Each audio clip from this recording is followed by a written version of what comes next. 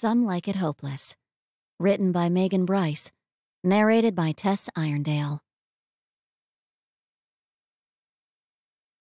Prologue. Of course, Cassandra would be wearing purple when it happened. The dress made her look as wide as a house, the color making her look like a zombie bride. Or bridesmaid, really. Because that's what she got for being a sister. Trussed up in the ugliest dress, in the ugliest color known to man. And she'd worn the stupid dress, and she hadn't complained too loudly. At least, not to her sister. Because her best friend, the love of her life, the man she would die for, had looked at her and told her to work it. So Cassandra had pulled up her Spanx, had mentally flipped off her sister, right, like her sister hadn't done it on purpose, and had worked it. And it had been okay because Shane was right there with her, working it too. His dress shirt and socks matching the putrid purple of her dress, his arm linked through hers, his smile wide and manic, his whispered observations snide and catty. And Cassandra could smile at her sister, could tolerate her parents. And then, he wasn't right there with her. He was off having fun. Then, off getting distracted by a pretty new bird and then off. Gone. Gone. Cassandra watched Shane forget about her, watched him leave the reception without her. The first time ever that he'd forgotten about her, hadn't made sure that she was okay with him going off for a little bit of fun. They'd been each other's wingmen for years, and they'd always made sure the other was okay with being left alone. Always. Shane wouldn't even have asked today because he would have known that Cassandra couldn't handle her family without him. Except, there he went, with his pretty new bird, and Cassandra decided Shane's pretty new bird wasn't all that pretty. His pretty new bird looked boring. Brown hair, brown eyes, and wearing a white shirt, black suit, and black tie. He looked like he wasn't even sure he was gay. Cassandra had known this day would come. She loved Shane, and he loved her, but they were a bird and a fish, in love with nowhere to live. She'd known that someday he would find another bird to fly with. He'd find a bird he could love and he could live with. Shane would have never left Cassandra alone at her sister's wedding, wearing this dress, unless he'd found that bird. How fitting that on this day she looked like death warmed over. Because this day, she watched her heart walk out the door. This day, she died. Fucking purple. Chapter 1 30 minutes later. The bartender poured her another shot. You okay? Cassandra didn't look at him, just tipped her head back and tried to kickstart her heart with another shot of liquid fire. It's the dress. Purple is not my color. It's not the dress. It's the tears sliding down your cheek. Cassandra blinked, focusing on him for an instant, before taking the little square napkin he was offering. She patted her cheek and decided that alcohol wasn't working fast enough. She wondered if a different sort of distraction would work better than alcohol. But not with this bartender. He looked young and fresh, like tragedy had never touched him, and Cassandra wanted to reach across the bar and choke him to death. She turned away from him, scanning the room of the swanky hotel on the outskirts of L.A. Everyone was happy. It was a wedding. Cassandra wouldn't find what she needed here. She crumpled the napkin in her hand and stood, making her way to the door. She'd go home, get out of this dress, and do something. Maybe do nothing. Maybe do nothing for a really long time. She left without telling her family gave her ticket to the valet, and waited. And waited. A deep voice behind her said, I've called you a cab. What? Cassandra turned, nearly taking a step back when she got a look at him. Tall, big. He wore a well fitted suit over his bulked up body. Black suit, black shirt, black tie. An ugly scar snaked down his cheek. His dark brown eyes looked nearly black, his expression empty, except for the loathing radiating from him. And Cassandra knew this man had died, just like her. Cassandra stared at him. He stared back. I've called you a cab. No one leaves my hotel drunk and driving. Where's your designated driver?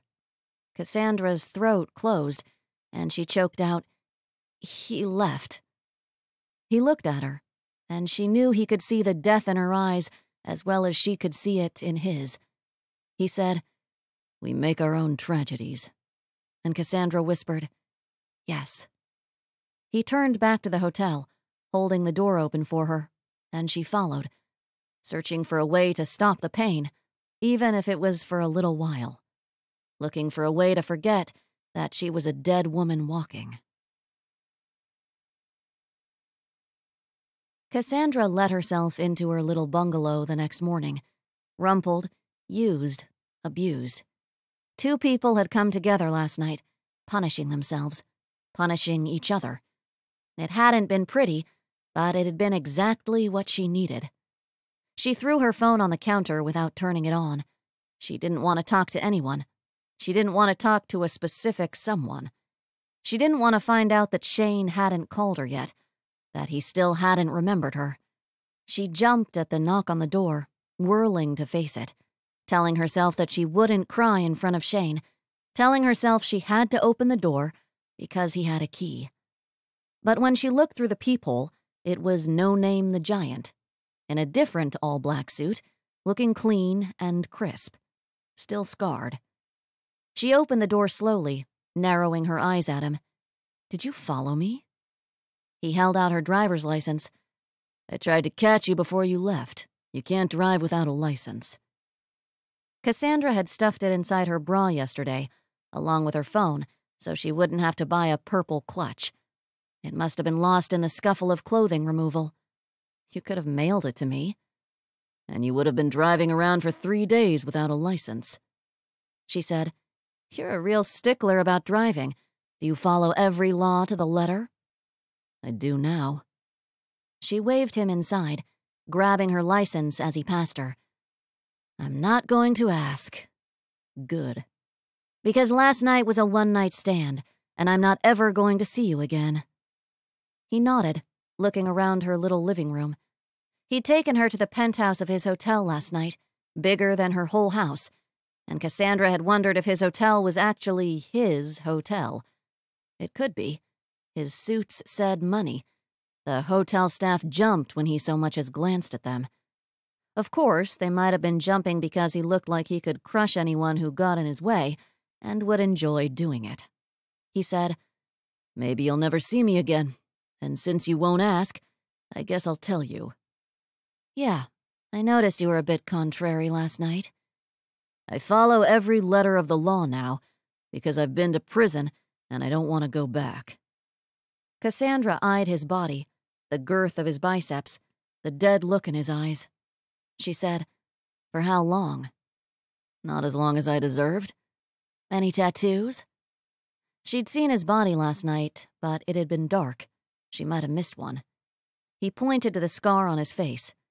This is enough for me. Did you get that in prison? His hard face got harder. No. Prison. Cassandra wasn't sure how she felt about prison, about someone who'd actually been in prison. He didn't ever want to go back, so that might be a point in his favor. He'd come right out and told her, and Cassandra didn't know if that was in his favor or not. Cassandra climbed onto a bar stool, in her hideous and now wrinkled beyond repair bridesmaid dress. Not that she cared. She had plans for this dress, and it involved a pair of scissors and then a match. Well, thanks for the license and last night. Goodbye. He sat down on her couch, taking up all the room. He relaxed, leaning his head back and closing his eyes. I feel like we have some leftover business from last night. I brought some rope. Ick. Maybe next time. Maybe never. He opened his eyes to stare at her, obviously not believing there wasn't going to be a next time. She said, I don't think you know how a one night stand works. He smiled a little, just the corners of his mouth moving up. I know how a one night stand works. I don't think you know how a fling works. Her eyebrows hit her hairline. You want to be upgraded to a fling? She thought back to last night. It had been hot and fast, cold and emotionless. She might be willing to upgrade him to a fling, might be willing to use him to warm her sheets. He said, Not right now. I didn't get a lot of sleep last night. She'd been there. She knew. First, tell me why you went to prison. For killing a woman and her child. For killing my woman and my child. Cassandra's breath rushed out.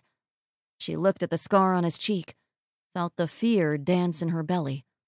He probably weighed a good hundred pounds more than her, and she knew that if he turned out to be some psycho, she was toast. She scooted off her bar stool, walking around the kitchen counter and pulling a glass out of the cupboard.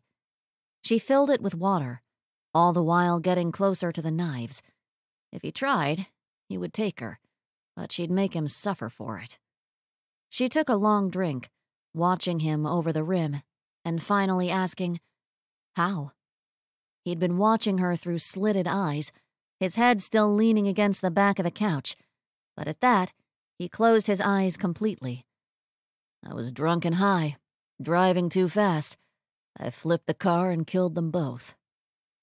She didn't say anything, just traced the scar on his cheek with her eyes and remembered what he'd said yesterday. We make our own tragedies. And last night, when she'd asked, he'd had no alcohol in his suite, wouldn't order any up. He said, Don't think that because I didn't mean to that it makes me any less of a killer. Cassandra said, and it wasn't a question, You don't drink anymore. He shook his head, and she said, No one drives away from your hotel drunk. No one. How do you stop them? He opened his eyes, and Cassandra thought, Stupid question. He could stop a bull in a china shop. He said, I either sit them down at the bar and pour more liquor down their throat until their wallet is empty or the cab has arrived, or I take them upstairs and fuck fuck 'em until they're sober. A little tingle made her want to fidget. She took another drink of water instead. And do you upgrade all of those sobering fucks to flings? You'll be the first. Cassandra snorted. And how many of them believe that? So far, none of them. She wanted to laugh, damn it. She wanted to take him back to her bedroom and stop all this talking.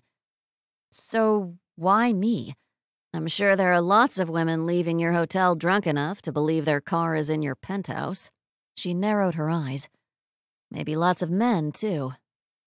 Not reliably enough. She waited. Waited for him to say one way or the other whether he was a bird slumming with the fishies. She didn't care, really. She just couldn't handle it now. He didn't answer her question, just said, Shane. And Cassandra's stomach clenched. He said, It's not my name, though I answered to it a few times last night. Cassandra thought about blushing, thought about being embarrassed, but decided she didn't care. She didn't care what he thought. She didn't care that she was pathetic. I alternate between Shane and Ethan. I'm just warning you, in case I take you up on the fling. Who's Ethan? He didn't ask who Shane was, and Cassandra wondered what else she'd told him last night. She hadn't thought she was that drunk. My other best friend's husband. She won't send naked pictures, so I have to project.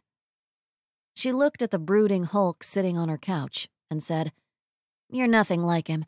I probably won't call you Ethan. That's good. I'm easily confused. He didn't look like he was easily confused. He looked sharp and dangerous, and Cassandra wondered why he'd followed her. Last night had been maybe not fun, but it had been just what she'd needed. He might be just what she needed. And she knew suddenly why he'd followed her. Knew why he was sitting on her couch. Because she understood. She'd known that a part of him had died, had known before he'd told her that he'd killed his wife and child, that whatever he was looking for, he would never find. Cassandra knew what it meant to live like that, how to get up in the morning, hopeless, how to make do with second best. She loved hopelessly. She could never have what she wanted most in life. She couldn't have Shane, couldn't be what he needed, couldn't have his children and his name. The man sitting on her couch would never have what he needed either, would never find forgiveness for his sins. She put her glass down, rounding the kitchen counter and stopping to stand in front of him. She turned her back to him, indicating her zipper. I need a shower. You may join me. He scooted to the edge of the couch and pulled the zipper down slowly. He murmured, So magnanimous. Yesterday you got lucky. Today is a tryout. If you please me, Shane, I'll think about your upgrade request. He pushed himself off the couch, following her. Cassandra Elaine Spencer. Don't you want to know my name? She didn't. Not particularly. Why? You answer to Shane. When they entered the bedroom, his eyes met hers in the full length mirror. He was big and dark, brooding. He was dressed head to toe in rich black, and his mouth looked like it only smiled when he had you cornered in a dark alley. He was nothing like Shane. But he only said, Hope you have a big shower, Your Majesty. And Cassandra thought she'd probably grant his request. He was big. He was distracting. He just might be funny. He might be just what she needed. Carlton Brady Roberts IV left Cassandra drowsing in her bed and headed back to work. Seven days a week, sometimes 24 hours a day. He lived and breathed his work. Early morning conference calls with New York, late nights tracking Asia. He took his sleep when he could get it, living in the penthouse and rarely making it back home. He'd find a couple hours this afternoon to sleep and let himself feel that sweet oblivion of nothing, so tired that he wouldn't even dream. Despite what he'd told Cassandra, he only occasionally invited someone up to spend some energy on. He chose carefully, and not very often, because that smacked of hedonistic pleasure when he deserved none. But he'd seen Cassandra sitting at the bar, in that ugly bridesmaid dress, her short brown hair curling as much as the length would let it, her tears leaking down her cheek. Had seen her looking for a distraction, and finding none in that happy crowd. And then she'd tried to drive away from his hotel drunk.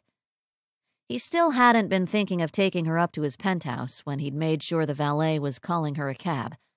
His staff was well trained, but the day staff wasn't as familiar with spotting drivers who shouldn't be driving. And when she'd turned, Brady had seen in her eyes that it was an old wound, recently reopened, that it was something that would never get any better, and she'd accepted that. Just sometimes it struck hard enough to make her bleed. Brady knew all about that. He went about his life because he couldn't do anything else. He'd killed those he loved most in this world. There would be no forgiveness for him. He'd served his time. Six years was what the state had demanded for the death of his family. And then he'd been let out early because of good behavior, and prison crowding, and because of his money. Money bought second chances, even when you didn't want them. At the hotel, Brady gave his car to the valet nodding when he saw it was Rodrigo, and deciding to go find a little sleep now. Rodrigo could spot drunk or high ten yards away. Hefe, you get your lady friend taken care of? Brady raised an eyebrow, and Rodrigo said, You spend the night occupied and then chase after her in the morning. There's going to be talk. What's the talk? Just the usual. Hefe's going to be in a good mood, go ask him for that raise now. Brady almost smiled. Rodrigo said, Hefe's not going to be able to walk. Bring him some ice, and then ask him for a raise. I don't need ice, and I'm not in that good of a mood. Man. Rodrigo peeled away, and Brady let him go. The only time his little Z got any action was when Rodrigo got behind the wheel. It took Brady an hour to get up to the penthouse putting out fires and returning calls as he made his way. And then he sat down in his chair, listening to the quiet. So quiet. And when he slept, it was dreamless. Late Sunday morning, Brady was told a woman was looking for him in the bar. When he went to see who it was, he recognized the back of Cassandra even without her purple dress. Her short brown hair was spiked instead of curled, and she wore three sets of silver hooped earrings on each ear. He sat down next to her, shaking his head at the bartender as he started over. Miss Spencer, I heard you were looking for me. Strange, since you don't know my name. I guess I didn't need to know it. You got my message. Hmm. And who did you ask for? Cassandra took a sip of her bubbly brown drink. I said I was looking for a big, surly looking guy who liked to wear black and walked around like he owned the place. Brady didn't look down at his black suit. He said, I do own the place. She grimaced and let out a long sigh. Yeah, that's what I was afraid of. I didn't think I'd ever say this, but money complicates things. I didn't think I'd ever say this, but it doesn't have to. It doesn't? You don't think I'm sniffing around you because of your money? He choked. No, I know what it is you're sniffing around. She started smiling, covering it with another long drink, and then offering it to him. Would you like to join me? It's just Coke and ice, in case I have to drive home. She turned to him, meeting his eyes.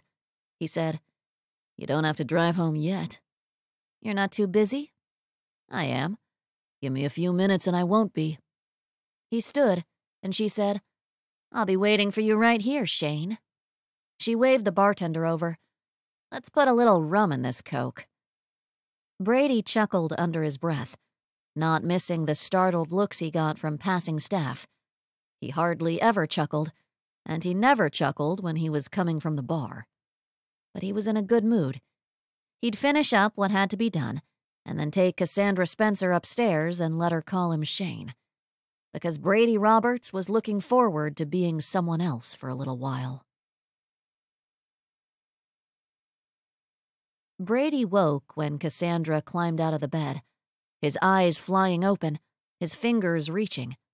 He sat up in surprise when he felt soft sheets and realized he was sleeping on the bed. He rubbed his face. Sorry, did I wake you? No, I just need to use the bathroom.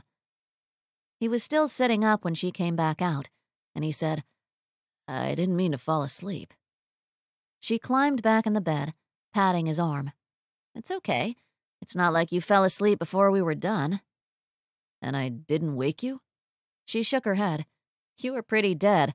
I didn't think you'd wake up if I took care of some business. I didn't. He took a deep breath, shaking his head. He didn't sleep in beds. He slept too soundly, dreamed too deeply, screamed too loudly. Brady looked over at the armchair that was his normal resting place then slowly lay back down. Cassandra propped her elbow up, leaning against her hand. How often do we have to sleep together to be able to call this a fling? More than once a week? Do you think you could move your hotel closer to my house? He smiled, then stopped. He said, I'll see what I can do. Until you get that figured out, maybe we can alternate locations. My place next? Brady nodded his head, reaching for his phone and searching his calendar.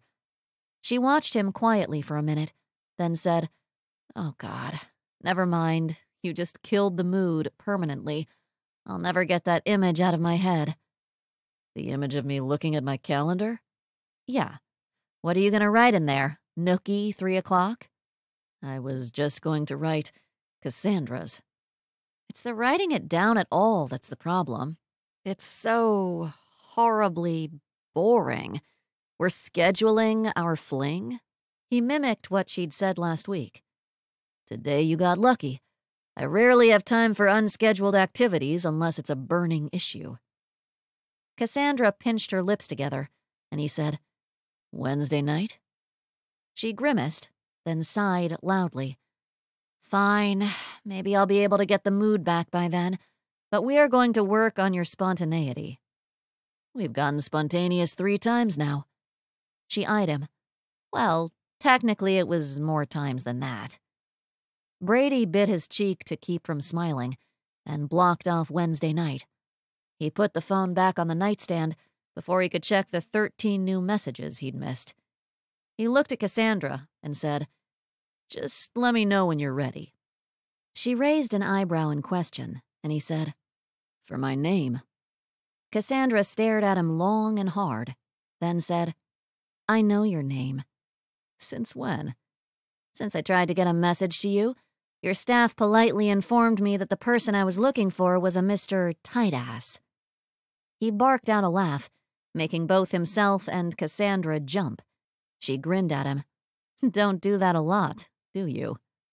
He shook his head. He did that never. Remind me to fire whoever said that. I'm pretty sure it was all of them. Who's going to be left to run your hotel if you fire all of them? I'm pretty sure it was only one of them, and I'm not ready to fire you yet. She laughed, rolling onto her back and pulling the sheet with her. You can't fire me. You're not paying me anything. Although, I am thinking of negotiating for pool privileges. Done. And now I can fire you. Oh man, I should have brought my bathing suit. I was sure you were going to say the pool was for guests only because you're such a tight ass about breaking laws. Only actual laws. And only laws that resulted in death when broken. Cassandra turned her head, running her eyes down his uncovered body. She wiggled under the sheet, and Brady forgot completely about those 13 messages waiting for him. She said, I'm ready now. Brady shook his head, trying to bring his mind back to their conversation. He opened his mouth to tell her his name, and she poked him. No, I'm ready, Shane.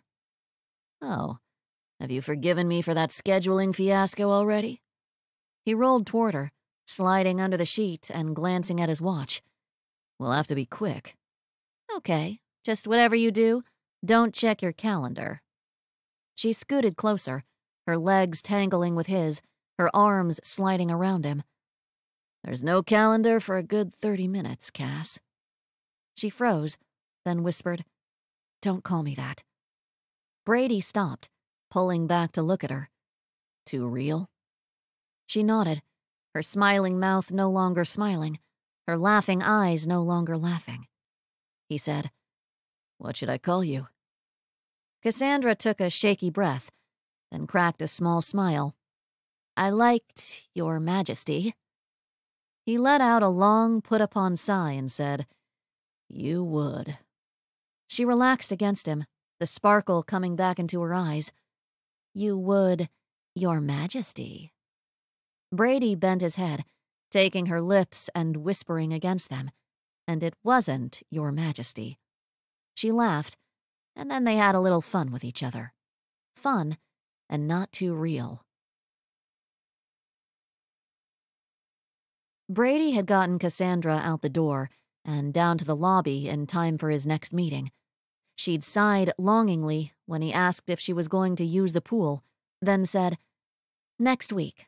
I'll bring my suit. Brady wondered if he'd ever take her to his home, let her have free reign over that pool. Then he shook his head. Of course he wouldn't take Cassandra to his home. His home was his wife's domain. He wouldn't take a piece of tail there and disrespect her memory. He made it back to his office in time for the weekly meeting with his father and three brothers via video conference. They talked business, and that was it. Sometimes their wives and his sister sent Christmas cards. Sometimes his mother sent a photo of a niece or nephew.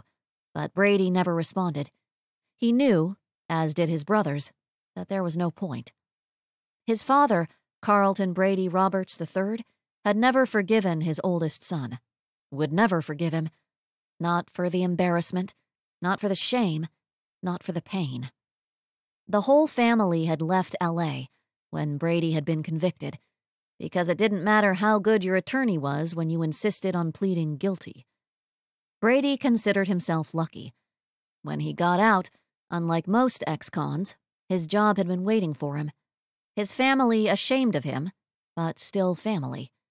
It was all Brady would ask from them. The Roberts family owned hotels around the world, on every continent but Antarctica. But LA was where he stayed because his wife and son were here and they couldn't leave. He'd decided years ago that neither could he. Living in LA wasn't exactly a punishment, except for the traffic. And even that usually worked in his favor, since Brady always drove the speed limit. It was a daily reminder, a daily punishment, to own a car that was built for speed and never let it have its head. When the meeting finished, Brady signed out, calling down to get his car ready. In a few hours, Tokyo would wake and start the week. But he had until then to take his usual Sunday drive. These meetings with his family always reminded him of what he'd had, of what he'd thrown away. Brady didn't blame his father for riding off his oldest son. His father's legacy had died with Carlton Brady Roberts V. The child and the name, and all it meant, gone forever. Brady accepted that, to his father, he died that day too. Not should have, but did. Brady had given up judging others years ago.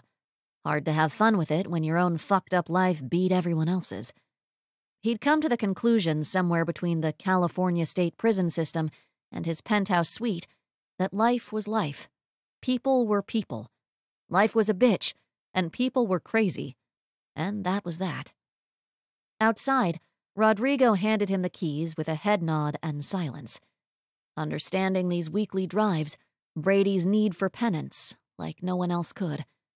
Understanding what a man with blood on his hands had to do to keep the demons away, what it took to keep from becoming that man again. He was a drunk who didn't drink. He was a user who didn't use. Not a drop, not a snort, since that night. It would have been easier to lose himself in that, instead of constantly living with the battle.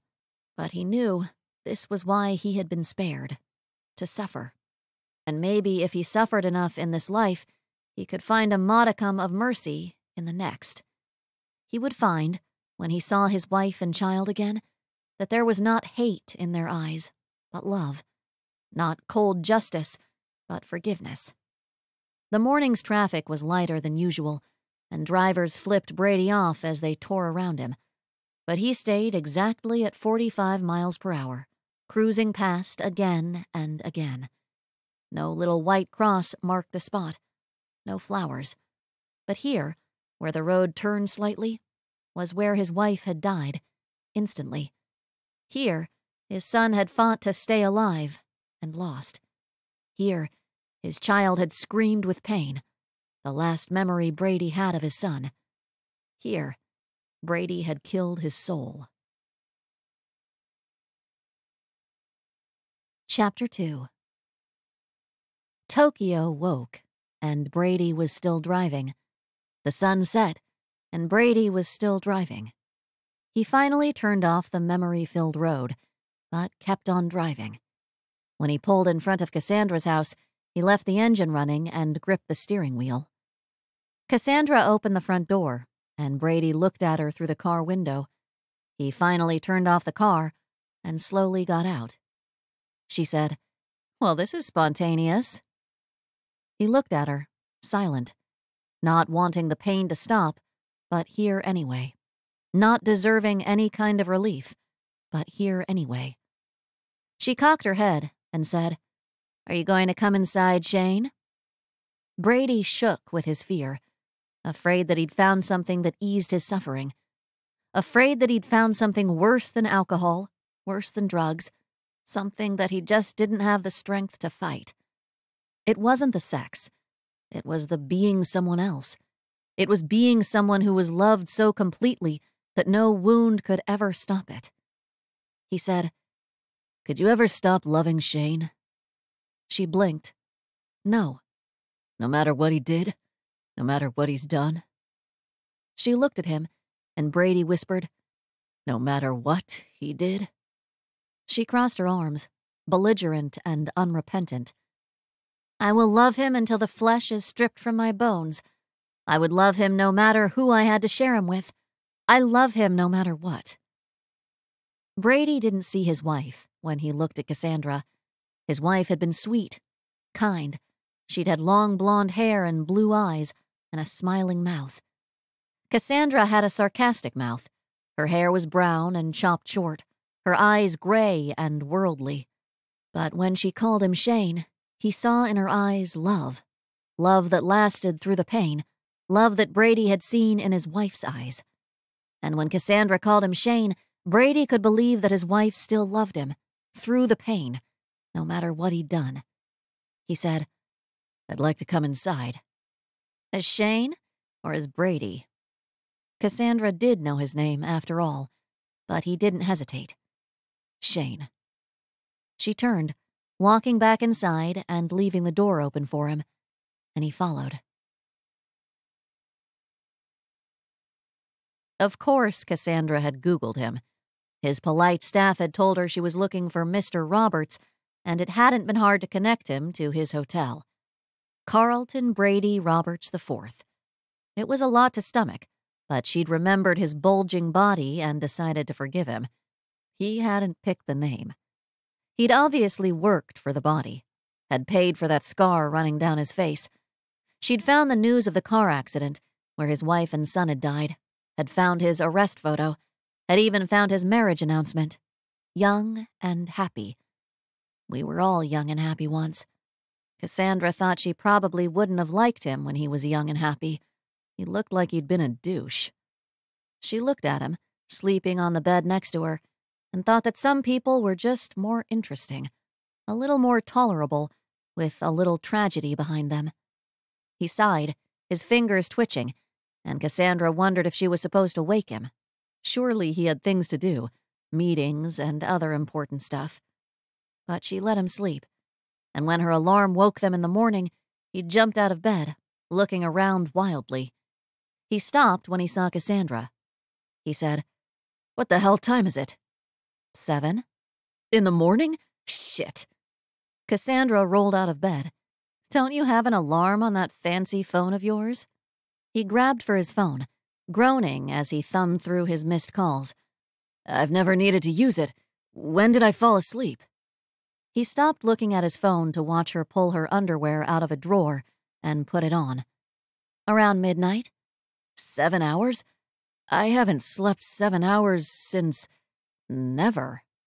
I must have worn you out. She grinned at him over her shoulder, and he looked so confused, so surprised, that she walked over to him and wrapped her arms around him. She said, You're welcome. I've missed hours of work. You're welcome.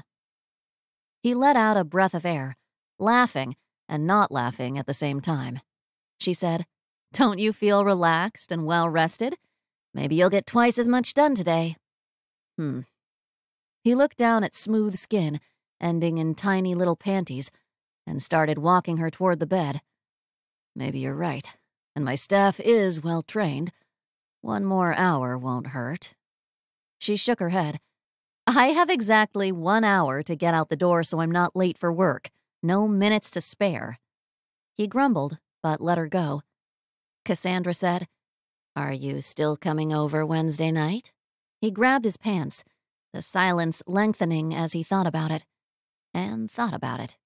She said, Just set your alarm. He nodded slowly. It probably won't happen again, anyway. That's the spirit. He chuckled, then sprinted for her one bathroom before she could go in. He blocked the door. If we're not going to get physical, I don't have an hour to spare. I'll only be a minute. She huffed as he shut the door in her face. She'd remember this about him. But when he came back out less than two minutes later, she decided maybe he'd been right to jump ahead. She would be more than a minute. Shower, hair, makeup. 45 minutes of her hour was taken with grooming. Some days she wished she was a man. Actually, lots of days she wished she was a man. Cassandra looked at Brady's damp hair. Did you use my brush? Your comb. She narrowed her eyes. Did you use my toothbrush? He held up his finger. Your toothpaste. You know, you're kind of bouncy when you've had a full night's sleep.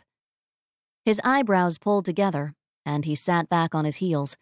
She said, Bring a kit with you on Wednesday so you don't have to brush your teeth with your finger. He nodded and squeezed her arm. I will. Cassandra locked the door behind him, and thought she'd have to set her alarm a little earlier if he was going to be sleeping over. Maybe a lot earlier, and she could get the full benefit of having a steady fling staying over the occasional evening. And then she raced to the bathroom and tried to make up for those lost few minutes. Shane's car was parked in her driveway when she got home from work. She pulled in behind him and sat, wondering just how she was going to react. Angry? Sad? Happy for him? He opened her front door, and Cassandra got out of the car, just looking at him. Sandy blonde hair and bright blue eyes that were normally happy, and today were not. He ran to her, squeezing her. Cass, I'm sorry, so, so sorry. I'm the worst friend ever in the world. She squeezed him back. Yeah, I was about ready to cancel your membership. It's been a week. It had been one week, two days, and four hours. But who was counting? He pulled back. I've brought dinner to make up for it. Moo shu and margaritas. And your pretty little bird? He shook his head. Just us tonight. Shane took her hand, leading her inside the house, and Cassandra said, That was wise. He nodded. You can get it all out of your system so when you meet him, you'll fall in love with him too. That seemed highly unlikely. He said, But first, tell me what happened after the worst friend in the world left you alone to the tender mercy of your family. It felt like a lifetime ago. Cassandra recapped. I got drunk. I tried to leave. I detoured to a night in the penthouse. Shane stopped, turning. Penthouse, as in dear penthouse? Just about. He's big, he's tailored, and he has a scar. Shane sighed. Lucky. Actually, she thought it really might have been. He narrowed his eyes and flung his hand toward the bedroom. Wait, is that why your sheets are all rumpled? Penthouse was here last night? She dropped her keys on the counter and said smugly, I've been keeping myself busy. He laughed, pulling food containers out of a bag, and Cassandra got two big glasses for the margaritas. Cassandra poured and said, So, tell me his name. Shane turned to her, radiant, in love. His name is Christian, and when I accidentally reached for his drink, he said, These aren't the drinks you're looking for. Cassandra paused. Star Wars? Star Wars. Cassandra laughed. Shane said, He quotes Star Wars, he plays video games, he makes video games. He's a geek? Shane sniffed. Maybe. He's wholesome. Cassandra breathed in. Wholesome. She knew the terrible lure of wholesome. Mackenzie had fallen for wholesome too. Hell, Cassandra had fallen for it. If she hadn't loved Mackenzie like a sister, she would have stabbed her for a chance at Ethan O'Connor. Even then, Cassandra would have stabbed her if Cassandra had any kind of chance with him. Funny how wholesome could make you go all crazy. She said, Does he even know he's gay? He knows. He just doesn't like it. He's a good Mormon boy. Cassandra blinked, turning toward Shane. You fell in love with a good Mormon boy? I know. What the hell? And what's even worse is his fashion sense. Ugh, you should see it. Plaid, short sleeved button up shirt, white undershirt peeking out at the neck, cargo pants. It's like he's standing out on the corner waving and shouting, I'm from Utah. At least he quotes Star Wars. He sighed. We role-played. She shook her head. I don't even want to know what that means. A role-playing game, like Dungeons and Dragons. You'll love it. We'll bring it over one night. Cassandra took a long drink, thinking she'd rather jab a fork in her eye. But she didn't say that to Shane, just sat down on a bar stool and dug into her moo shu. Shane said, do you think it just happens like that? Boom, you're in love? He pointed his finger at her. And I'm not talking about lust, because we both know that happens. But love? Real love? Forever love? Stand together no matter what love? Cassandra looked up at him and said, Yes. Shane sat next to her, pulling his plate toward him, then just stopping. He stared into his food and said, Forgive me? For what? Leaving me to my family or for not loving me? His eyes filled with tears. I do love you. I love you as much as my poor little heart will let me. I know. And she did. Cassandra said, I really hope I like Christian. Shane said seriously, Me too. And I forgive you. He whispered, For what? For both. Shane put his arm around her shoulder, and she snuggled into his side, and knew she had as much of him as he could give, and it was enough. He said, Now, tell me more about Penthouse. Cassandra smiled. Oh, him? You're going to like. Cassandra was out watering the flowers when Brady, Shane, uh, Brady drove up Wednesday night. She waved him in behind her car and tried to pay attention to the flowers instead of his sporty little car. It wasn't easy. First of all, they weren't her flowers, they were Shane's. He lived in an apartment and gardened at her house. Best of both worlds, he said, and Cassandra watered them when they looked droopy so Shane wouldn't yell at her. And second of all, Brady's car was a Nissan Z, and it looked fast. Fast and small, and Cassandra didn't know how Brady fit inside it. He ducked his head to get out, and she watched him, forgetting the flowers, forgetting the car. She'd told Shane that Brady was a man who had been beautiful once, had been favored and adored, and now he wasn't. His scar and his eyes told the world that he'd lost everything. She said, I want to drive your car. You can, if that was a euphemism. She laughed. It wasn't. He stepped into her space, and she looked up into his face, his dark eyes close, his hot body warming hers. She pointed the hose away from his shoes. Did you bring me dinner? I did, if that was a euphemism. He smiled, his lips spreading across his face, his eyes wrinkling. Cassandra forgot where she was for a minute, surprised by how it transformed his face. She shook her head. She was on a mission and wouldn't be distracted by how close he was, or that it would only take a minute to get to her bed. Then let's go get dinner. We'll take your car. He let out a long breath and pressed his body against hers. He smelled like a rich man, and she closed her eyes, tried not to be seduced. She put her cheek on his and whispered, Come on, let me take it up Mulholland Drive. Zip around those curves like it was made to do. He opened his mouth, and she said, And yes, that was a euphemism. Are you going to drive the speed limit? She pursed her lips. What is a speed limit? His body clenched, and silence ticked between them. She wouldn't tiptoe around him, wouldn't pretend she didn't know what had happened to him, to his family. She knew one thing about living with hard truths. You brought them out into the light, acknowledged them, acknowledged that whatever it was, it bit the big one. Hiding wouldn't make it any better. Hiding only made it shameful. And shame was ugly. Shame destroyed. It destroyed all happiness, all life. It destroyed the future. It destroyed all hope. Cassandra opened her eyes and pulled back from him. I'm going to drive fast, and I know you're not going to like it.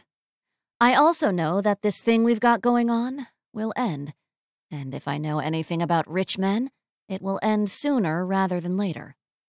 I've driven you. I want to drive your car. He gave her the car keys. You can go without me. The Z likes to go fast. I don't. Cassandra laughed, closed her eyes, tipped her head to the rapidly darkening sky, and laughed. Brady, if I get in that car without you, I am never coming back. The next time you'll hear from me, I'll be in Argentina. She only briefly wondered if you could drive all the way to Argentina, then decided she could at least try. He said, Brady? You'll still be Shane in the bedroom. He said, As long as it's still in the bedroom. And he sounded completely serious, sad and serious. Rich man with a fast car who wants me to call him Shane. She patted his cheek. Maybe your money isn't going to complicate things. He grabbed her wrist. I don't think you know anything about money. Or rich men. I know that you never give a rich man what he wants, not until he's worked for it. She'd learned that from Mackenzie, who'd found her own rich man and wrapped him around her finger, without even realizing she was doing it. Brady smiled slightly. It's not a bad philosophy, actually. Cassandra didn't want to wrap Brady around her finger. She knew this thing they had going on wouldn't last forever. She didn't want it to. But she didn't mind poking him a little, maybe bring him back to life a little. She could do that for him. She could thank him for distracting her, for giving her a little bit of fun now, when she needed it. She turned off the water, knowing Shane was going to be mad at her for drowning his flowers, and not caring one bit. She jingled Brady's keys. Are you coming? Or should I call from Argentina? He shoved his hands in his pockets and turned away from her to stare at his fast little car. It's not Argentina I object to. It's knowing you'll eat in the car on the way. She chuckled. It's a good bet I will. You'll have to go through me to do it. I can only go through you if you're there. He nodded, looking over his shoulder at her dirty, wet flip-flops. But change your shoes at least. She smiled, flinging the hose toward the house. I'll give you that one. You don't even have to work for it. Cassandra parked in a pullout near the top of Mulholland Drive and looked out over the city. The lights twinkled. The city sprawled before her, the freeways curving snake-like along the valley. So many people. So much hurt and misery. It was easy to remember sitting here that she was only one in seven billion. Insignificant, really. Her hurts, her misery. Insignificant. She looked over at Brady, his hand still squeezing the door handle. He looked a little green, and Cassandra didn't know if that was from her driving or from the winding road. When he opened his eyes, she was still watching him. He swallowed and said, You are not driving back. She smiled at him. My plan was to distract you with a little hanky-panky when we got up here, but I can see that isn't going to work. This car is too small. He cracked his window and took deep, gulping breaths. He said, I thought we were going to go over the side a few times. Didn't you want to? He stopped breathing. He didn't look at her. He didn't have to, because Cassandra already knew his answer. He did want to go over the side. And he didn't. She knew how that felt. She looked back toward the lights and just sat with him. She said, I don't know why those who get what everyone deserves always feel guilty about it. I deserve my guilt. You do. You deserve your guilt for hurting those you love. You deserve it for taking their life from them. But you think I should forgive myself anyway? Cassandra said, Never. He turned to her, in shock, and Cassandra said, You can't undo it. You can't make amends. You will never be forgiven. Some things just won't ever be. Then what the hell are we talking about? You don't deserve the guilt you feel for surviving, for living when they can't, there's no forgiveness, Brady. You're never going to find it. But maybe you can find life again. He pushed his door open, jumping out of the car. He slammed his palm onto the hood of the car and shouted, You don't know what you're talking about. Cassandra jumped, her heart thumping. Smooth move, Ex-Lax. Bring a man who can bench press a small elephant to a secluded area and piss him off. She got out of the car slowly and faced him. She kept the car between them and said, The man I love fell in love with someone else, and he feels guilty about it. Guilty when he got something everyone deserves to love, to be loved in return. I don't give a flying fuck about Shane. You're alive, Brady. You deserve that. To live. To spend as much time as you get driving your fast car fast. To sleep in a bed. He jerked. Cassandra shook her head. He'd woken up next to her twice now, and both times he'd stared at the bed like it was a sleeping dragon, like he couldn't believe he'd slept on it. She said, You're searching for forgiveness when it will never come. Maybe you should start looking for something else. You mean like loving someone who can't love me back? You're right. That sounds better. I'll start looking for that. She looked up and could almost make out a star if she squinted. I can't help who I love. You can't help who you killed. We can still live. Brady stared at her, his stomach heaving. No forgiveness, ever. And he knew she was right. He would never forgive himself. He'd made peace with that. But he didn't deserve to live, either. Cassandra was wrong about that. Didn't deserve to find pleasure in simple things. Couldn't sleep in a bed except when he was sleeping next to Cassandra, apparently. He didn't know why, except there was something so peaceful about her fatalistic view of the world. She saw how hard it was, how horrible, and then, somehow, moved past that. He knew, without even asking, what her motto in life was. Life's a bitch. What's next? What's next? Brady didn't have a next. His wife had been an angel. Not perfect, of course. They'd had their share of problems, most of them coming from him. But she'd been an angel, forgiving him, loving him. Without her, he was lost.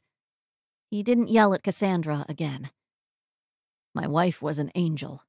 I don't know why she was taken when I wasn't, and I don't deserve to live when she can't. Why did she marry you? He pinched his brows together. What? Cassandra waved her hand in the air and rolled her eyes. Anybody dies, all of a sudden they were a saint. I'm sorry she died. I'm sorry she left you here to suffer alone. And I'm sorry that you killed her. But I doubt that she was a saint or an angel because you aren't, and no angel could handle you. She couldn't handle me, but she loved me anyway. Cassandra squeezed her lips together, smiling at him. That's nice. That must have been very nice. It had been. And even if my wife hadn't been an angel, my son was. How old was he? Brady paused, swallowing the lump in his throat before saying, Four. He cleared his throat. He was four, and he loved garbage trucks and swimming in the pool and getting thrown up into the air. A car drove up the hill, slowing as if to turn in, then speeding off again. Probably teenagers looking for some place deserted, to have some fun, drink some pilfered beer, to live. Brady watched the taillights disappear and said, I thought that as my nephews got older, that it would hurt more to see what he could have been. But it doesn't work that way. He'll always be four. When he looked at Cassandra, there were tears in her eyes, and he rounded the car. Do you really think someone like me deserves life? She nodded, the tears still swimming, and she sniffed. He kissed her, not as punishment, not as a distraction. He kissed her because he wanted to. He kissed her because she wasn't an angel. She'd never forgive him like his wife had, never look at him when he was Brady like she looked at him when he was Shane. But she could handle him she could handle what he'd done. She could handle what he'd always be. He said softly, What's next? She jumped, wrapping her legs around his waist, and he caught her. She said, I'm going to drive down this hill and see if I can make you toss your cookies. Then we'll go back to my place, and you'll fall asleep in my bed and wake up wondering what the hell just happened. He huffed that was exactly what he felt like when he woke up.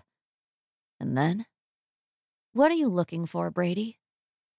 She'd said he was looking for forgiveness, but that wasn't it. He hadn't really thought he was looking for anything.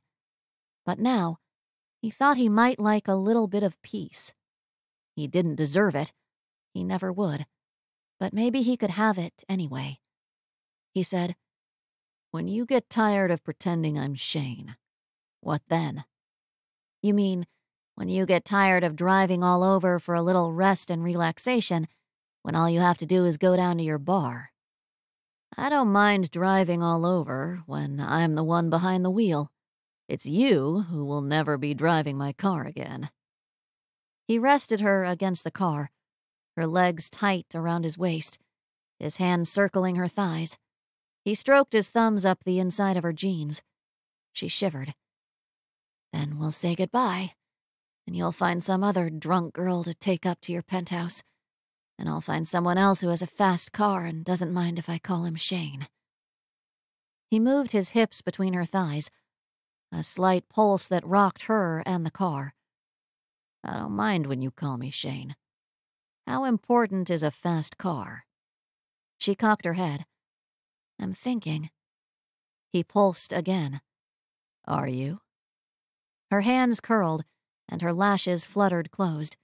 She murmured, I'm thinking about thinking. I'm thinking how I'm going to get your pants off. I'm thinking about leaving all the thinking to you. You seem to have it covered. Good. He popped the button on her jeans. She opened her eyes a crack.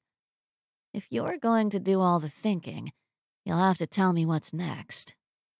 He slid his hands under her bottom and boosted her up his chest. A small shriek flew from her mouth and her hands grabbed at his hair. He sat her on the roof of the car and rested his hand on her chest. He said, Here's what's next. Chapter 3 Brady pushed at Cassandra until she let go of his hair and lay back on her elbows. She pulled her zipper down and yanked at her jeans. She said, Okay, I could like this. She looked over to where the hill dropped off and the city spread out below them. Maybe. He climbed onto the car, leaning over her. She flung her arms out wide, grabbing at the car. Is this roof going to hold the both of us? He said, I don't like it. Yeah, I'm heading in that direction, she said, and he snorted. I don't like Sundays and Wednesdays. I want every night. For as long as this thing lasts, I want every night. That would be flattering if you didn't want every night so you can be comatose for seven hours.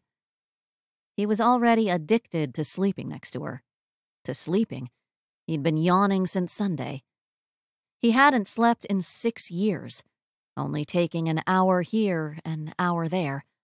One night of sleep and he couldn't function anymore. Cassandra said, Maybe it's not me. Maybe any woman in your bed would do. He shook his head. He'd had other women. It was her. She said, Just how many sluts have you taken upstairs lately? He ran a finger along her arm. Only one. She murmured, I feel like I should get mad, but I'm leaving a butt print on the roof of your car. Sounds slutty to me, too. Brady slid his zipper down, and Cassandra said, I swear, I hate men. I'm here breezing in the wind, and all you have to do is pull down your zipper. There are women who hate men. You're not one of them. He flicked her nipple with his thumb, making it pucker, and she said, Oh, I'm starting to hate you. Her head tipped off the edge of the roof, her throat open and exposed. She muttered, I hope to God I set the parking brake and Brady licked her neck. He looked past her, down the hill, and he whispered, Don't you want to? She peeled one hand off the car to grab at him. Only sometimes, and not today. Her breath rushed out, and Brady thought he didn't really want to today either. He said, You'll move into the penthouse. She squeezed her legs tight around him, trapping him. What? I'm tired of driving all over the place for a good night's sleep when all I have to do is move you in. She blinked. He stretched out on top of her and said, Pool privileges are included. You want me to drive out there every night? He nodded. I want you to move in. It's in Brentwood. It's an extra hour of driving, both ways. I don't have two hours a day to give you, Brady. Brady. He paused, sad for a moment that he wasn't Shane anymore, then deciding it might be okay to be Brady again. He had to be Brady again. He said, Twice a week is not enough. Not nearly enough. Are we still talking about sleeping? No. She smirked. And who says it's only twice a week? He bit her jaw gently. Only me. She wiggled against him. Why? Give me one good reason. I've given you one good reason, over and over again. She closed her eyes, letting her head fall back. He said, Only me. Or Shane. Cassandra's eyes popped back open, and she raised her eyebrows. He said, I don't think he's going to switch teams. Just thought I could give you something in return for the long drive you're going to be doing from now on. You don't think he's going to switch teams? You haven't even met him. You seem pretty sure you'll never have him. But just in case he changes his mind, I give you my blessing. But only him. In case he changes his mind? She laughed again and again until Brady said, You can take my car. That'll make the drive a little more fun. Wait, wait, wait. Your car? You can drive my car when I'm not in it. Cassandra said, Yes. When they'd both stopped breathing fast, Cassandra murmured, Now that the excitement has faded, I'm realizing that this is extremely uncomfortable. Brady pushed himself off her, climbing off the car and noting that his knees weren't too happy with him. He grabbed her jeans, shaking them out and throwing them up to her. She scooted to the edge of the roof, and he helped her down. She pulled her jeans up and said, Well, cross that off the list. Don't need to do it again. Let's just cross all of Mulholland off the list. We don't need to come back up here. She smiled, then sighed. It's not going to work, Brady. This. Us. It's just for fun. Just a little distraction. You already said yes. I wasn't saying yes to you. It was more of a, I'll have what she's having yes. You were saying yes to the car. She grinned. Might have gotten a little carried away thinking about zipping along in your car. But there's the big problem of Argentina, remember? If I get in your car without you, I'm not coming back. You will. I won't. I won't come back. I won't stop. She nodded her head except for the occasional messy burrito and the more frequent speeding tickets. Is Shane going to go with you? She'd been happy and playful, but she froze when he said that. He said, I have no one. You have half of someone. Half of him plus half of me equals as close as you're going to get. And you? What are you going to do with only half of me? He smiled at the top of his car. I'll make do. He smiled at her.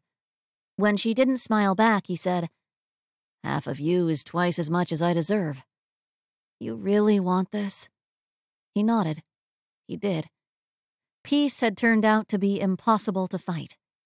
She crossed her arms and leaned against the hood, staring out at the city. If I do this, I want it to be clear that I'm only using you. Your money. Your body. My car. She looked at him and nodded.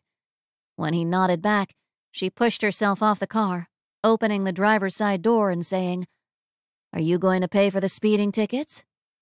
No, but I'll pay for the gas. When Brady woke the next morning in Cassandra's bed, her alarm blaring loud enough to wake the neighbors, he stared at the ceiling, ran his hands along the sheets. Seven hours. Again. No dreams, no screaming. He turned his head and found Cassandra watching him. Six years. Six years of wishing he'd died too. Six years of trying to punish himself. Six years of reliving that one moment that had changed everything. He didn't remember the accident, not during the day. But at night, he dreamed. and he didn't know if it was real or if it was a story his subconscious had made. Because a man couldn't destroy his whole world and not remember it. He pushed the sheet off, and Cassandra said, I'm never getting rid of you, am I? He stopped, poking his internal wounds. They were still there. He could feel it. But it hurt a little less, as if it was finally healing. No longer raw, no longer infected. He didn't know why he'd been given this reprieve. All he knew was that he would grab it with both hands. He denied himself the oblivion of alcohol, the flying freedom of Coke, but this he couldn't fight, because it didn't feel wrong. It felt not like forgiveness, but acceptance. It felt like what was next. He said, It might come back.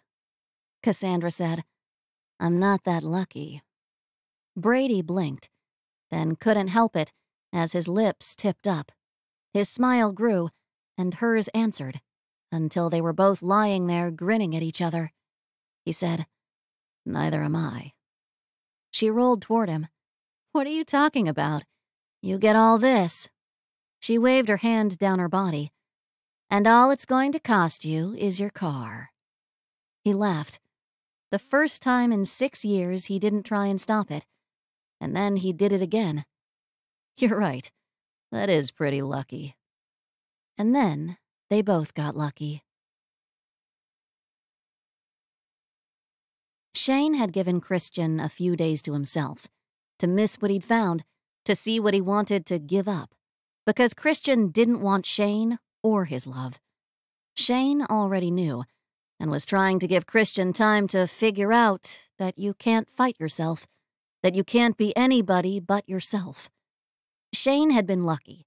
His mother hadn't cared one jot that her son was gay, and if his father had cared, he'd hidden it well before he'd passed on. But Shane thought that the man had loved his son, had loved everything that made him Shane, and wouldn't have changed anything about him. Shane had had unconditional acceptance and love since the moment of his birth, had never been made to feel that something was wrong with him. Shane would give that to Christian. He would love everything about him, love that he was careful and cautious, love the daily struggle that had made him who he was, and he would give Christian as much time as he could. It was just Shane Wilder wasn't a very patient man. Christian opened his door, his hazel eyes cautious, and his brown hair brown, and said, You were going to give me a week. I know. Two days was all I could last. I froze my car keys in the ice tray last night, which was why you got a third night. Christian smiled, like he knew he shouldn't give Shane any encouragement, but just couldn't help it. Shane said, I want you to meet my friends, brunch with Kenny and Tom, and then we'll swing by and say hello to Cass, see if dear Penthouse is there, because her exact words were, he's big, he's tailored, and he has a scar. Christian sighed. Shane. Shane sighed. Christian. I would love to meet your friends, I would love to be one of those friends, but you want more than that. Shane nodded. He wasn't going to lie about it. I do, and so do you. You just won't let yourself. He grabbed Christian's hand, holding on even though it was tense, even though Christian jerked. So, I'll take friends. For now. Christian pulled at his hand. And this is being friends? Yes, I hold Cass's hand. This is different. It was different, and it wasn't because their attraction was one sided, either. But Christian couldn't say it, couldn't say that he was attracted to Shane. Come meet my friends, Chris. Resistance is futile. And there was that pinched smile again on Christian's face. Like he thought Shane was wonderful and fun, he just didn't think he should think it. Should, should, should. Oh, how Shane hated should. Shane wondered just who came up with all these shoulds. Shane stayed silent, hard though it was, and let Christian fight himself. Christian finally said, Don't think that you can quote Star Trek at me and get me to do whatever you want. Shane sighed theatrically. and tugged Christian out the door. I find your lack of faith disturbing. Christian's smile was a little bigger, the pinch a little smaller, and Shane said, I know, you prefer Star Wars. When they got to the car, Shane let go of Christian's hand, and it wasn't his imagination that the contact lingered. The reluctance to let go wasn't one sided. Shane decided he wasn't beating his head against a door that would never open. He was just beating his head against a door that might not ever open. Kenny and Tom were already at brunch, sitting down side by side. They'd been married for years, years before it had been legal for them to be, and they'd been one of the first couples in California to tie the knot when the state had granted them the privilege, the first time around. They'd cried for the other couples who had missed their chance when it had been taken back, and cheered yet again when the Supreme Court upheld the decision that Proposition 8 was unconstitutional. Kenny always said it was necessary to be a lawyer if you were gay today, so you could understand what was going on. Or married to one. Or finally married to one. Shane bent to kiss their cheeks. Kenny, like he'd rather be in Hawaii, his brightly colored shirt sporting parrots. Tom in his double breasted suit, even on a Sunday. Tom patted his mouth tidily and peered at Christian. And who is this? I was preparing myself for Cassandra's sarcastic comments. Kenny chortled. You mean coming up with your own, but put them away for now because this looks like a nice young man. Shane held a chair out for Christian and he was not the only one at the table who noticed the pause before Christian took it. This is Christian, and he is a nice young man. From Utah.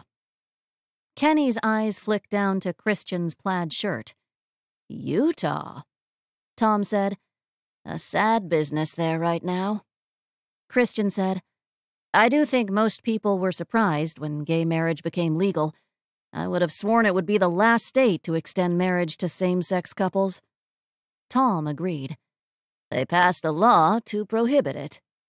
Kenny said, But it is exactly what happened in California. It shouldn't be too long before it is legal again. It took five years to make its way through the courts for California. I doubt it will happen any faster for Utah. Kenny sipped his cappuccino and slipped his hand into Tom's. Five long years. But, for a moment, all things were possible, and some couples were able to take advantage. He sighed. When we heard the news, I was so excited, but Tom said to wait and watch. I detest when he is right. Tom smiled slightly. My dear, it happens so infrequently one would think you could just muddle through until I was wrong again. Kenny raised an eyebrow at Shane and Christian. One would think. He waved his hand in the air in front of him. But enough of that. We are in California, where the birds are chirping, the smog is choking, and young lovebirds can sit stiffly next to each other. Just where did the two of you meet? Shane nearly groaned as the strawberry covered waffles were placed in front of him. The whipped cream leaned precariously the nuts covered it liberally. He said, At a wedding reception, and then filled his mouth with a large bite. Kenny grimaced at him, then said, Not Cassandra's wedding reception, I hope? Shane closed his eyes, partly to enjoy the waffle, partly in shame. He swallowed and hung his head. Yes, I left her there, with her family, in purple. Kenny shook his head. Gasp! She will never forgive you. Tom said, Of course she'll forgive him. Despite her mouth, she has a heart that is big and resilient, and all she has to do is look at these two to know her sacrifice was worth it. Kenny and Shane exchanged a look, and Kenny stage whispered behind his hand, Alas, he is wrong again, and all is right with the world. Kenny turned to Christian, trying to include him in the conversation. And what did you think of our dear Cassandra? I see you survived the experience. Christian shook his head, and Shane said, He hasn't met her. Yet. Kenny said, Wise. Tom agreed. Wise. He said to Christian, Just know that she loves Shane, and she will love you, eventually, when she sees that you love him as well. Christian's cheeks turned red, and Shane thought there were quite a few mites missing from that sentence. Kenny looked between the two younger men, at Christian's stiffness and Shane's drooping shoulders. Well, there is always hope, Tom said. There is sometimes only hope. He squeezed Kenny's hand until, one day, suddenly, it is no longer needed. They spent the rest of the meal talking about work and why some foods qualified for brunch and others didn't, until Christian had relaxed enough to give Shane a tiny smile when he quoted from Star Wars again, and to share a laugh when Kenny and Tom didn't recognize it. To them, Shane normally quoted old black and whites, and he wondered if Christian would recognize any of those. But then Christian said, making the older men laugh, Real diamonds? They must be worth their weight in gold. Shane smiled at him, and Christian realized what he'd done. He said, My mom loves Marilyn Monroe, loves old black and white movies. She used to watch them all the time. Tom sat back in his seat. There's no need to make excuses, Christian. Not here with us. That shut Christian up, and he said no more than two words for the rest of the meal. Shane wanted to hug him, wanted to grab his hand and just tell him it was okay, but he wasn't sure it ever would be. Hugs and kisses were shared as they rose to leave. Tom shook Christian's hand instead of kissing his cheek and said, No one can make you feel inferior without your consent. Eleanor Roosevelt. Fascinating woman. She was outspoken and controversial at a time when women weren't. And she is considered today to be one of the most widely admired of her century. Kenny hooked his arm through Tom's. Give our love to Cassandra and tell her to be nice. Shane smiled. I will, and I won't. Kenny chuckled. Wise. And then he squeezed Tom's arm and pulled him away, saying, I'm in the mood for a black and white. Let's swing by the silent movie theater for a show tonight.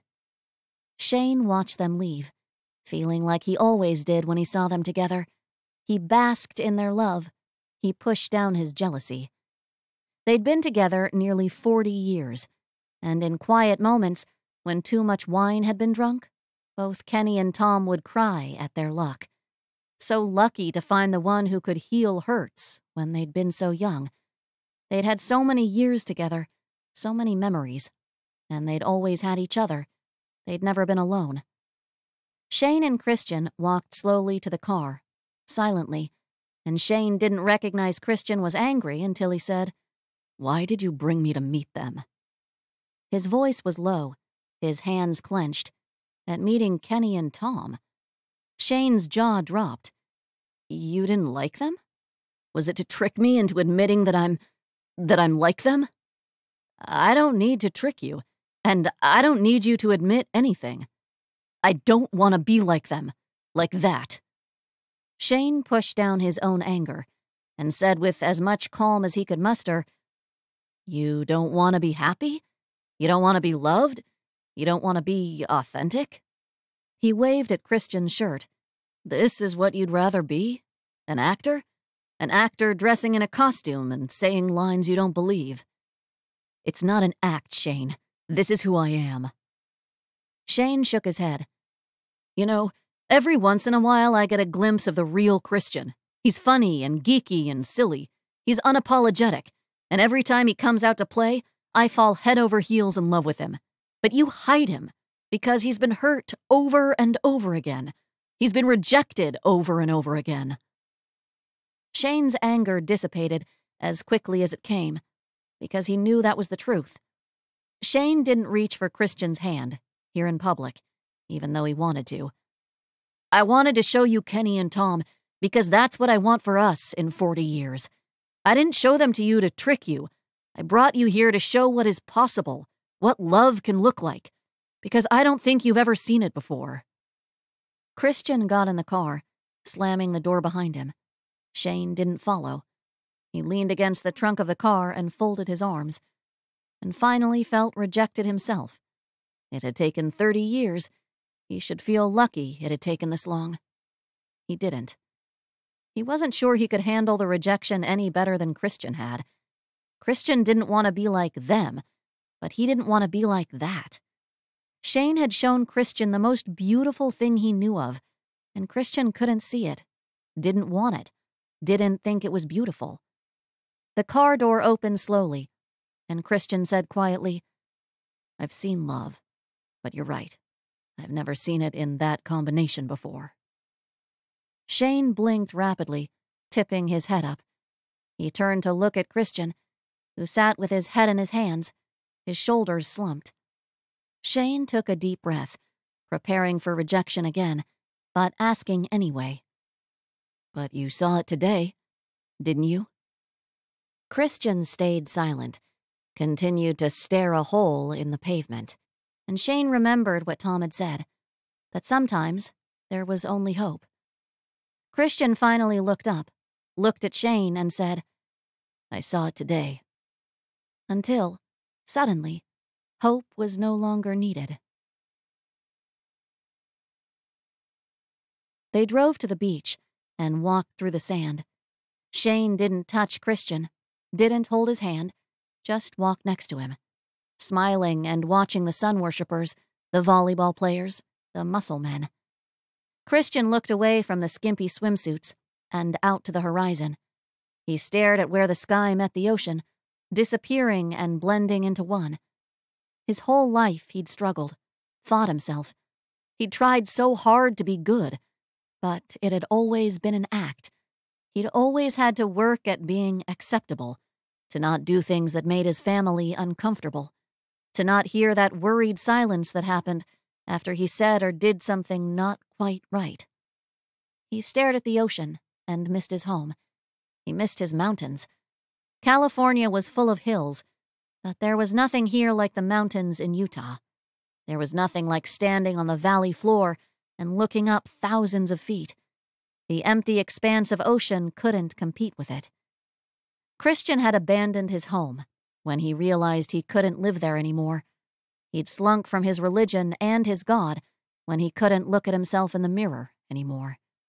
He looked down at his cargo pants rolled up to his calves, his muted green and blue plaid shirt. Shane had said it was a costume, but that wasn't quite right. It was a uniform and he'd adopted it when he realized he couldn't trust what he liked to wear, when he understood that what he was attracted to wasn't socially acceptable. He closed his eyes, laughing at himself. Everything he was attracted to wasn't socially acceptable. He opened his eyes to look at Shane. So happy, so carefree, his sandy blonde hair getting mussed by the breeze and the salt and the sand. Christian couldn't say it out loud. He couldn't push it past his lips. He could hardly admit it to himself. That he looked at Shane and wanted him. He turned back to the ocean, looking past the breaking waves, past the surfers and the boats, out to that endless nothing. Nothing was hard to lose himself in, and once again he wished for his mountains. Something to look at, something to wander up when he needed to be alone something to distract himself when life turned out to be impossible. He'd spent a lot of years in his mountains back home, which had relieved both him and his parents. Hiking and the outdoors was manly, wasn't it? His family loved him, and he loved them. But he wasn't what they thought he should be, even though he'd tried. He didn't really know who he was. He'd been pretending for so long. Fun and geeky and silly, only when he wasn't careful, only when he wasn't trying to be socially acceptable. He looked back at the beach, at the tanned bodies shown off by scraps of material, and knew that what was socially acceptable changed. Maybe one day same love wouldn't turn heads. Maybe a boy who loved to dress up in his mother's high heels and makeup, who loved to feel pretty, could just be himself. He didn't blame his parents. They hadn't known what to do with a son who didn't conform. They had no answers and had tried their best. And now Christian was standing in the same place, He had no answers and could only do his best. He'd known for years that he could never marry. He wouldn't have children or a family. He would be alone. And then Shane had come, and Christian wasn't alone anymore.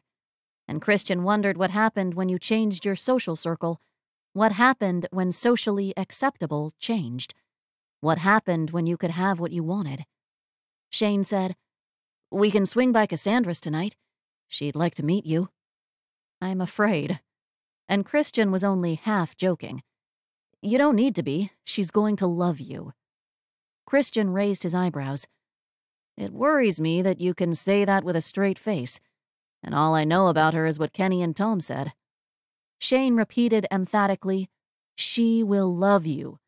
Eventually. Christian nodded his acquiescence.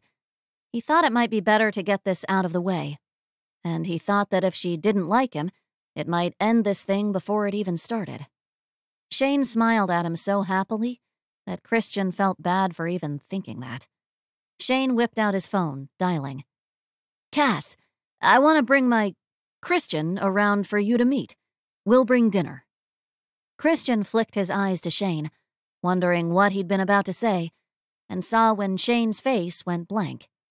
He stopped walking and shouted into the phone, You've moved in with Penthouse? What is going on? He listened, saying, It's an hour away. And then, Pool?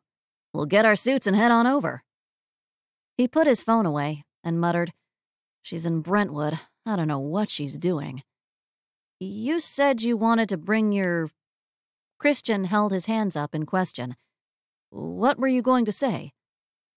Cassandra always quotes, A bird and a fish can fall in love. But where will they live? I'm the bird, she's the fish. She calls you my pretty little bird. Christian didn't know what to say to that, so he asked, Do you love her? I do. She's my best friend. I'll always love her. I know she'll always love me. Even now that she's moved in with Penthouse? Shane shrugged that off. That's not love. That's a little bit of fun. She hasn't even told me his real name. Is that where we are? A little bit of fun? Shane stopped. No, that's not where we are. You're too much work to be a little bit of fun. He smiled, and Christian thought that was exactly right. This wasn't fun. Chapter 4 Shane and Christian drove to Brentwood, stopping for their suits on the way and Christian put the thought of Shane in his bathing suit out of his mind, as much as he could. When they got to the hotel, Shane pushed Christian toward the changing room. He said, Why don't you go put your suit on? I'll go find Cassandra. Christian grinned. You're not worried at all about us meeting, are you? When he was changed, he found Shane talking to a woman in a bright blue bikini, black sunglasses on. She was smiling and laughing, and when Shane waved Christian over, she stopped smiling and turned. She waited until he was close enough to hear to say, I've seen him before. He was wearing black and white then, too. Shane stared at Christian's long board shorts and said, I can't even see your knees. I think you might be hopeless. Cassandra grinned.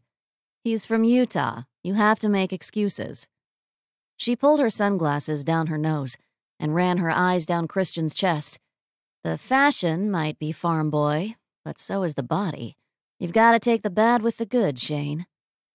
Christian blushed, and Shane said, Oh, good. It's not just me who makes him do that. Christian said, mostly to stop them talking about him like he wasn't there. Hello, Cass. It's nice to finally meet you. Her mouth pinched together, and she pushed her glasses back up. Hello, Chris. Christian. Cassandra. Shane clapped his hands. Okay, glad that's out of the way. Is Penthouse coming out to play? Cassandra shook her head. He's working. And you're out here by yourself. I hope the drive is worth it. She smiled. We worked it out. Shane's brows pulled together, and he looked at her body in her little bikini. Well, you look whole and well. I won't complain about him yet. She looked at Christian, up then down, and said to Shane, There's no reason for you to complain. You're not getting replaced by Dudley Do Right. Christian said, I'm not Canadian. He realized he was much more comfortable with her antagonism than the flat out welcome he'd received from Kenny and Tom earlier in the day. He'd have to think about what that meant. Shane sat slowly. Am I getting replaced? Cassandra and Christian both looked at him. Christian didn't even think, just took the last few remaining steps to sit next to him on the lounge chair, to be with him when he was sad. Cassandra took her glasses off, her eyes on Christian. She said, You're not getting replaced, Shane. He's just a little bit of fun. Christian said, That's what you said, remember? Just a little bit of fun. Shane was still looking at Cassandra. I know, but then she smiled when she was thinking of him. Christian said, Well, then it must be just a little bit of fun. It's not worrying until there's some work to go along with it. A little frown that tempers the smile. Shane's lips moved, and he turned his head to Christian. That is reassuring on so many levels. He said to Cassandra, Is there any work going on between you two? She lifted her arms, holding them out wide to indicate her drink, the pool, the heat of the sun. There's not an ounce of work going on here. Not by me. Shane took a deep breath, then pushed himself up using Christian's thigh. Then I won't worry about it, and I will go put my suit on and forget about work for a little while myself. Cassandra said, Good luck with that. Christian looks like he's going to be a lot of work. Christian stood, heading to the edge of the pool. I'll wait for you in the pool. He dove in and swam to the other side. Cassandra grinned at Shane. That was fun. Do you think you could be done? I don't want him scared off. Could I scare him off? And if I could, would you still think he's the real thing? Yes, I know that you'll like him if you give him a chance. She sighed. He's it, Shane? He's the love that will last through thick and thin? You'll see. She only said, He's in the pool. Don't waste it. I'm going to go get dressed, or undressed. He looked at where Christian was in the pool, too far away to hear. That's more fun when he can hear it. And later, you and me, we're going to discuss Penthouse. He's only for fun, Shane.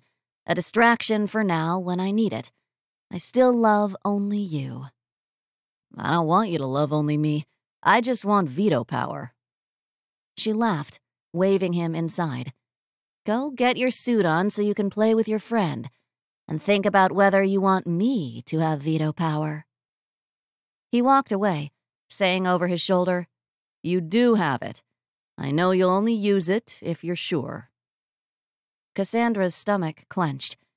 She hated to agree with Christian on principle, but he was right. Love was work. Love was a constant balance between what you wanted and what was good for the one you loved.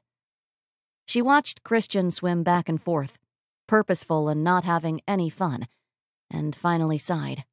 She had some work to do. She drained her drink and jumped into the cool water to chase after him. She swam right into his path and he stopped, his head popping to the surface. It was Sunday afternoon. The weekenders had gone home. The business suits hadn't arrived yet. The pool area wasn't empty, but it was sparse. They were the only ones in the pool, and she'd stopped him in the deep end. They treaded water, bobbing silently. They stared at each other, no Shane standing between them this time. She liked that he looked worried. But then she decided he probably always looked that way a little. He was a worrier. She said, Let me see if I have this right. You want him, you just don't want to want him. Shane? No, the abominable snowman.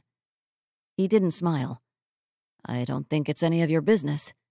It is my business. I'm the keeper of his heart, protector of his back. He said softly, It must be nice to have a friend so true a friend you can depend on no matter what. He's a lucky man. And Cassandra, in that moment, hated Christian. Hated that he felt no jealousy toward her. hated that he thought she was Shane's friend, because she wasn't. They were soulmates. It wasn't friendship, it was love. It was platonic love, but still. Their feet bumped in the water, and Christian pushed himself backwards. Cassandra said, Do you even know you're gay? Because you don't act like it. That had been ruder than she meant, or ruder than she normally was, at least. His head jerked back, and she waited for him to say he wasn't, to deny it. But he took a deep breath and raised his chin. Because I don't dress colorfully enough for you? Because you flinch when he touches you. I don't like people touching me. If she was a different kind of person, she would feel sorry for him, would wrap her arms around him until he did like it, give him one true friend so he wouldn't be alone, would let him have Shane to himself so he wouldn't be alone. But she wouldn't. She couldn't. She wasn't. She said, Shane's not people, is he? No. Christian's eyes flicked behind her and widened. Cassandra turned, expecting Shane in his tight fitting swim trunks, but it was Brady, standing at the edge of the pool and watching them. Christian said softly to her back, I think I could love him, if I let myself. I just haven't figured out how to do that yet. Cassandra swam away from him like she hadn't heard, swam toward Brady. She rested her arms on the ledge and looked up at him. He squatted and said, I'm going to guess that is not Shane. Good guess. What gave it away? You looked like you wanted to drown him. She tried not to smile. You'd hide the body for me, right? Brady's head tipped up to look behind her. That bad? He wasn't. Not that bad. Christian was careful and skittish, and those weren't her favorite personality traits, but he wasn't that bad. She just had no patience for people who could hurt Shane, who could hurt him simply because they didn't know how to stand tall and proud, who could hurt him because they didn't know how to accept what was.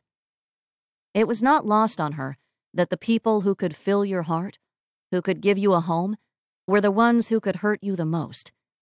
She ignored Brady's question to ask one of her own. Are you going to get your suit on? He shook his head. I have a meeting, and then I thought I'd go for a drive. She touched his hand, her cool skin warming against his heat. Do you want company? Only if I drive. It is my car now. He grinned at her. I said you could use it to drive to work and back. I don't want to go with you if you're going to drive. I'd die of boredom.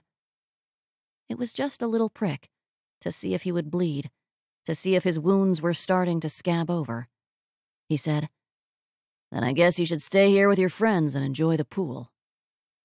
Or you could come back down here after your meeting and enjoy it with us. I have an appointment to keep today, Cassandra. She nodded. Okay. A loud splash alerted her that Shane had come back out. Brady lifted his head and stood. He slid his hands into his pockets and watched Shane swim the length of the pool. His eyes tracked. His smile was gone. He murmured, That's who I'm a surrogate for? I think I'm overselling it. Don't make me come out of this pool and hurt you. He looked down at her. I remember you saying something about my wife that made me want to chuck you down a hill. And I appreciate that you didn't which is why I'm warning you. He stared down at her a long moment, and her breath came faster. Her heart sped up. She thought she'd really like it if he put on a tiny little swimsuit and joined her. And it wouldn't be because she couldn't have Shane. Brady looked back at Shane and Christian, gave them the same blank stare, and she knew the water would be heating up where they were, too could practically hear Shane's breath getting sucked in. Brady said, Don't kill anyone in my pool. Cassandra cleared her throat. Shane's here now. He's safe. He looked down at her and gave her a small smile, then turned and walked away. Cassandra thought, Lord have mercy, then ducked her head under the water. She swam slowly back to Shane and Christian, taking her sweet time, trying to cool down. She surfaced next to them, gulping down air. Shane muttered, I know why you moved into his penthouse. I've got tingles. He poked Christian in the side, making him jump, and Shane said, Come on. Tell me that man did not make you want to take a ride on the wild side. Christian turned a lovely shade of purple. He's impressive. Cassandra turned to watch Brady take those last few steps inside, and when he turned, she gave him a little finger wave. She said, Impressive? Yes, yes, he is. Shane sighed. Tell me he is one of those big, hard men that loves to cuddle, and when he gets his hands on you, he is so gentle you want to choke him. Cassandra flicked her eyes to Christian, still purple, and said, Gentle? He is not particularly. Shane groaned and whispered, Rough? Oh my god, I'm never going to be able to get out of this pool. We'll just have to stay in here until you're all wrinkly and pruny. Yes, that is how long we're going to stay in here. Shane held up his hand. Only two more questions. Will he be joining us? And does he wear a Speedo? She shook her head. I don't know what he wears. My guess would be he wears nothing. Shane said with no heat, Bitch. And she laughed. Cool your jets, Smokey. He wasn't that hot. Right, because your fripples aren't telling you to pop upstairs for a quickie. Quite a few parts of her were telling her to do that, but she said, This water is cold. Too bad that explanation doesn't work for you. Too bad the cold water isn't working for me. She looked down into the water. Perhaps Christian is onto something with those board shorts. At least while we're in the water, we just don't know what he thought about Brady, do we? Shane said, Brady? Oh, Brady. I like it. And Christian is a red blooded gay man. We know what he thought about Brady. Christian had been watching them silently, but at that he said, I already said he was impressive. What more do you want? Cassandra said, We want to hear you say you'd tie that man down and have him six ways to Sunday, or that he could tie you down. Either one, really. I'm not going to say that. I wouldn't say it about a woman. I won't say it about a man. Shane sighed theatrically. He's going to be noble, respectful. Cassandra didn't sigh. She said, You wouldn't even think about it, would you, Christian? When he shook his head, Cassandra said to Shane, Good Mormon gay boy, you'll just have to be catty and bitchy and lustful with me. Shane looked at Christian. Good Mormon gay boy, what am I going to be with you? He sounded like he was honestly wondering. What was Shane going to be? Who was he going to be? Cassandra swam away. She let him wonder. Because that was all she had. She couldn't veto Christian. Shane would have to do that himself. She would be as catty and as bitchy and as lustful as they normally were. She wouldn't hide it from Christian. Because if he was going to leave, he would have to do it sooner rather than later. And if he wasn't going to leave, then she was going to have to like him. And she was pretty sure that was going to be impossible. When they finished swimming, they went up to the penthouse and ordered from room service just because. Shane ate his fish with gusto and said, I like it. I like the penthouse. I like Brady. You may continue. You didn't even meet him. You just like that he gives you tingles. Yes, I don't need to meet him. I just need to look at him. Christian ate his burger and fries with a little less gusto. He had asked for ketchup and mayonnaise, mixing them together to cries of horror. He dipped and ate, dipped and ate, and Cassandra and Shane just looked at each other. Christian said, Are you sure putting our dinners on the tab was okay? Cassandra nodded. Brady will pay. He just doesn't know about it yet. Shane said, I'm sure he knows by now that you will make him pay in myriad ways. He's figuring it out, and he lets me be creative in how I pay him back. Shane groaned, closing his eyes. He whispered, You are killing me. Cassandra flicked her eyes to Christian, wondering just how long it had been for Shane.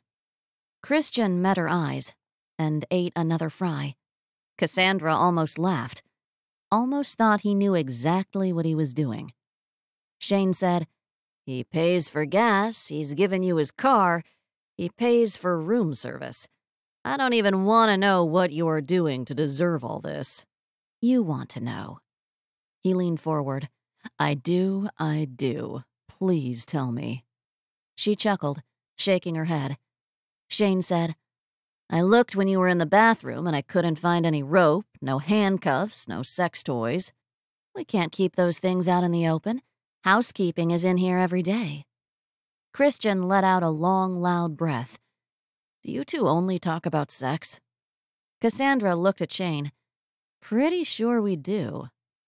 What else is there? Christian closed his eyes. Movies? Books? Current affairs? Cassandra said, Affairs? Shane said, You know who's having an affair? Christian shook his head. No, no, no, something else. Anything else. What else was there? Cassandra took a long, long sip of her wine, silently vowed that Shane and or Christian would pay for this, and said, So, you mean like Dungeons and Dragons? Brady rode the elevator to the penthouse, wondering if he should have taken a longer drive. The front desk told him that Cassandra's guests were still in residence, although they'd left the pool, all of them whole and alive. They'd ordered dinner, and Brady only briefly wondered if they were eating it on his bed. He had a table, but Cassandra liked to eat in bed, off his chest, occasionally. But surely the three of them wouldn't be eating on his bed. Surely. He relaxed when he saw them sitting at the table. Three heads turned in his direction, and Cassandra smiled. She said, Have you ever played Dungeons and Dragons? He stopped. No. Cassandra said to Christian, You'll have to teach all of us how to play. And Brady raised his eyebrows. Shane shivered and whispered loudly, He's going to make you pay for even imagining he'd play a little D&D. Cassandra whispered back, I know. Shane held a hand to his chest. And look at me, using the lingo and everything. Cassandra swatted his arm and said, I know. Shane grinned at her and turned back to Brady. Come and tell me a little bit about yourself. Why? Shane whimpered, propping his face on his fist. Does he ever turn the menace off? If I say yes, he'll punish me. So yes. Brady smiled at her, with his eyes, and headed for a shower. When the bathroom door opened, Brady's hair was full of shampoo, and he realized he should have locked the door. He said, That had better be Cassandra. No, but I won't peek. Promise. I'm going to guess you are Shane. Good guess. Brady paused, remembering Cassandra saying the same thing, remembering what it was like to be a couple, not just together, but a couple. Shane said, I wanted to say hello, meet you. These long glances across a crowded room are just not enough. Brady snorted and rinsed his hair. Shane wanted to mark his territory. He might be gay, but he was still a man, and Brady was encroaching. You wanted to make sure I know my place with Cassandra. Behind you. Brady heard rustling, as if Shane was moving items around on the counter, and Shane said, I do want to make sure you know that. Not just to warn you off, just to warn you. That's kind of you, but I'm just using her. She's just using me. That's okay. A little mutually beneficial using never hurt anyone. It's just when one party forgets that it's just for fun. Cassandra doesn't normally move in with men she's known for a few weeks. I made her an offer she couldn't refuse. The car, I know. She also watched me come in here. Brady said, So you are worried that I mean more to her than you would like. Shane murmured, She's checking to see how you react to me. If she didn't care about you, she wouldn't care what you thought. Brady turned off the water and pulled back the curtain. Shane's eyes met his in the mirror, and Brady said, I'm not going to react to you. I don't care one way or the other. Shane glanced down and murmured, I can see that. He turned around, kept his eyes up, and crossed his arms. Just two men facing off, over a woman. Brady couldn't see that being gay changed much about being a man, just who you like to cuddle up to at night. Shane said, I can at least tell her that she doesn't need to worry about you being a switch hitter. Brady chuckled, grabbing a towel and wrapping it around his waist. You think she'd care about that? Yes, I think she would care a lot, more than I want her to. Shane's eyes slid down Brady's chest, but really, who can blame her? Brady thought quite a few people could and would, including the two men facing off in this bathroom. Shane said, I love her, and I don't want her hurt. I don't know how I could hurt her. She loves you. I don't know why I'd hurt her. I love someone else. Shane nodded. Love. C'est impossible. Impossible and hopeless including your little friend out there. I know, you can't even see his knees. Shane held up his hands and shrugged. Love, c'est impossible. Brady walked over to stand next to him at the counter. Shane propped his hip against the counter and watched. And who is it that you love? My wife. Shane blinked uncontrollably. Married? She died. Brady grabbed for his toothbrush and thought that those were actual tears popping into Shane's eyes. So you give Cassandra your body, but she will never have your heart. And she gives you her body, but you will never feel her love. Shane closed his eyes. Oh, that is so painfully beautiful. Oh, I love it. Brady grunted, and then Shane opened his eyes again. The tears were gone, Easy love is boring. Loving your dead wife is tragic. I adore tragic. Loving your gay friend is just as tragic. And I adore Cassandra. I love her. If she'd been born a man or if I'd been born straight, we would have been so happy. It would have been easy, and then we'd be boring. Brady turned his head away from the mirror to look Shane in the eyes and saw the same look that was in Cassandra's Life's a bitch. What's next? And he saw also that Cassandra was Shane's, always would be. Brady nodded imperceptibly. He didn't want Cassandra. Not her heart, not her love. She was only a little distraction, a little bit of peace. Shane pushed away from the counter and gave him a little finger wave. Thanks for the show. Brady waited until Shane had pushed open the bathroom door to say, You're welcome. Brady was still grooming a few minutes later when there was a light knock on the door. He sighed, hanging his head. He hadn't realized that when he'd moved Cassandra in, he'd moved her entire posse in. He said loudly, Who is it this time? Cassandra opened the door and leaned against the jamb. They've gone home. Are you done with meetings for tonight? He nodded, even though she already seemed to know his schedule. I'm free for a few hours. Oh, good. No, you've been very, very bad. A man's shower time is sacred. He walked toward her, slowly, menacingly. He wrapped his hand around the back of her neck and walked her toward the bed. She said, Is it? And Dungeons and Dragons? He's from Utah. Excuses must be made. Brady sat down, pulling her between his legs, his towel parting helpfully. Just which one of us were you testing? You. I can't really picture myself sleeping with a guy who's played D&D before.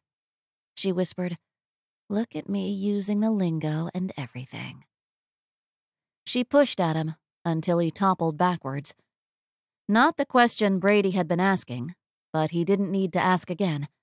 Shane didn't need to be tested. Cassandra climbed onto the bed, climbed onto him, and said, I didn't send him in there. You could have stopped him.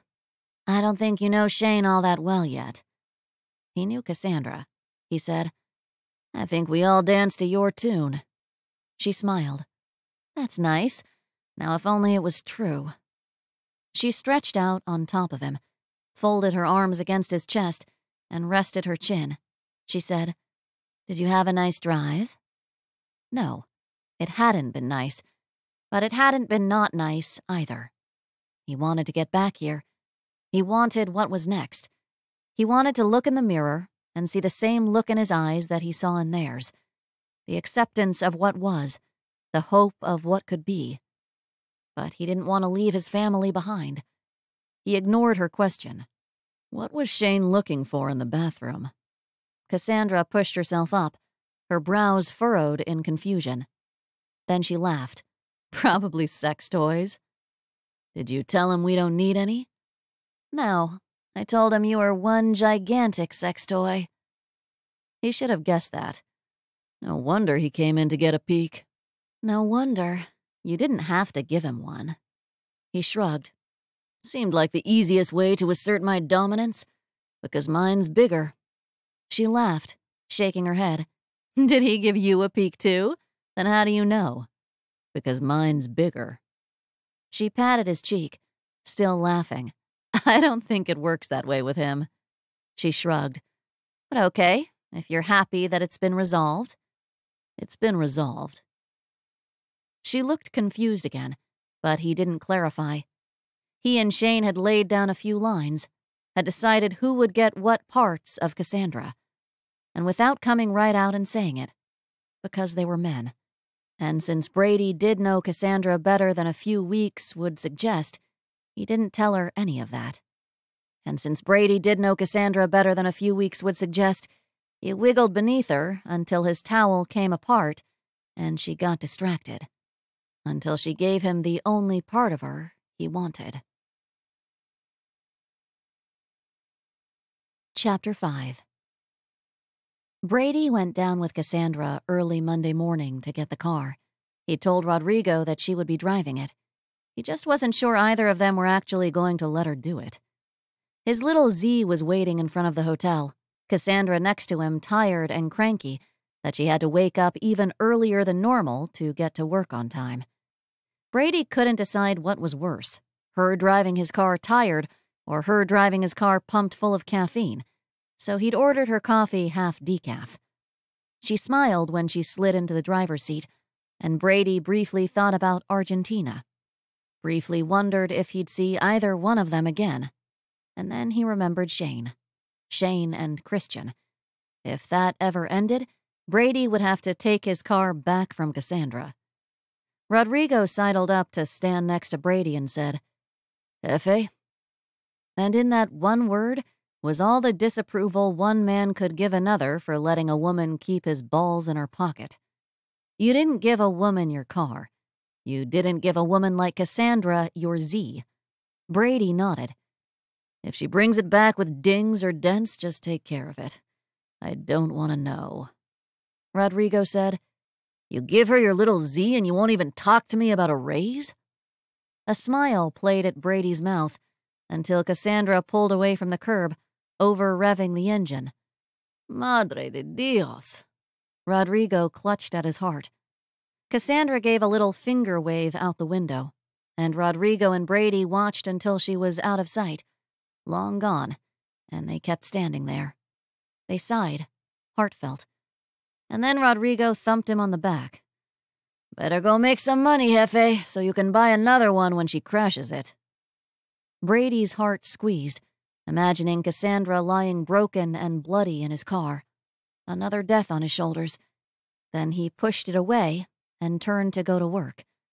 Rodrigo stopped him with, Jefe, wait. Brady turned back to find him looking pained. What's wrong?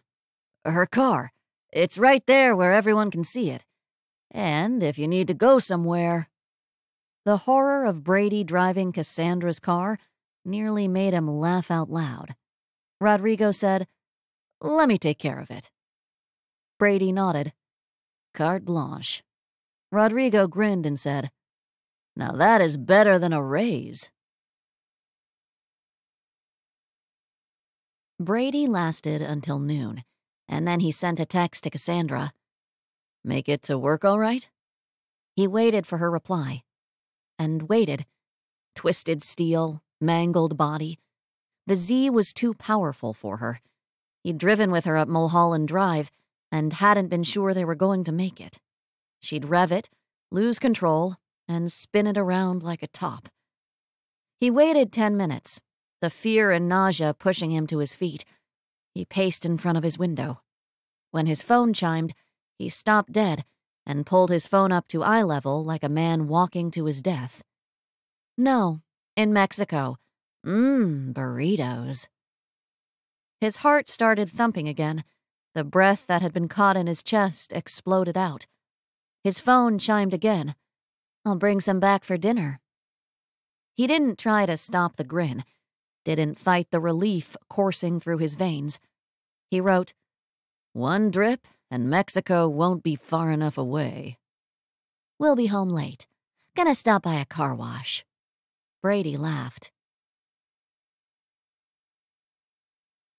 She wasn't home late. Brady was helping at the front desk, making his staff nervous with his presence when he saw Cassandra drive up. He walked outside, to the relief of everyone, and heard Rodrigo say to Cassandra, You would be lucky if the junkyard would take your little green p- uh, car. Brady saw the fire flicker in Cassandra's eyes at the insult to her car, and he said, Rodrigo is getting your car fixed.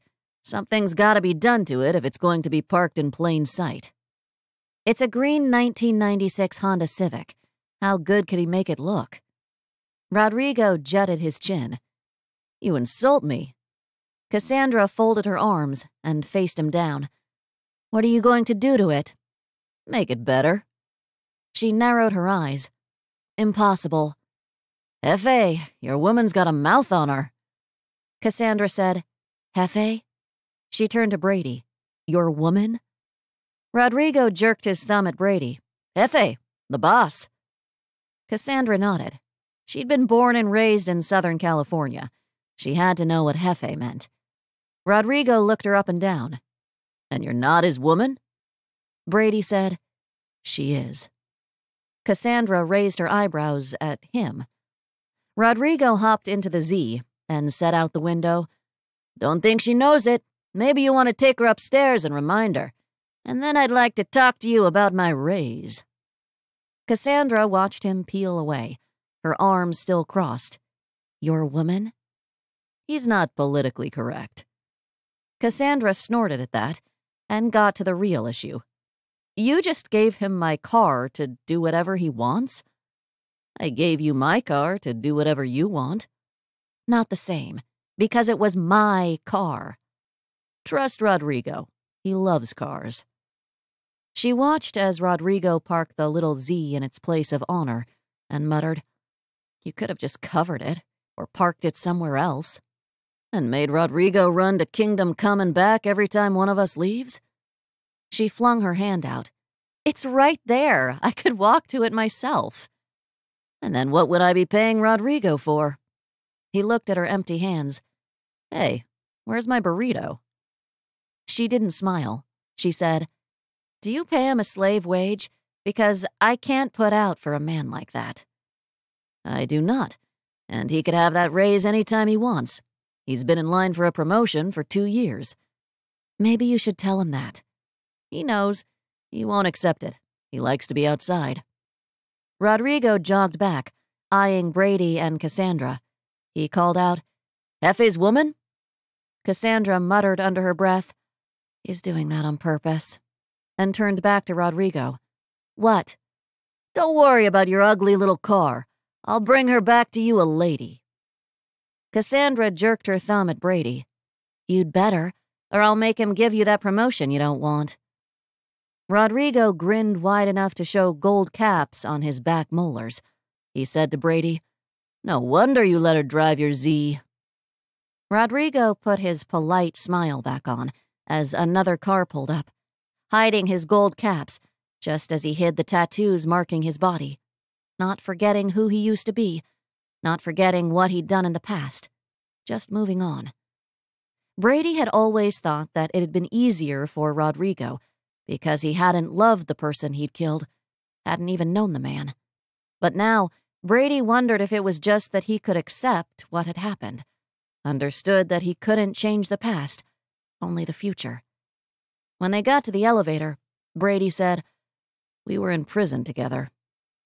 You probably could have told me that before I started threatening him. Brady smiled. Vehicular manslaughter. He boosted a Maserati and hit a pedestrian. Cassandra was quiet a long time. She finally said, Is that why he likes to be outside? Brady nodded. She said, You hired a car thief as a valet? A man can change. She grunted at that, and Brady wondered if all men could change, or if it was just a lucky few. They watched the floor number count higher and higher, and she said, I really wish I'd brought home burritos. On a Friday evening, a few more weeks into their thing, Brady treated her, Shane, and Christian to dinner. Cassandra was more impressed he'd taken the time off work than with the venue. Give her a burrito stuffed with french fries, and she was happy. But she knew Shane would love it, so she'd gone along quietly. Christian looked uncomfortable. What else was new? When they were all seated, Cassandra said, Now you may tell us. Just what are we celebrating? Tomorrow I get my car back. Uh, no, you don't. Uh, yes, I do. Rodrigo is picking yours up in the morning. Cassandra studied the menu, noting the prices, then looked back at Brady. I'll have the lobster. Christian will have the filet mignon. Christian opened his mouth, and she shot him a look. He shut his mouth. Shane said, What about me? I know you're not going to pick the cheapest item on the menu. Everyone looked at Christian, then realized she was right and went back to looking at the menu. After Brady had ordered for everyone lobster and mignon and duck, the waiter placed a large bowl of ice ringed by beautifully balanced shrimp in front of them. Shane wiggled in his seat with excitement. Christian and Cassandra looked at each other with wide eyes, and she thought for one moment that there was at least one other person at this table who would not be bowled over by shrimp. Cassandra said, This is not going to work. You're not getting your car back for a bowl of shrimp and outrageously priced lobster. Shane picked up a shrimp with his pinky in the air and said, If Ethan brought you here, you'd be giggling and promising him your firstborn. Cassandra looked at the pink shrimp and the red cocktail sauce and tried not to gag. Hot buttered shrimp was one thing. Cold shrimp, dipped in you can call it whatever you want, but it's still ketchup, something else entirely. No, I wouldn't. Shane wobbled his head and pushed out his lips. Oh, yes, you would. Cassandra thought about Ethan O'Connor and stopped thinking about shrimp, and she started smiling. Brady squinted his eyes at her. What's going on? Shane sighed. That's her Ethan O'Connor face. He held up his hand. Wait, wait. Here's mine. Shane's head tipped to the side, and his eyes lost their focus. He looked dreamily off into space, a silly smile tilting his lips up. Christian and Brady looked between Cassandra and Shane for a long minute. Then Christian said, Who's Ethan O'Connor? Shane blinked and straightened his head. Oh, he's just the most charming man you'll ever meet. Our friend Mackenzie swept him off his feet. He muttered under his breath, Lucky bitch. He patted his lips and cleared his throat. They come back to L.A. a few times a year. You'll see what I mean when you meet him. Cassandra shook her head, clearing it of Ethan O'Connor, when the waiter placed her lobster in front of her. You should have seen the wedding. Everyone was walking around smiling stupidly, jumping to help whenever Ethan asked for anything, and Mackenzie just watched him wrap everyone around his finger and rolled her eyes. Shane said, And when Cassandra says everyone, she means us too. She didn't deny it. Well, he's charming and beautiful. Honestly, I think he married the one person who was immune to him. Shane shook his head. She's not immune. She just fights it when no one else does. It's a good thing they live in New York. I wish they didn't, but I'm kind of glad they do. Shane nodded. We would get nothing done, spend all our time making excuses for why we needed to pop by. We wouldn't need any excuses. Wyatt and Grant need to see their Aunt Cassandra and Uncle Shane, don't they? Mm hmm. And we need to moon over their daddy. Cassandra's mind slipped into Ethan land again, where all the men were handsome and gallant and dreamy and made her want to have sex and then want to have cooing babies. When she came back to L.A., a smile was playing at the edges of Brady's mouth. He said, Why don't you look like that when you think of me? He's a different kind of man. Ethan would never ask anything from me that I didn't want to give. And I would? Cassandra drowned a forkful of lobster in her melted butter. You wouldn't ask. And yes. The smile bloomed. A man walking past their table stopped and said, Ivy? Brady turned, the smile dropping from his mouth. When Brady saw who it was, he stood, shaking hands with the man. Carter. It's good to see you, Ivy. I heard about what. Brady nodded his head, cutting Carter off. The long, awkward silence made Cassandra and Shane reach for their wine glasses. Christian drank his water. Cassandra should have ordered him a drink as well. Carter finally said, Still at the hotel? Brady nodded again, and Carter said, I haven't seen you at the club. Too busy. I know how that is. Still, a man's gotta take some time for fun. He looked at the table, which it looks like you're doing. He grabbed for Brady's hand again, patting his arm like a politician greeting a donor. It was good to see you, Ivy. Let me know if you come back to the club. Brady sat back down, and everyone watched Carter walk away. When it looked like Brady wasn't going to explain anything that had just happened, Shane said, Ivy? Oh, please tell me there is some story to that.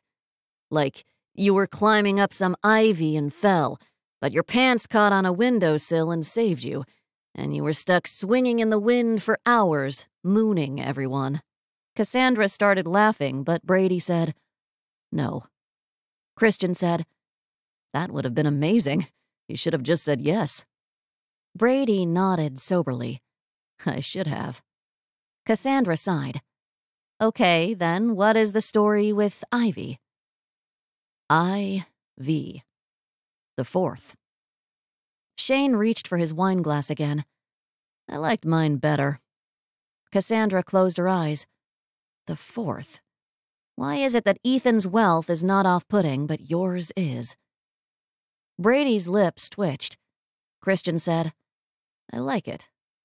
Everyone turned to look at him, watching him cut his steak into tiny pieces and enjoying every melt in your mouth bite like he knew he shouldn't. Cassandra said, the filet or the IV? Both. Thank you for dinner, Ivy. Brady. Christian nodded. It sounded like a childhood nickname. My brother is a junior, and any time someone called, we had to ask Big Steve or Little Steve. I think he would have preferred Ivy. Shane said, I think I'm glad I wasn't named after anyone. Brady said, My father goes by Carl. Carlton Brady Roberts III. Ivy was a school name. Shane put his fork down. Carlton? Carlton? Cassandra patted Brady's forearm. Just ignore the next few minutes. She said to Shane, He goes by Brady. Cass. Carlton. Oh, Carlton. He wiggled his finger between the two of them. This fling is over. He didn't pick at Shane, and anyway, what's Christian's middle name? No, I don't want to know. Christian said, Hiram, and stopped the conversation. The silence lengthened until Cassandra said, finally, he didn't pick it. Shane mouthed to her, Hiram. Cassandra took another bite of lobster, thinking all she'd had to do was get Christian to say his middle name. She should have guessed that. Christian ate another bite of filet. Is it really that bad? Shane tried to clear his head with a shake. It's not Carlton, I'll give you that. Brady sent a dead eyed glare over to Shane's side of the table, and Shane shivered. He whispered behind his hand to Cassandra, Okay, fine. Carlton can stay. Cassandra nodded.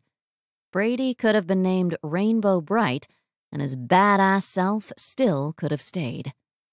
Shane's obsession with names had come in high school. They'd both been in the drama club's production of Romeo and Juliet, and they'd rehearsed for months. Cassandra could still recite by memory, What's in a name? That which we call a rose by any other name would smell as sweet. Shane's reply had always been no. Romeo and Juliet would never have got off the ground if it had been called Romeo and Brunhilde. Cassandra could have said something about real, lasting love right then, the kind that lasted, no matter what name your love had been blessed with. But instead, she ate another bite of lobster. Shane said, Hiram. Maybe I can work with it? Hiram. Hiram. When Cassandra glanced at Christian, there was a smile on his face. A smile that said Shane was just so funny. A smile that said. Cassandra's fingers tightened on her wineglass. Brady's hand settled on her leg under the table. His thumb lightly stroked her thigh, and when Cassandra lifted her eyes from the pale yellow liquid in her glass, Brady's gaze caught hers. Dark and nearly black and not dead. No matter how much either of them wished, they just weren't dead. The vice around her heart stopped squeezing. Her fingers stopped trying to wring the goblet's neck. Cassandra wasn't alone with her misery. She had Brady, at least for a little while, and he wasn't a small consolation prize. Shane whispered, dragging her attention back to him and Christian. Maybe I can work with it. And when she looked at him, Christian was lightly touching Shane's hand. Shane's face blossomed with happiness. What about shortening it to High? Christian High Johnson. Ooh, I like that. Cassandra pushed her plate away no longer hungry. She muttered, We are relieved. And Brady snorted. Yes, Your Majesty, we are all relieved. He squeezed her thigh hard and distracted her by ordering a triple chocolate layer cake for dessert. And by the time dinner was over, she was okay again. As okay as she was going to get. They walked back to the cars, and Cassandra watched Shane and Christian leave together. No hand holding, a good foot between them. It was just so awkward. He was just so awkward. She looked down at her empty hand, and then Brady's, and told herself it was different. There was no awkwardness between them. They weren't dating. There was no wooing. It was two people having a good time together. Nothing more. She held her hand out for the keys, and Brady said, You let me drive here. That was before I knew you were trying to take the Z away from me. I'm not going back to my Civic. Not when I live with you all the way out in Brentwood. Trust Rodrigo. She snorted. I don't trust him. I don't trust you. I'm keeping the Z. Brady stuffed his hands in his pockets and looked up. Cassandra almost mimicked him, but then remembered she'd seen the stars. She liked looking at his face better. Sometimes she watched him sleep just because she liked how he looked. She liked how she saw two people when she looked at him, before and after. She thought he might have been a little like Ethan before, go lucky, special, the heir.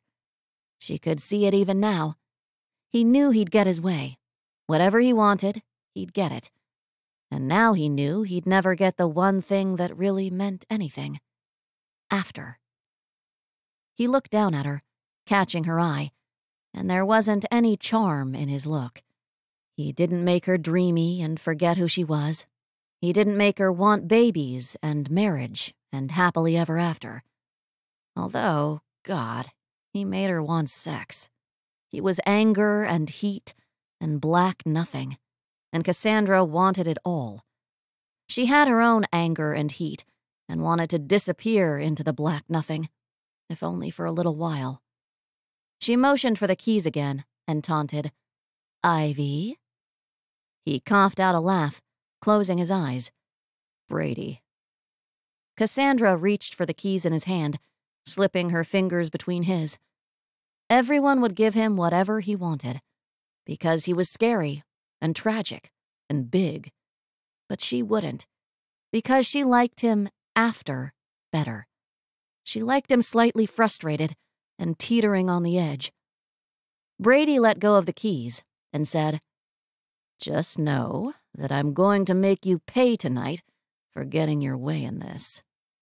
She stopped herself from saying, Yes, please, at the last second, and instead stepped into him, pressing herself against him and feeling every hard, bulging muscle. She swallowed, shivering with her want, and said huskily, only if I can't get you to toss your cookies on the way home.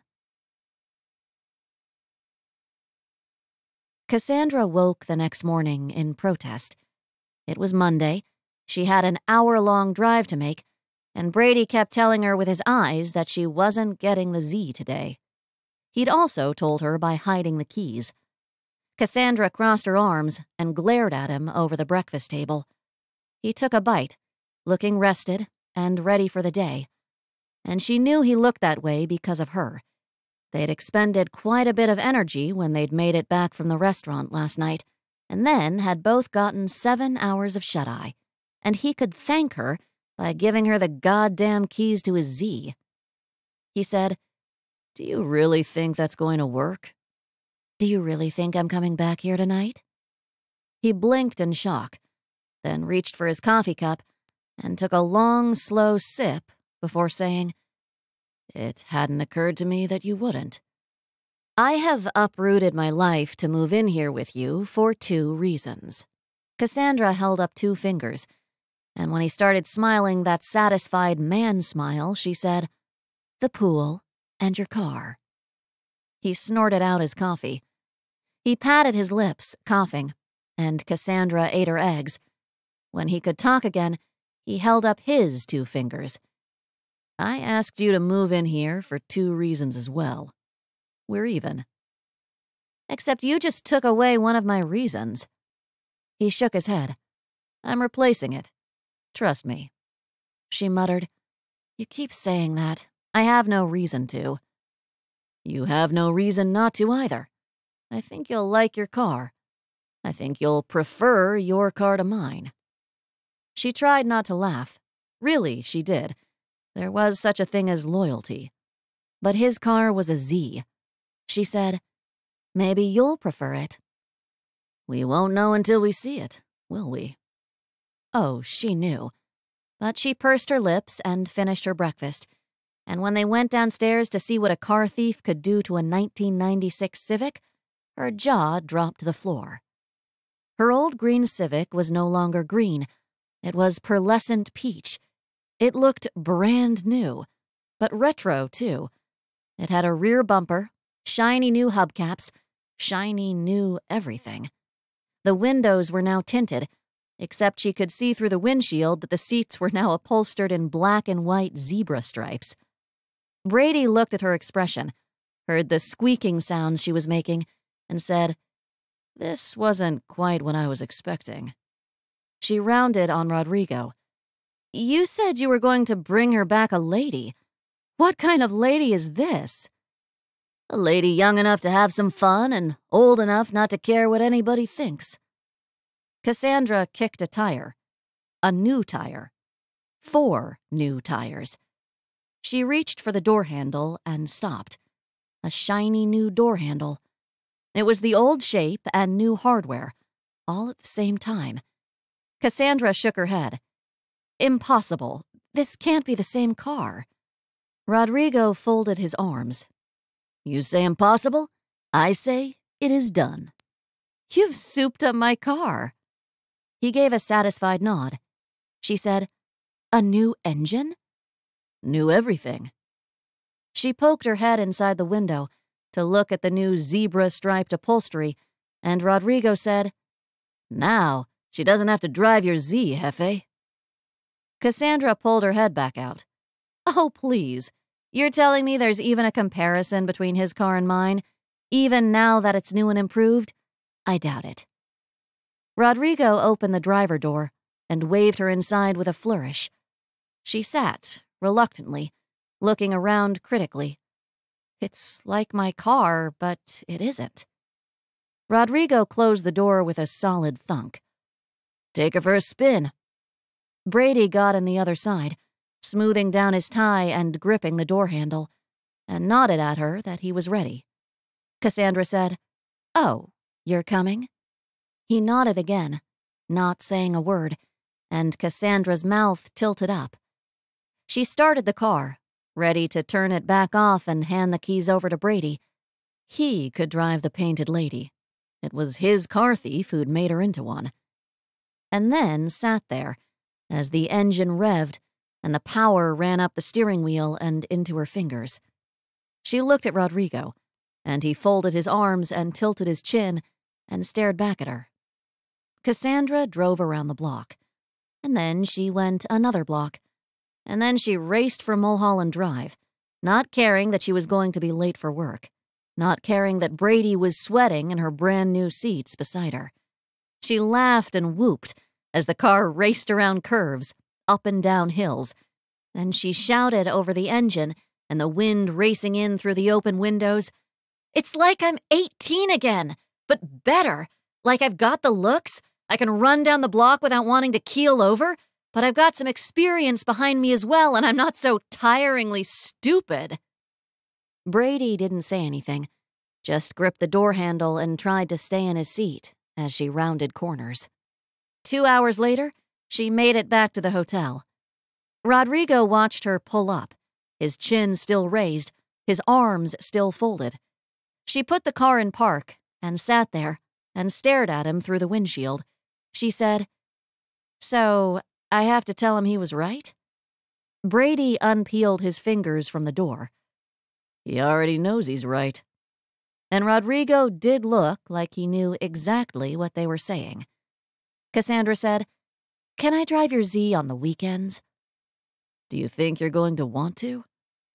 When she didn't answer, Brady pushed open his door and said to Rodrigo, Okay.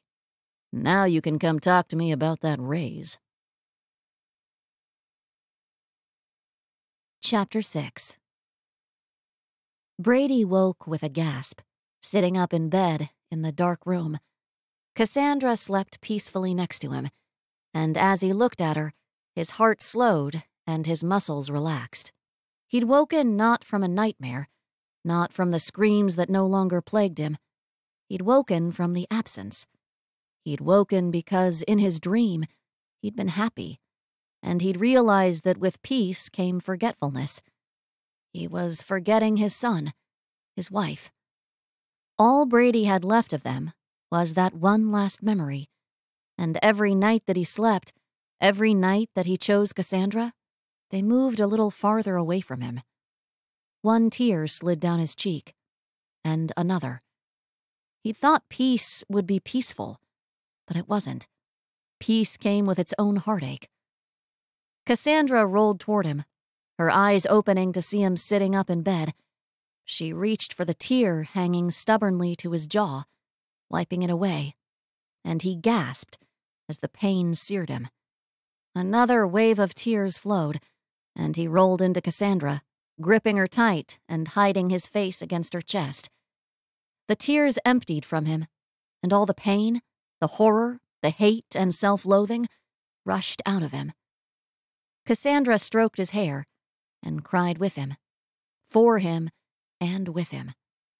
When he quieted, she whispered, Life's a bitch. Life's a bitch. What's next? Brady said, his voice rough, his throat swollen, I don't want to lose them. My dreams are all I have left. Are they? Just because you can't see them, touch them, doesn't mean you don't have anything left of them. It was all he had. He had nothing else except the last memory his wife's blood, his son's screams, his own personal hell, and he couldn't give it up because it meant he would be giving them up as well. And he didn't think he could give up Cassandra either. Couldn't give up the sweet release from this endless hell. She said, You have other memories of them. I'm sure you have pictures. Why aren't they here, where you live? I don't live here. I exist here. Then where do you live?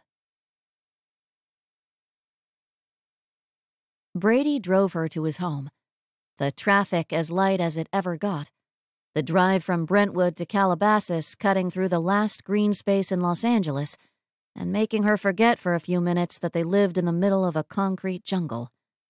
He parked in the drive and looked at his home that had stood empty for so long it was long and boxy, one story, glass and white walls, uber modern.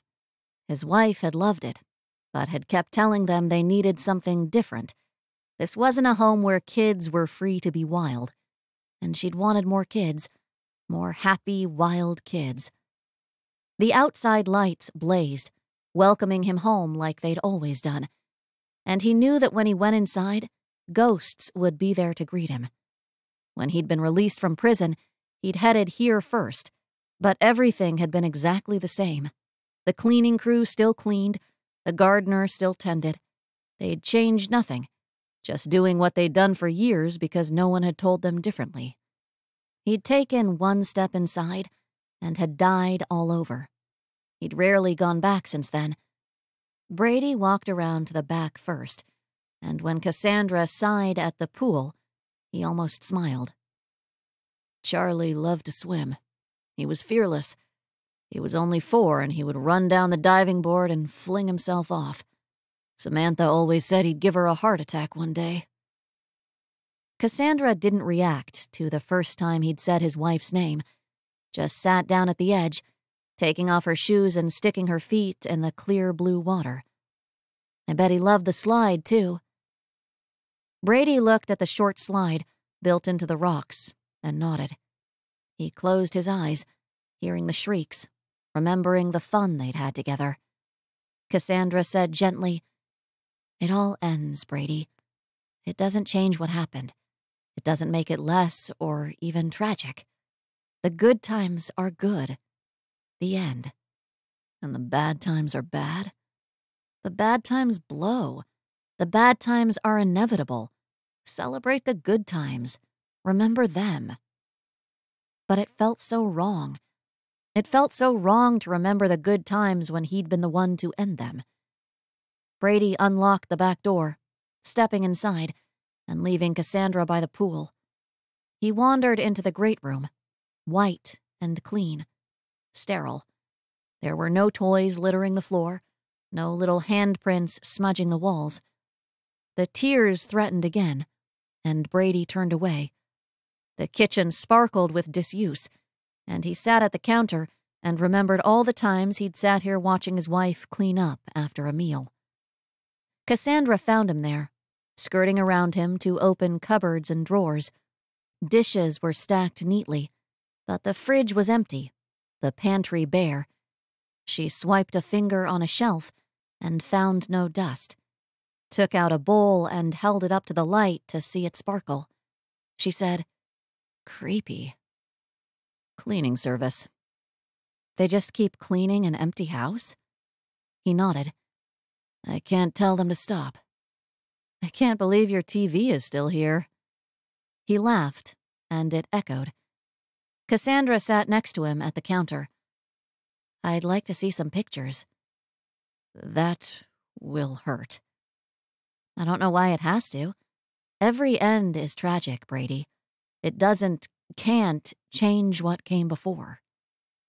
He waved his hand toward the office, and she tugged at him until he stood up to come with her. When they entered the office, she said, And the computer is here too? Did you hire nuns? He didn't have a clue what was on the computer. Wouldn't have cared if it had been taken. He pulled Cassandra to the bookcase, where seven thick photo albums stood side by side, and Cassandra said, Scrapbooks. I'm getting a real impression about what kind of woman your wife was. He chuckled again, and this time it didn't hurt so bad. You don't scrapbook? She puffed out her cheeks. No. He grabbed the first, the one with swirling gold script that said, Our Wedding, and opened it to the first page. Yep, she's beautiful. I just knew she would be. And look at you! So young.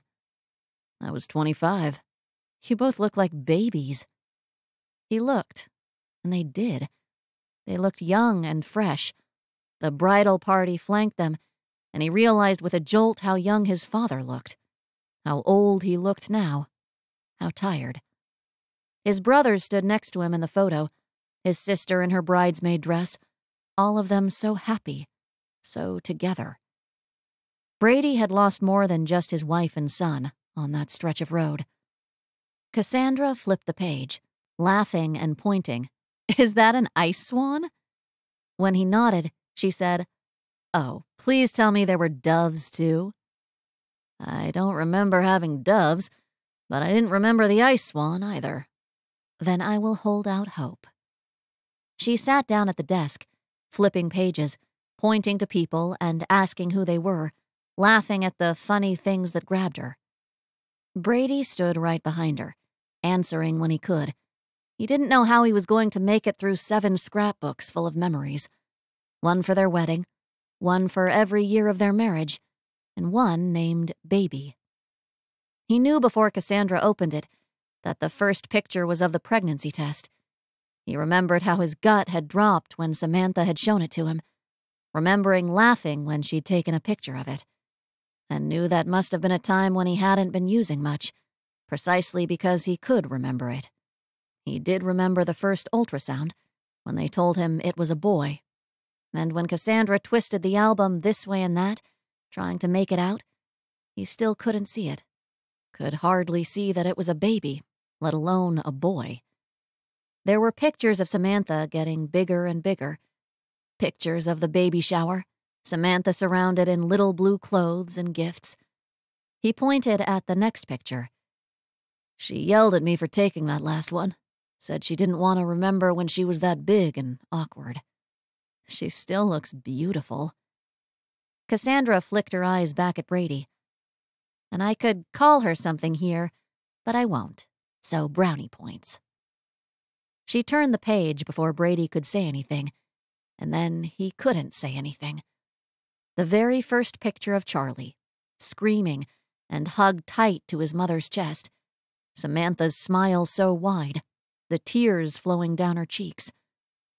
Brady walked away from that picture. He walked over to the window and stared out at the brightly lit pool. Cassandra's arms slid around him, and she laid her head against his back, and Brady didn't like it. Not here, not in his home, his wife's home. He pushed her arms off. How can the end not change what came before, Cassandra? How can I not look at that picture and not remember what happened to him? Just look at the picture and remember him on that day. Remember holding him in your arms. Remember how he smelled. Remember how he cried on that day. You know what I remember about that day? You know what I remember about all those important days? I remember that little baggie sitting in my pocket. I remember the feel of the bottle in my hand. He didn't know when he'd started using, just knew it was sometime in college.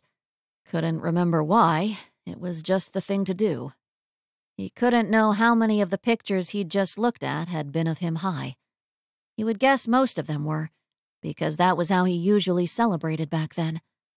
And he wouldn't have called himself a user or a drunk until he'd been chained to a hospital bed dying because he couldn't get a hit, screaming and sweating, and unable to remember what had happened, what he'd done, because of the drugs he'd been on and the alcohol he'd washed them down with. Her arms came back around his waist, and she hugged him tight, squeezed her hands together so he couldn't push her off. You don't remember holding him at all? You don't want me to remember that other part? The reason for my misery? You live in misery, Brady. Tonight's for the good memories. The good memories hurt just as bad, and it was so long ago, so clouded, but he closed his eyes and tried to remember. I remember them wiping him down. He was blue and purple and covered in gunk, and they were so rough. And Samantha just held him and cried. She'd been screaming and in pain, and then she was laughing and crying. Sounds horrible. It had been. Horrible. And he didn't know how his wife could have even imagined doing it again. But he remembered it had been wonderful, too. Horrible and wonderful. And wasn't that the very definition of life? For a moment, he could almost understand it, could almost hear what Cassandra had been telling him over and over again. The horrible parts couldn't undo what was wonderful. You just had to get through it. Life's a bitch. What's next? Brady hadn't wanted a next. He didn't know why he'd been given one. He didn't know why he hadn't been given another one when he'd refused to do anything with the first one. But he looked down at Cassandra's arms, wrapped tight around his waist, and knew she was his next. He said, There's a pen holder on the desk where I used to hide drugs. She turned in his arms, forcing her to let him loose. She looked where he was pointing, and he pushed her toward the desk softly. When she picked it up, Brady could feel it in his hand, remembered what it felt like, how heavy it was. Cassandra took out the pens, looked inside, flipped it upside down. Brady stayed by the window and watched her. Smack it a few times.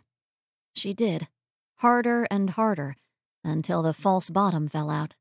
No little baggies fell with it, and Brady started breathing again. Cassandra picked up the false bottom. Creative. Users are. She looked at him, and he said, I still want it. Every once in a while, it'll just hit me. I'll visit a place or see an old friend. I'll watch an old movie that reminds me of college, and I'll remember how good it felt. And I'll want it. Want it so bad that want just doesn't describe it. And the only reason I don't is because I tell myself I can still feel her blood. I can still hear his screams. I can't forgive myself. If I forgive myself, I will go back to that. He closed his eyes. I will do it again, to someone else's child, someone else's wife. I can't forget. I can't forgive. He waited, waited for her arms to slide around him again, to tell him that he wouldn't, that she believed in him, that she loved him.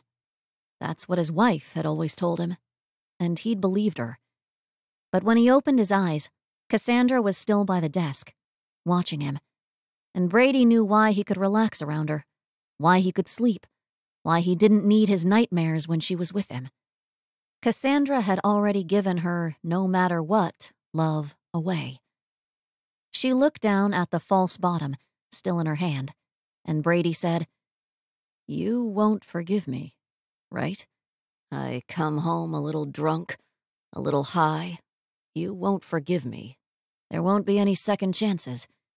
You won't love me no matter what, because you already love Shane like that. Cassandra dropped the false bottom in the trash and came toward him. She stopped a foot away and said, I won't forgive you, no matter what. He whispered, My wife would have. She would have forgiven me even that. Cassandra nodded. You said she was an angel. He nodded back at the woman in front of him. No angel, just a woman who knew how to do no matter what. Brady closed his eyes, relaxing into his peace, finally sure he could remember the good memories, not afraid to lose the bad memories. He could find out what was next for him, He could sleep lying down in bed and not need his nightmares. He had Cassandra.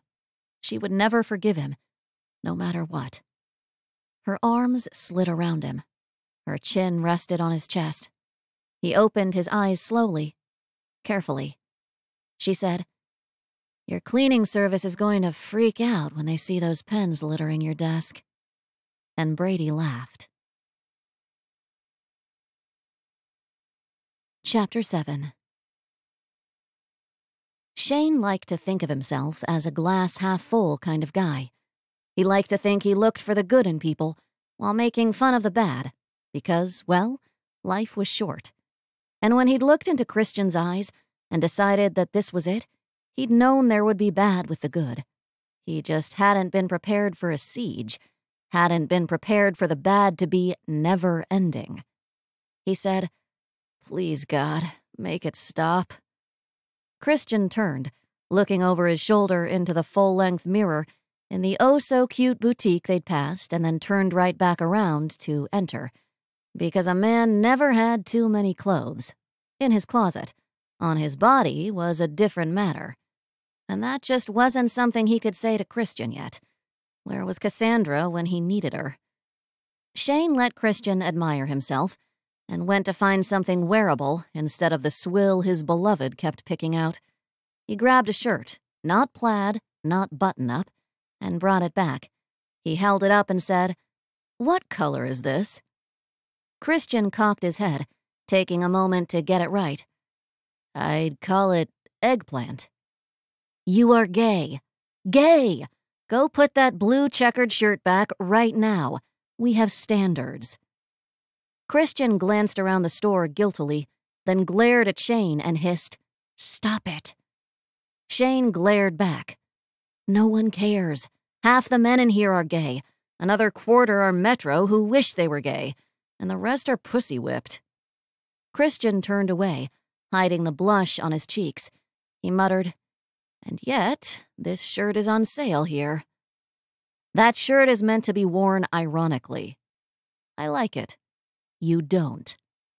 Shane wiggled the hanger he was holding, tempting with eggplant. You like this. Christian's eyes darted to the shirt, and then back to the god-forsaken monstrosity he was wearing. His chin went up, and he said, I like this. Gah! You are so stubborn. Shane came up behind Christian, holding the shirt up in front of Christian's chest and pulling it this way and that. You like this. Shane cocked his head. It's a terrible color for you, but you like it. I'd go with a light pink or coral. You'd look amazing in coral. But I'll compromise with eggplant. Christian whispered, Shane?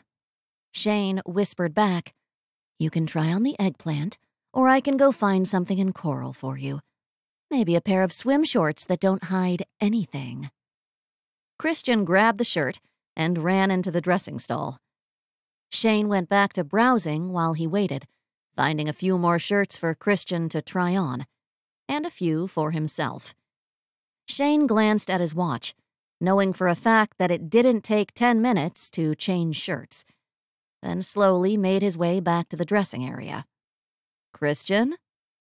Christian's voice floated over the door. I don't like this. It's a terrible color for me. Agreed. But come out so I can see you in something besides plaid. I'm getting tingly just thinking about it. Christian didn't come out. You're not even going to show me? No. Shane flung a shirt over the door. You need bright colors, beachy colors.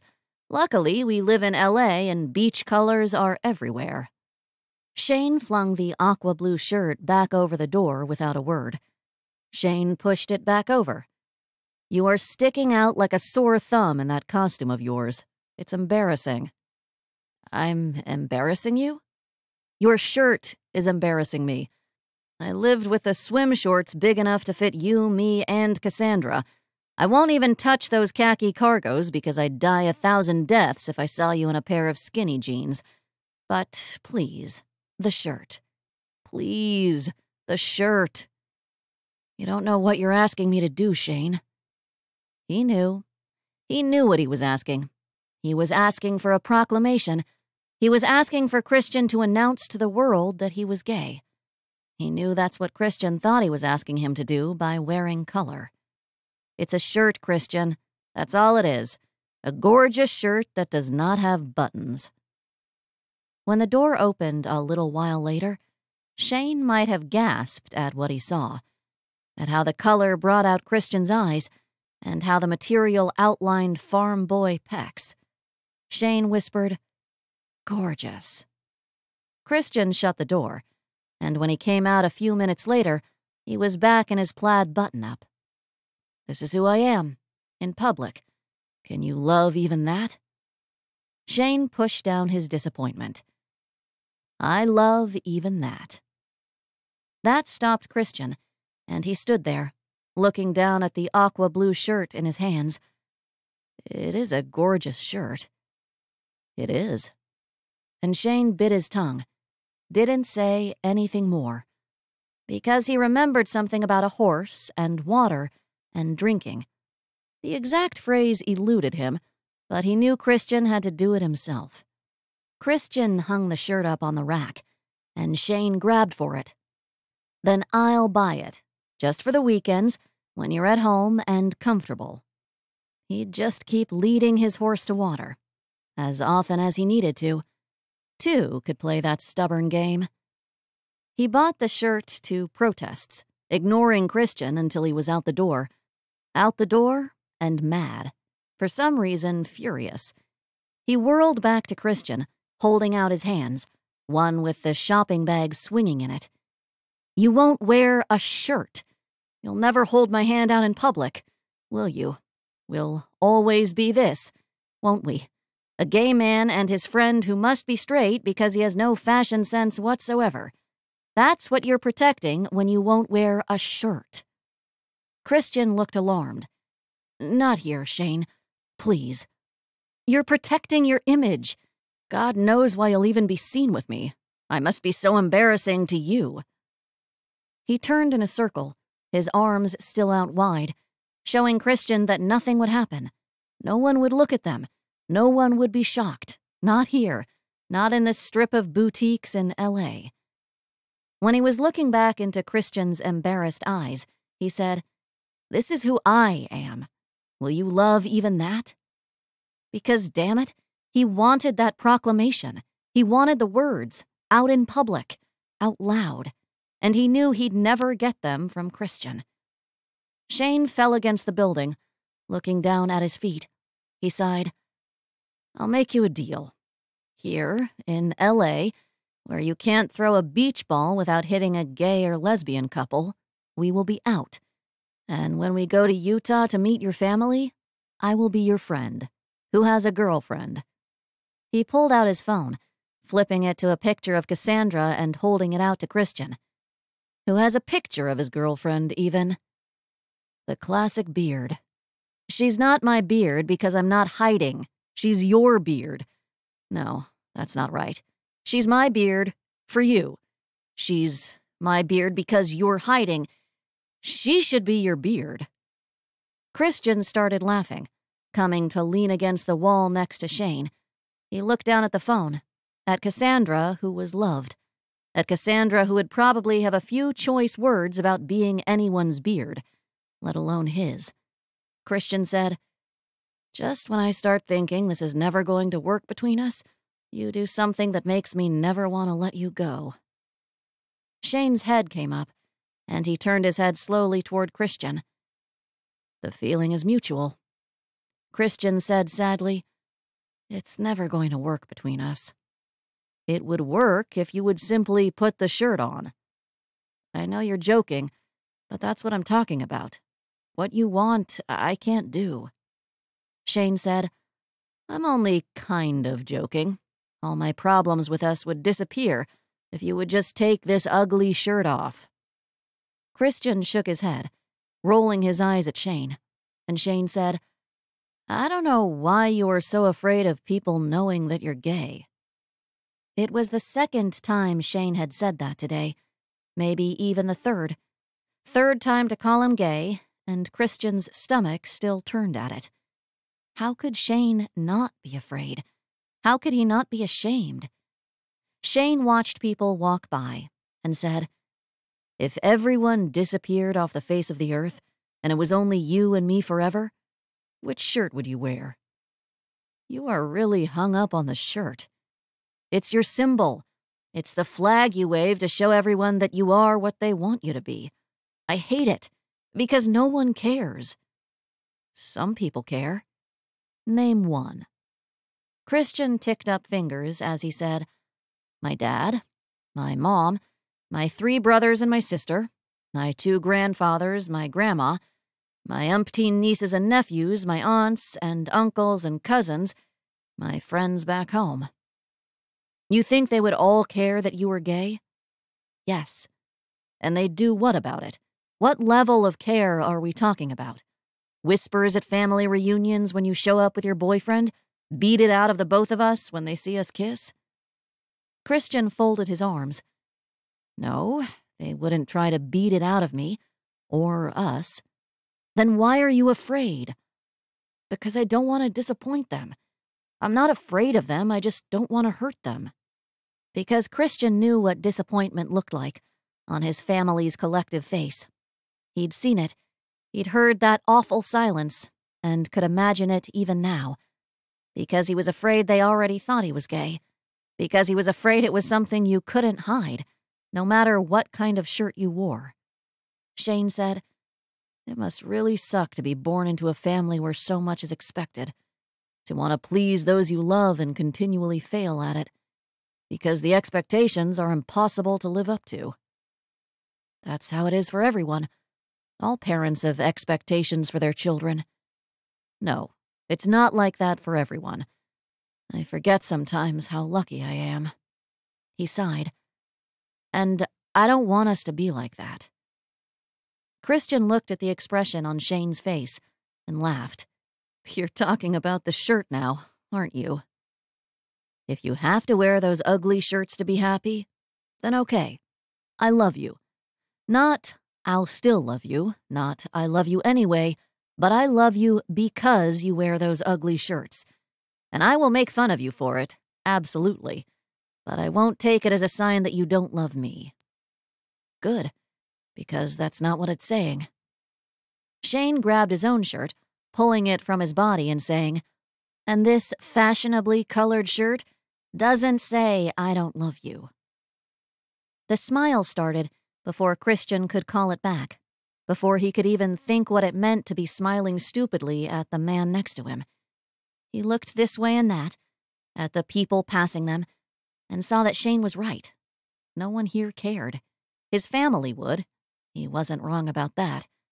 But here in L.A., where the sun shone and the people were busy with their own lives, no one cared. And here in L.A., where his family didn't live and couldn't be hurt, Christian smiled at the man he loved. Shane held the phone up and snapped a picture of Christian before he even knew what was going on. Now I have a picture of both the people that I love, my friend Christian and his lovely girlfriend slash beard, Cassandra. I need a new phone. These pictures are terrible. And FYI, don't take it as a sign that I don't love you if I accidentally burn this shirt. I can find better looking plaid than this. His eyes lit up, and he pulled Christian from the wall. I know a store. We might be able to find something. Shane's warm hand was on Christian's arm, pulling him toward another hellish round of shopping, and Christian was pretty sure neon plaid. Christian took the phone from Shane as he was pulled along, looking at the picture that was worth a thousand words, and Christian said, I'd wear the aquamarine shirt. What?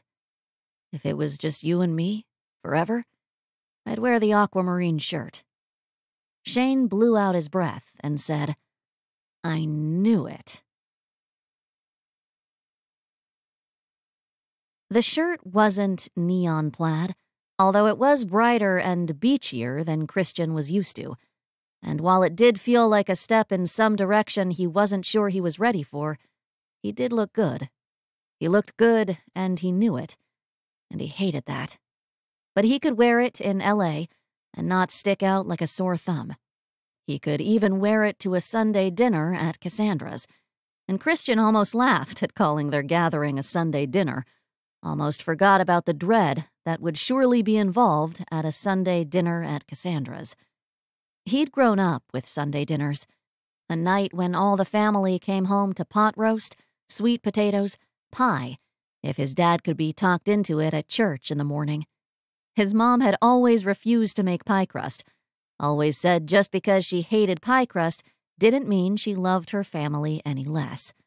Just meant dad was the one to make it. And Christian had loved that too, had loved how they were a team, had always wanted his own team. But there had been dread at those family dinners as well. Dread was just a feeling Christian wasn't ever going to get away from. It was inside him. Shane pushed his key into Cassandra's front door, saying over his shoulder, She's going to love it, the color. Christian wasn't sure if Shane was blind where Cassandra was concerned, or just insanely optimistic. But Christian wasn't going to hold his breath waiting for Cassandra to love anything about him. Just Christian's lot in life that he'd fallen in love with a man who already had his team. Shane called out, singing, Cass, we went shopping. A soft, in the bedroom, called back, and they followed her voice, Shane jabbering nonstop, and Christian wondered if maybe he wasn't so blind where she was concerned after all. Christian was used to dread and feeling out of place and slightly unwelcome. He was just wondering why dinner was here and not at the penthouse. Did a penthouse get old? When they entered the bedroom, Brady was getting out of the bed. A naked, clearly I'm in the middle of something Brady was just standing up, and he walked past them, calmly and unconcerned, to the bathroom. The blood rushed out of Christian's head, and for a second he thought he was going to faint. Cassandra smirked at them and stretched. He works out. Shane gurgled. Christian focused his eyes on Cassandra, only slightly less embarrassed at finding the sheet outlining her body, and said, I'll wait out in the living room. And since he had no delusions about Cassandra, he knew that had been her plan all along. Didn't even need to see the sparkle in her eye to know it. Shane was standing there, mouth gaping open, eyes glazed. Christian heard him say to himself, How can he be a shower and a grower? Christian went to pour himself a tall, cold glass of anything. Shane shook himself and sat down on the bed gently. You didn't say he was going to be here. I might have come in a little slower if I'd known. No, you wouldn't have. You would have been sneaky, trying to get a peek of what you just saw full on. And where else would he be? Shane whimpered again. Working? I just didn't think Sunday night dinner included him, if it wasn't at his penthouse. It includes him. He sighed, and Cassandra said, It includes Christian.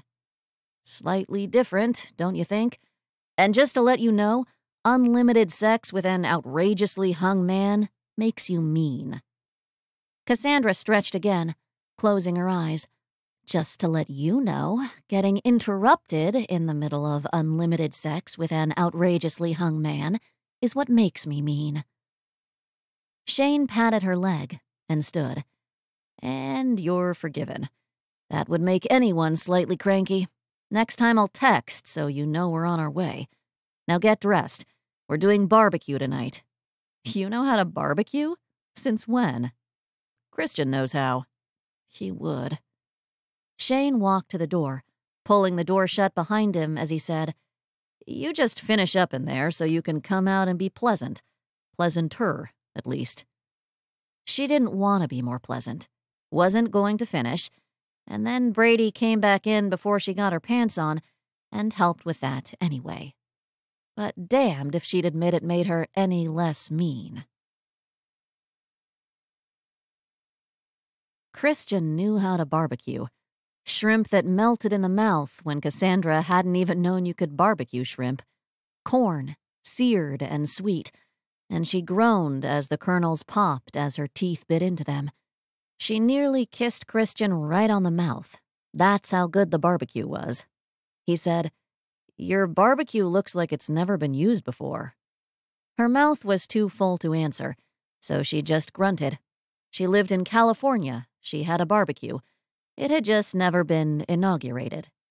Shane said, All you need to do is keep her mouth full of barbecue, and no one will question whether she's your real girlfriend. Beards don't look like they want to eat you up. Cassandra choked on her corn, and Christian cried, No, don't tell her. You want me to be his what? Just for his family, Cass. I thought you could be my girlfriend, but realized, ha, huh, no one would believe that. Brady looked at the murderous glint in Cassandra's eyes and held up a finger. Problem. Cassandra said, Lots of problems. She's already taken. Shane turned to him. She is? Cassandra folded her arms. I am. Brady nodded. Jefe's woman, he said, making Cassandra chuckle, and she forgot about Christian long enough for him to get on the other side of the dining room table. Christian, safe with some distance between them, said, It was a joke. Shane showed me a picture on his phone and it just popped out that you were his beard, not mine. All the warm fuzzy from the barbecue disappeared from Cassandra's veins. It's not a joke to be ashamed of who you are. Christian shook his head. No. And no one said anything. Not even Cassandra could say anything to that. He said, I'm sorry. Don't apologize. Shane said softly, Cass. She pushed her chair back. I tried, Shane. I tried, but I can't like him. I can't let him bring this into your life. It's apologetic shame. She jabbed her finger in Christian's direction. He goes. I'm using my veto.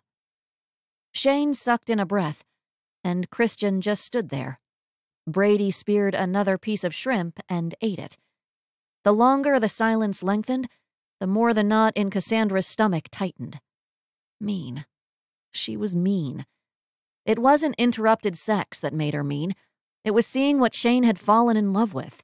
It was knowing she wasn't anything like that, and she'd never had a chance. Not even if the fates had been kind. Not even if all their stars had aligned. Shane would never have chosen her. She was his best friend, not love. She said, Get out, everyone. Cass, get out! Cass, let's just talk. She grabbed the edge of the table, shrieking as she flipped it on its side. The dishes and food went spilling, Shane and Christian jumping out of the way. Brady looked at the corn sitting in his lap and said, Man. She huffed and puffed and stared at Shane. I'm using my veto. Cass. Before he could finish, before he could tell her that her veto was worthless, she said, Get out. Christian headed for the door, and she sneered at his back, then turned back to Shane and waited, waited for him to choose. He said softly, I'll call you. We'll talk. He followed Christian, and when he closed the door behind them, all she saw was Christian. All she saw was the sorry in his eyes. Not triumph, not glory. He felt sorry for her. Sorry that she'd lost when he hadn't even been playing. Brady stood up, blocking her way before she'd taken even one step. The rage and hurt was swallowing her, and she said through tight lips, Get out, Brady. No. He wrapped his arms around her, absorbing her blows as if he didn't even feel them. He held her tight, and she wanted to scream at him. She wanted to be alone. She was alone. Why couldn't he just leave her alone? He said softly, Life's a bitch. It was. Just one gigantic bitch. When her punches slowed, he trapped her arms to her side, squeezing and lifting her. She groaned. I don't want sex right now. But he didn't carry her to the bedroom. He carried her to the front door, she stiffened because she knew they were still here, still outside. She struggled against him and he squeezed tighter. He whispered into her ear, Listen. And she shook her head. She wouldn't listen to them. She couldn't listen over the hurt of her heart and the anger in her blood. But he squeezed her, tighter and tighter, until she wasn't fighting her ears. She just wanted to breathe. Their voices floated through the open window, their bodies just out of sight. I don't want to come between you two. You're not. She's my Cassandra, and I love her. But not more than you. She'll come around. She's just having a hard time accepting what is. Cassandra would have gasped if she'd had breath to spare. She couldn't accept what was? And Shane was either dismissing her completely or knew her really well. Would she give up Shane if he wouldn't give up Christian? Christian paused. Why did you choose me? I love you. Cassandra screamed inside her head. Why? Why do you love him? And Christian said, Why? Why do you love me? Cassandra closed her eyes, stopped fighting, stopped fighting Brady's arms around her, just stopped. She knew without seeing that Shane had wrapped his arms tight around Christian, had heard in Christian's voice that he didn't think there was anything to love. And Shane would be whispering every little thing that he loved about Christian into his ear. Christian would be stiff in his arms, pushing at the contact, pushing at the words, because he wouldn't believe them. But he would someday. Someday he would wear a bright shirt without being self conscious about it Someday he wouldn't flinch when anyone touched him accidentally. Someday he wouldn't be ashamed. Shane would give that to him with his love. Brady's arms loosened enough for her to take a deep breath, but she didn't move away. Just let his heat warm that cold place inside her. She didn't stop the tears, just let them flow, silent and hot down her cheeks. Christian said, it's not going to be much better when you meet my family. Shane laughed. I really, really doubt that. I make them uncomfortable, so I don't go home often. And what are you going to tell them about me? Christian didn't answer, and Cassandra turned away from the window, pushing at Brady. She didn't want to hear any more, didn't want to hear Shane getting hurt again and again. Christian finally said, you're asking me to choose between you and my family. I want you to choose between a painful truth or an unhappy lie. A painful truth or an unhappy lie. Why were those the only options in life? Shane said, This love is true. I don't understand why, but I know that choosing us, choosing love, will hurt you. It will hurt others that you love. And I know that if you deny who you are, deny us, then you will never be happy. You can't be happy lying to yourself. I don't think happy is possible for me. Cassandra wasn't sure happy was possible for her, either. Brady wiped a tear from Cassandra's cheek, and Cassandra looked into Brady's dark eyes. Shane said, I would take all your hurt if I could. I would share it if you'd let me. Cassandra whispered, can't it be a happy lie?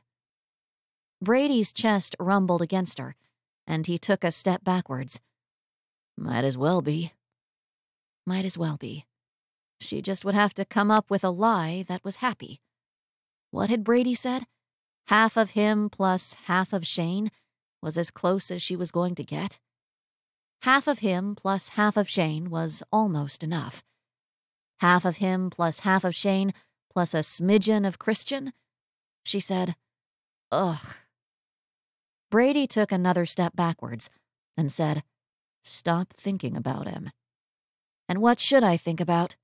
His shrimp. Do you think if we rinse it off, we can still eat it? Cassandra thought about it, then nodded. It was good shrimp. Shane pulled up to the house early the next morning as Brady was leaving for work.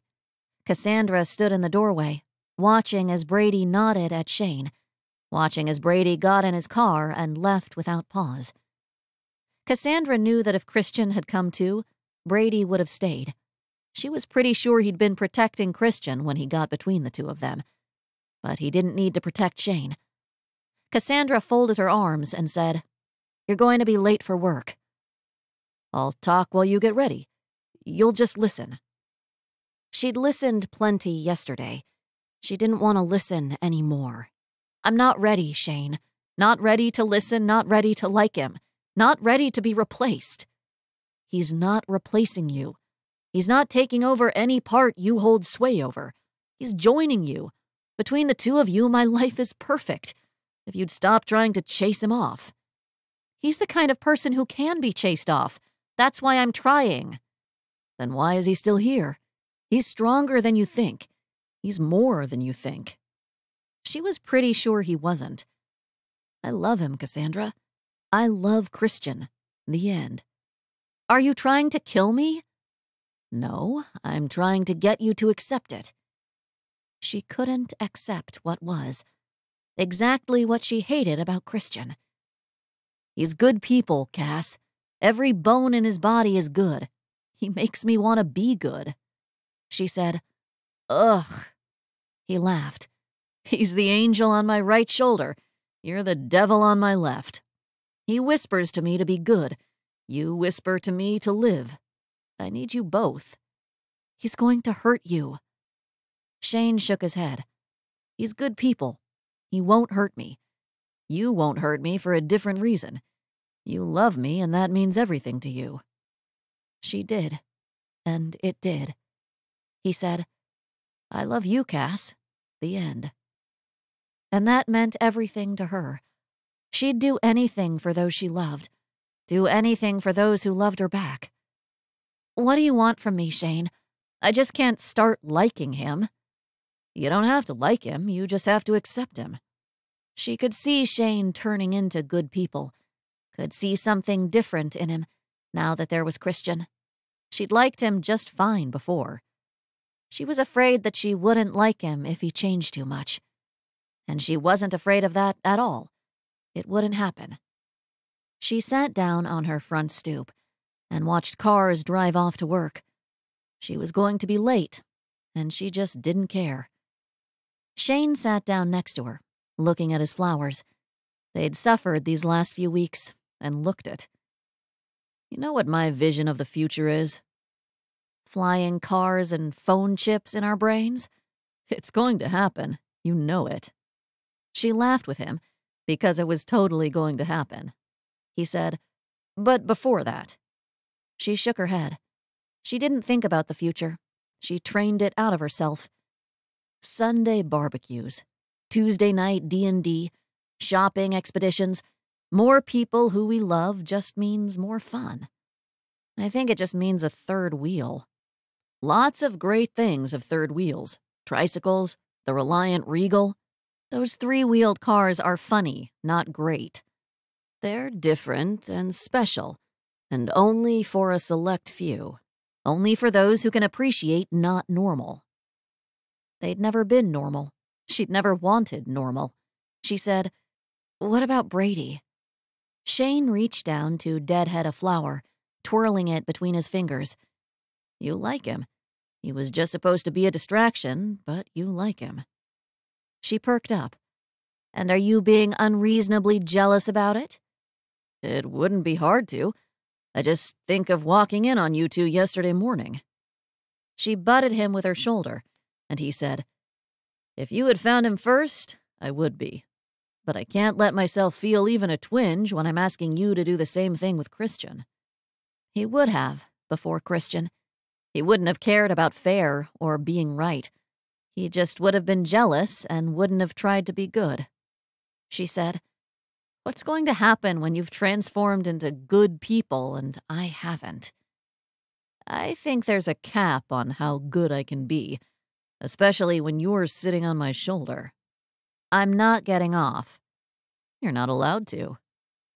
He put an arm around her shoulder, and their heads knocked together. I love you, Cass. My first friend, my best friend, my good friend. Your bad friend. He smiled. My worst friend. She smiled back.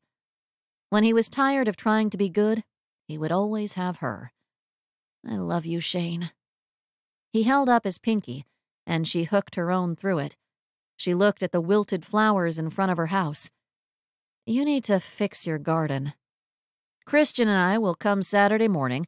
and replace them all. She would have to accept that there wasn't just Shane anymore. There was only Shane and Christian. She couldn't have one without the other, and she wouldn't give up the one. Shane squeezed her pinky. He wouldn't let her give up the one. She squeezed back. I'm still going to make fun of his clothes. Of course. We have got to get him out of that plaid. The smile came and went between them. She had Shane on her shoulder, too. She didn't need anyone on the other. Didn't want an angel over there. She thought about putting Brady over there and chuckled. She could have a devil trying to be good on one shoulder and blackness on the other. Almost made her smile again. Almost made her happy. Which wasn't a lie. She was happy when she was with Brady, even when her clothes were on. She was happy when she was with Shane. Oh, shit. Was that the lie she had to be happy with? That she was happy when she was with Christian? She said, I'll accept him, but I won't like him and I won't be happy about it. He makes good shrimp.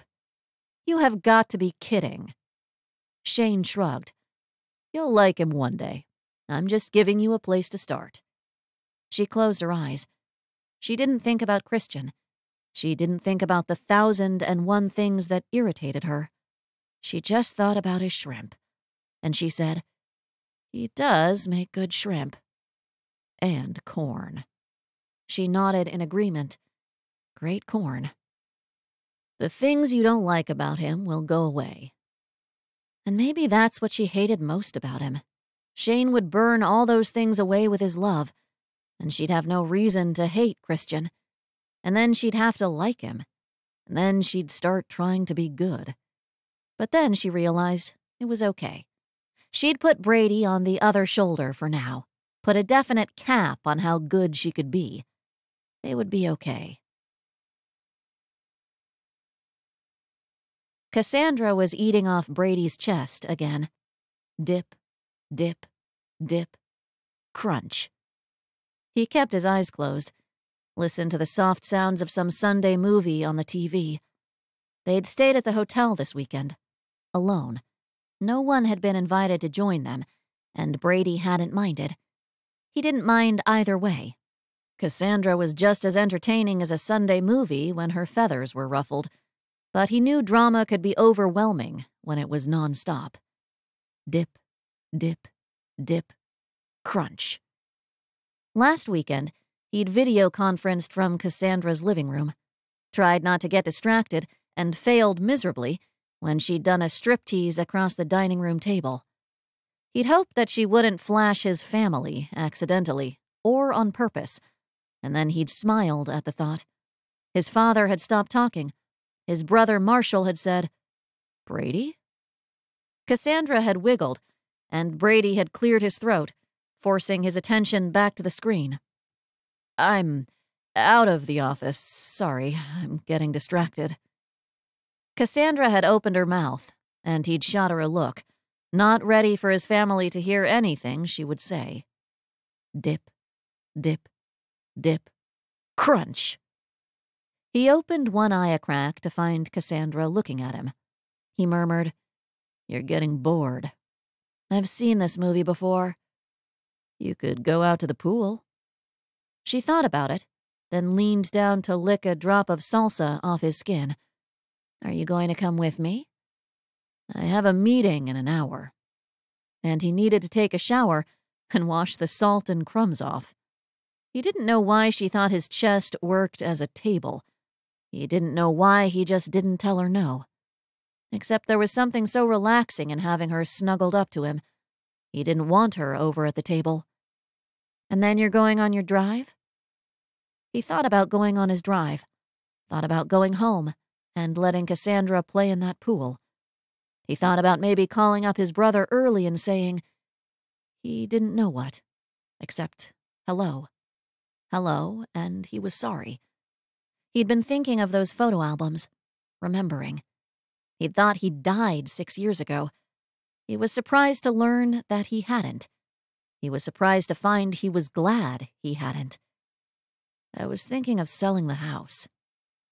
Cassandra dipped. She crunched. She said, I think there's someone you need to talk to about that. He opened both eyes. Who? Samantha. The unexpectedness of her name hit him in the chest, and either Cassandra didn't hear his breath rush out, or she just ignored it to say, I was thinking of going out to the graves today. Say hello. You could come and tell her that you're thinking of selling the house. He pushed her off his chest and sat up, the chips falling to the bed and the salsa splattering on the sheets. You don't know anything about their graves. His voice was as tight as glass right before it cracked, his fists clenched like right before they shed blood. He stared down at them.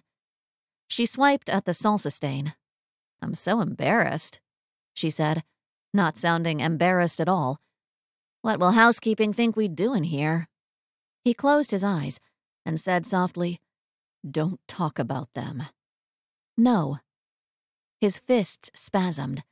Leave it alone, Cassandra. You mean like how you always leave it alone? When I want to put my fist through Christian's good face? That's different. No, it's our dynamic. You get in my way, I push you out of yours. And I'll keep pushing because you can't sell your house without talking to your wife about it. It is just not done. She's dead. He whirled on her. She is dead. Oh, Brady. I don't know why she has to be dead in here, too. She knelt on the bed, reaching across to pat his naked chest. He pulled away, heading for the bathroom and locking the door behind him.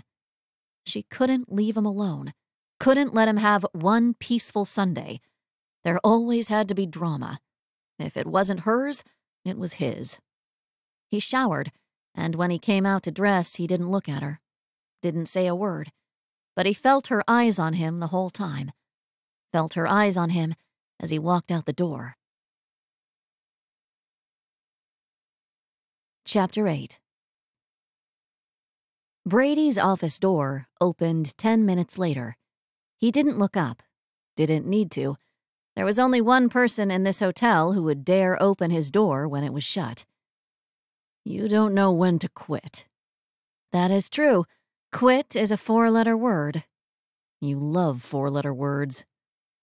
She smiled when he looked up, walking over to his bookshelves and fingering a book. That is true, too. Guess it's not a four letter word. You can't stay in here during my meeting. Why not? You're distracting. I'll keep my clothes on this time. That would only partly help. He said, I'm sorry. She looked at him over her shoulder, an eyebrow cocked, and Brady said, I should have stayed to fight. That would have definitely been more fun for me, but an apology is not what I want. His computer pinged, early. He looked at the screen, at his brother's name. If I tell you I'll go with you to their graves, will you leave me in peace for the next hour? She thought about it. It took her a long time to think about it, longer than he really thought necessary, and he was just wondering if he was going to have to carry her out of his office when she nodded. She finally said, Is this your meeting? Yes. She smiled at his hesitation, and he said before she could say anything, It's my brother. The rest will call any minute. She waved at his computer magnanimously, and he almost called her Your Majesty again for old time's sake. But she meandered slowly to the door, and Brady answered the call instead. Brady, wasn't sure if I could catch you early, but I thought I'd try. Marshall? You were different last week. I wanted to talk, see how you were doing. I'm doing better. Brady looked up at Cassandra, her hand on the doorknob but watching him, listening. Marshall said, I'm glad. Brady looked back at him, really looked. Every week Brady had seen, but he'd never looked. How's Gretchen and the kids? They're good. Peyton starts junior pee wee this year. I'd like to see some pictures. Marshall nodded. I'll email you some. And then stopped as Cassandra propped her head on Brady's shoulder and gave a little finger wave at the screen. Hello. And this is why you've been different lately. She was why he'd been different lately. Cassandra is distracting. Marshall said. Distracted and almost happy. Cassandra smiled. It's the sex. Brady closed his eyes in pain, and Marshall chuckled. It usually is. Brady said, She was just leaving. She patted his shoulder. I'll go bug Rodrigo until you're ready to go. We're going to say hello to Samantha and Charlie after the meeting. Bring some flowers. Brady pushed out a long breath. She pushes every button I have. No one said anything, and when Brady opened his eyes again, Marshall was smiling. Good. Cassandra looked at that smile and poked Brady. He looks just like you. If you didn't have an extra hundred pounds of muscle here, here, and here. Marshall nodded. Everyone thought we were twins growing up. I don't think anyone would think that now. Funny how overdosing on weights will do that. It's his drug of choice now. How did she know that?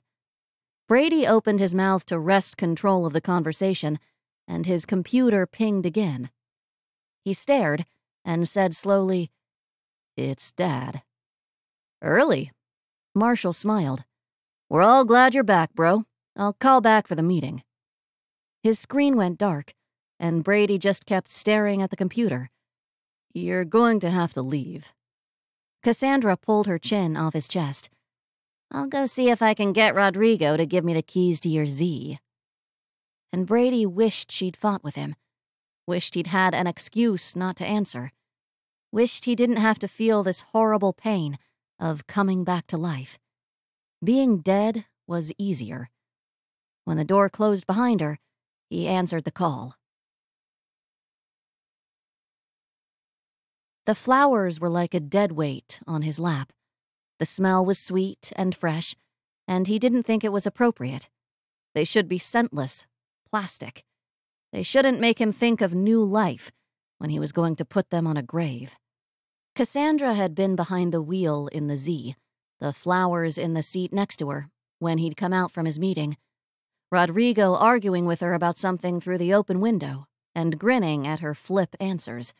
He'd held the passenger door open for Brady, grabbing the flowers and passing them in when Brady was settled. Rodrigo hadn't said anything, just tapped the top of the car when the door was shut, and jumped back when Cassandra revved the engine. She hadn't said a word on the drive over, hadn't tried to distract him at all, hadn't asked about his father, and Brady thought just maybe she did know when to leave things alone. Maybe she could tell that his relationship with his father was more complicated than the rest. Or maybe she just thought that visiting the graves of his family was enough drama for right now. She pulled into a slot at the cemetery, and when the sound of the engine died, she said, Don't ever tell this to Rodrigo, but my car's better. Brady just looked out the window, looked at the gravestones, some tall, some set into the grass, and wondered which ones he was searching for, not even knowing where they were buried. He hadn't gone to their funeral. He'd been a suicide risk, no bail. He cleared his throat. I don't even know where to even start. Cassandra opened her door, pulling a paper from her back pocket. Start with the map. Start with this large area blocked off for Roberts. He got out with her, coming around to look down at it and suddenly remembering when his grandfather had died and he'd been buried in the family plot. I should have known. Sometimes we just don't want to. They walked slowly across the grass, careful to walk between the gravestones. He had to keep looking at the map, reading inscriptions as he passed. So much death, so inevitable. But the cemetery was unexpectedly peaceful. The grass was green, and the farther they walked, the quieter it got, the sounds of cars and busyness fading. Brady had thought it would be painful to be here, but it wasn't, and when they found what they were looking for, Brady was glad for the flowers. Glad they smelled beautiful and looked fresh. Samantha would like them. The black marble shone in the sunlight, clean and well cared for, and Brady put the flowers in their place. A large R was scrolled intricately above his last name, his wife and son's names and dates carved into the stone, the left side smooth, waiting. Cassandra said, That's kind of horrifying. He laughed because it wasn't. It wasn't horrifying at all. That's exactly where he wanted to be buried. Had his father known that? I'll go wait in the car, she said, and Brady shook his head. She's not here, Cassandra. Cassandra listened to the peace and quiet, and she must have felt what he felt, because she said, I know. She's off in heaven with the other angels, but she'll still get your message. He looked down at the black marble, and then he looked up at the blue, blue sky. No clouds today. The smog pushed inland. He took a deep breath and smelled grass. He smelled flowers. He wasn't dead. He hadn't been dead these last few years, and he'd hurt too bad to be dead. He thought, standing here, that death wouldn't hurt. Death would be a release. Death would be peaceful. Brady said, She's not going to care about the house.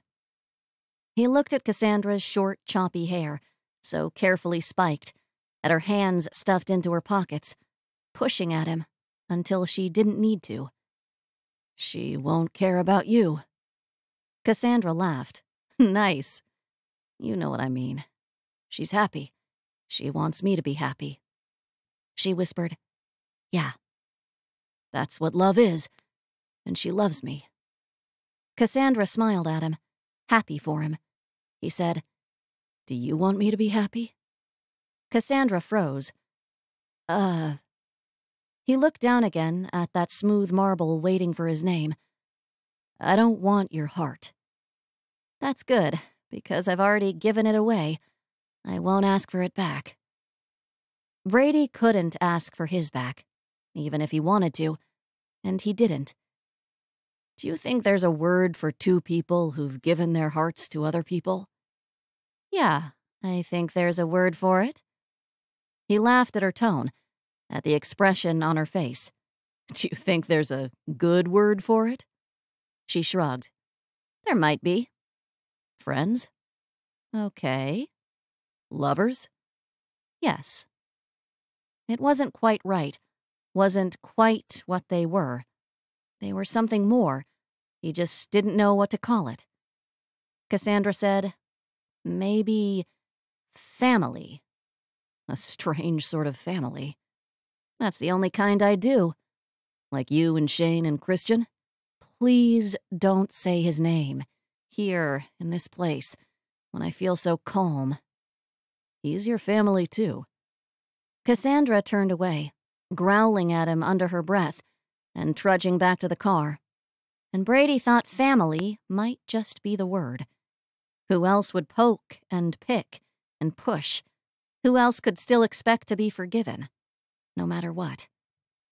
He said to the blue sky and the green grass, I know you're taking care of Charlie, doing a great job like you always did.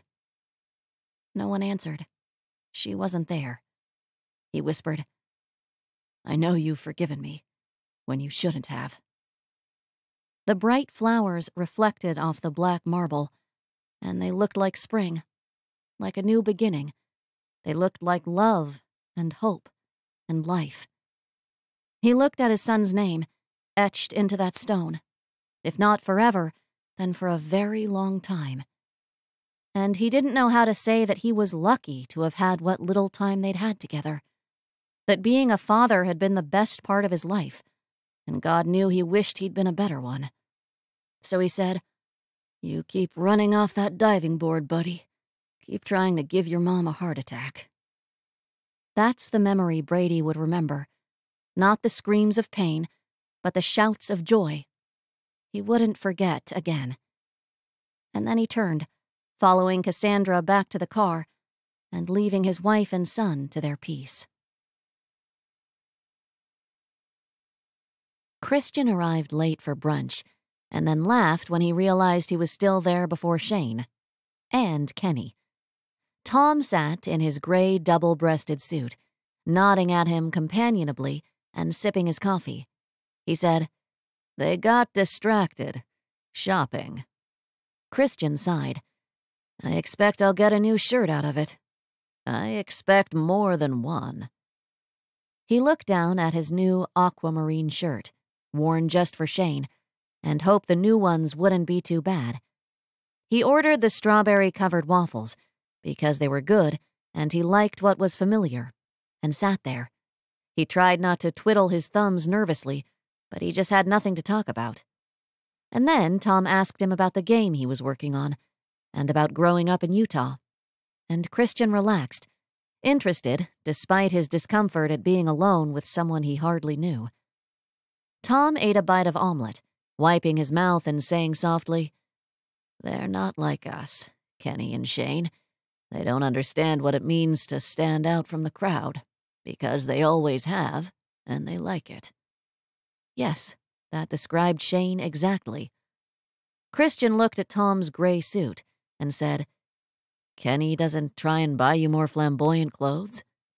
Tom smiled slightly. I'm a lawyer. Once a lawyer, always a lawyer. And I've always used that as my excuse for dressing like this. But really, it's because I'm comfortable with the image this suit presents. But for the last forty years, every tie I've worn has had something crazy on the end. Kenny gets them specially made, and I think I could wear a different one every day until I die, and I wouldn't have to repeat. He unbuttoned his vest, pulling out his tie and showing Christian the bare-assed chap wearing cowboy winking over one shoulder. Christian's cheeks flamed, and Tom tucked it back in, laughing. When we're home, I'll wear whatever he buys for me, and when I'm out, I wear this. And we're happy. It's important to find what will make both of you happy, if you want to last forty years. Christian stared down at his waffles. I think I'd like to last forty years. I'm just not sure I can stand out in the crowd for that long. I don't think I have the stamina. Can I tell you what I've seen change in the last 40 years? And then Tom waited, waited for Christian's nod. There have always been those who care a lot, those who care about what goes on between two people, whether those people are gay or unmarried or different races. And there have always been those who don't care. By definition, those who care will be louder than those who don't that is how it will always be. Christian nodded again. Tom said, But the number of people who don't care is getting bigger, and one day they will drown out those who care just by their sheer numbers. Because every time a beloved actor or a revered sports star comes out, it causes someone to think about the issue, to question whether a different kind of love really is different. And every movie, Every TV show that shows an unapologetic character being who they are will change that fear of something different into acceptance. It won't happen quickly. Change never does, but I'm legally married to the love of my life, and I didn't think that would happen in my lifetime. You're married in this state, and very few states otherwise. Tom nodded. Those who care are fighting with laws now, but they are fighting a losing battle because public opinion is changing, even in Utah. It has been changing for the last 40 years, and it will keep changing until no amount of money can sway a vote, until no amount of fear mongering will stop equality and freedom, until no one has to be ashamed of who they are. Tom dug into his briefcase, pulling out a stack of papers and handing them to Christian. He flipped through, seeing picture after picture of happy, tearful couples finally able to unite. Gay and lesbian, all in Utah's state capital. You weren't alone in Utah. You're not alone here. Tears sprang into Christian's eyes, and he said through a tight throat, It didn't last. That's how it goes. One step forward, one step back. All we can do is take that next step forward, be part of the next wave. Tom patted his lips again and cleared his throat. It's all we can do. Being part of the next wave is standing out in the crowd.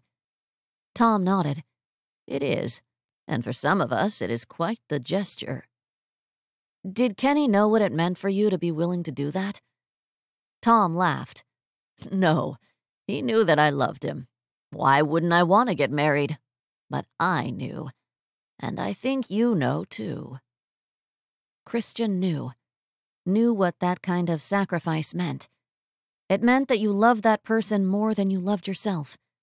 It meant that you'd last the next 40 years. It meant that your love was true. It sat in Christian's gut for a week, a knot tied tight, and he wasn't able to loosen it. Couldn't shake it. Couldn't forget about it. He couldn't talk about it with anyone. Not with Tom, because Tom loved Shane. And Tom had already made his gesture, and he very clearly had a bias. Not anyone in Christian's family. He laughed at the idea, and it was brittle and lonely sounding. And then he did the last thing he thought he'd ever do. He drove out to Brentwood, and he sat in the bar, and waited for Cassandra to come down and sneer at him. Because she loved Shane, and she hated Christian, and somewhere between those two extremes was the right answer. She slid onto the stool next to him and looked at his drink. Is that just an orange juice? Yes. Are you trying to make it look like you're drinking a screwdriver? No, I just wanted orange juice. She sneered, and Christian's shoulders relaxed. He smiled at her, and she narrowed her eyes at him, so he smiled down at his drink instead.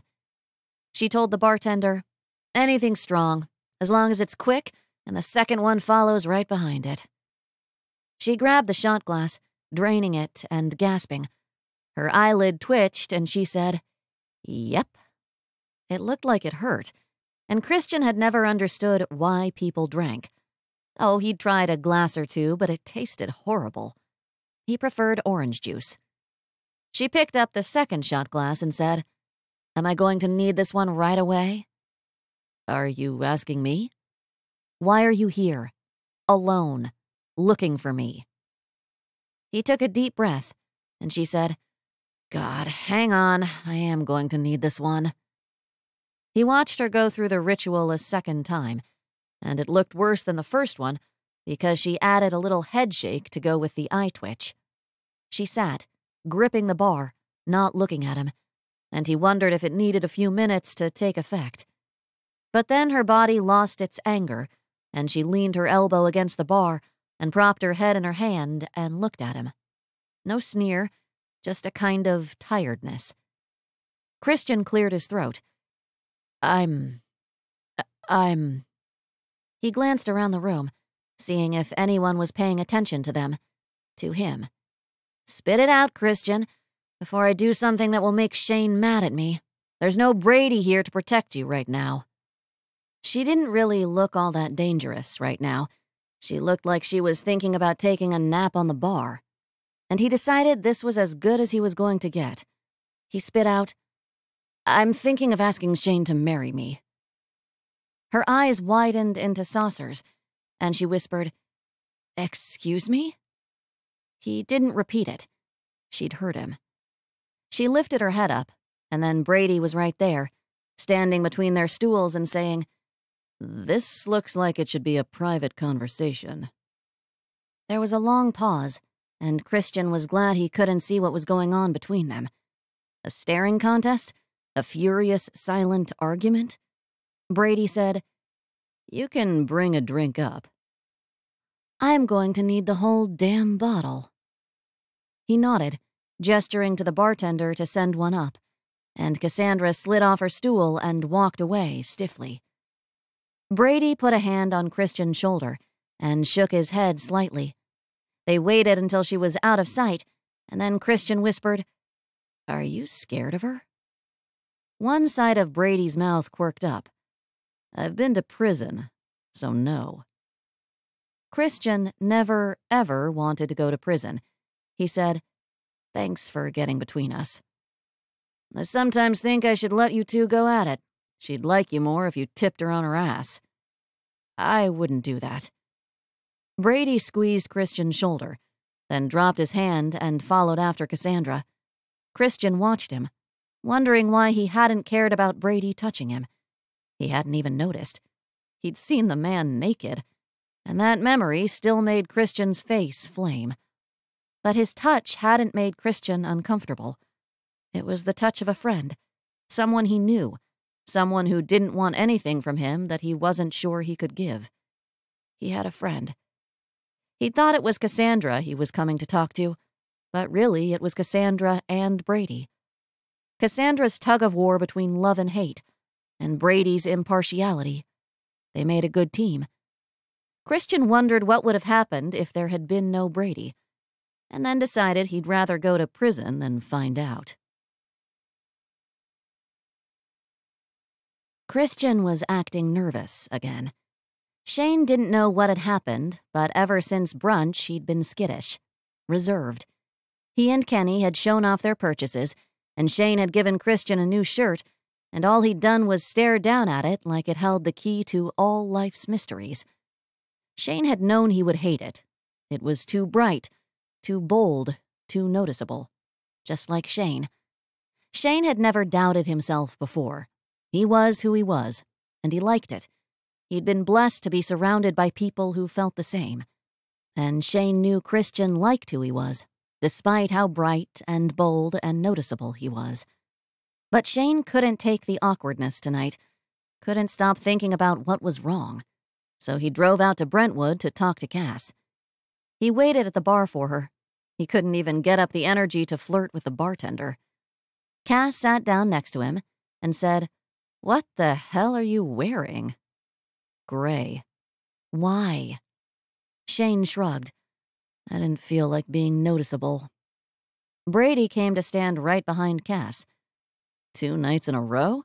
It's as busy as LAX around here. Go away, Brady. Brady smiled, then stopped. If he gets plastered, he's not driving home. I know. Wait, are you talking about calling him a cab or taking him upstairs? A chuckle escaped his lips, and he squeezed her neck. Those days are over. Cassandra turned to watch him walk away. Her eyes narrowed as she looked at his butt, and she said loud enough for Brady to hear across the room, Good. Brady smiled again, and Shane said, Hello, stop undressing your boy toy with your eyes and pay attention to me. She turned back around and said to the bartender, Something sweet and fun. I don't want anything harsh today, and the same for him. It's just so much more fun to get wasted when someone will join you. Shane nodded. I know what you mean. They waited for their drinks, and when they came, they were bright pink and served in tall glasses. Shane tried not to feel better, but the drinks were just so bright and happy. Cass took a long sip, her eyes closing as the sweetness hit her tongue. She smiled at him, then frowned at his shirt. You going to tell me about the gray? He sighed. I bought Christian a shirt he hated. And he returned the favor? No, I just wanted to wear gray. I don't want to be too bright and loud. He could see the dawning realization in her eyes. I'm trying to decide if I hate Christian for making you want to be something different, or if I love you for wanting to make someone you love happy. She took a sip, thinking about it, then said, Eh, I can do both. She watched him take a small sip, so unhappy. He means that much to you? Yes, but this is just a shirt, Cass. It wasn't just a shirt, and she knew it. So she just sipped, and he just sipped. When their drinks were gone, she said, He came here. Who, Christian? She nodded. He needed to talk. And he came to you instead of me? His voice got louder and louder with each word, and the pain of it seared him. It was about you. The futility of his ill fated relationship swamped Shane, and he slumped in his seat. He's going to break up with me. Cassandra tapped the bar and said, Christian should realize that I would never keep anything from you. Shane closed his eyes and laid his head down on the bar. She said, Maybe he knows that, and that's why he came to me. Is he that sneaky? No. She stroked his hair, petting him, and he kept his eyes closed, basked in being loved. She said, Do you want to know what he needed to talk about? I don't know. Do I? It took her a moment. Yes. I don't want to tell you. It's that bad? Depends on your perspective. Just tell me, is he breaking up with me? No, he's not breaking up with you. But it's still bad? It still depends on your perspective. He opened his eyes, keeping his head down. Cass, am I going to think it's bad? The bartender put two more happy drinks in front of them, and she stopped stroking his hair to take a long, long pull from her straw. You won't think it's bad, but I don't know if he's going to go through with it, and if he does, you'll like it as a surprise. I can't even imagine what it could be. She shook her head. Nope, damn near gave me a heart attack. He started smiling a little. I won't hate it even a little? She shook her head again, and he lifted his. He took a sip of his happy drink. I don't need to wear this gray shirt after all. No, but you might want to show Christian first. He'd like it. You're a good friend. The best. But we're not friends, Shane. We're family. He nodded. Then, You didn't hurt Christian when he came to talk, right? Brady was there. Ah, good. So, are we going to get wasted or what? He nodded. Is Brady going to take me upstairs and do unspeakable things to me when I've lost all feeling in my feet? No, but he might get you a room. Well then, waste on. Chapter 9 Getting wasted was fun Waking up the next morning was not. But when Shane rolled over on the bed, groaning, Christian was beside him, on top of the covers and fully dressed, which was the only reason Shane knew he wasn't a hallucination. Christian said, Hi. Hi. When did you get here? Last night, about the time you and Cassandra started doing karaoke. I don't remember that at all. I didn't even know they had a karaoke machine. They don't. Shane laughed, then grabbed for his head. The bed moved as Christian got out, and Shane's stomach rolled with it. I just don't understand why you do this to yourself. When Shane was pretty sure his stomach wasn't going to empty itself, he said, I'm a glutton for punishment. You should be glad, or we would never have lasted as long as we have. Christian pushed a glass of cool water into Shane's hand and laid a wet washcloth on his forehead. I am glad, but I'm still going to try and get you to like orange juice. The older I get, the more likely it becomes. Right at this moment, he was swearing to himself he'd never drink again. Christian popped pills into Shane's hand. Brady sent these up, said you'd need them this morning. He'd need a few good more than just two, but it was a start. Might take the edge off enough. The man is a god among men. Did he call you and tell you I was here? Cassandra did. Shane braved the light to crack open one eye. She did? Are you sure? Pretty sure. She called me a few choice words and said you thought I was going to break up with you. She told me you weren't. Christian shook his head, and Shane sighed, resting his head against the pillow and closing his eyes again. When Christian sat down beside him and slipped his hand into Shane's, he thought he'd die a happy man right there, because he was still pretty sure he'd like to. Two pills were not enough. Did she tell you anything else about what we talked about? No, she said, I don't remember exactly what she said, but that I'd like it. I'll wait. I like surprises. Christian didn't say anything, just sat next to him holding his hand. Not ready, obviously, for whatever surprise he was contemplating. It was okay. Shane really did like surprises. He didn't mind waiting, not when he knew he was going to like it. Christian said, Cassandra likes me more when she's nearly comatose. She smiled at me. Shane shared his own little smile at the proof that one day the two people he loved would love each other, then stopped because moving his face hurt his head. Shane thought he'd feel better if he tried waking up again, could feel the black of sleep hovering. Shane, please don't wear gray again. You don't need to, and it is not your color. He struggled against sleep enough to murmur, How do you know it's not my color? I know. And then he fell asleep, Christian's hand tucked nicely into his own, the image of Cassandra smiling drunkenly at his pretty little bird, lulling him off to dreamland. All was right with the world, or would be, the next time he woke up.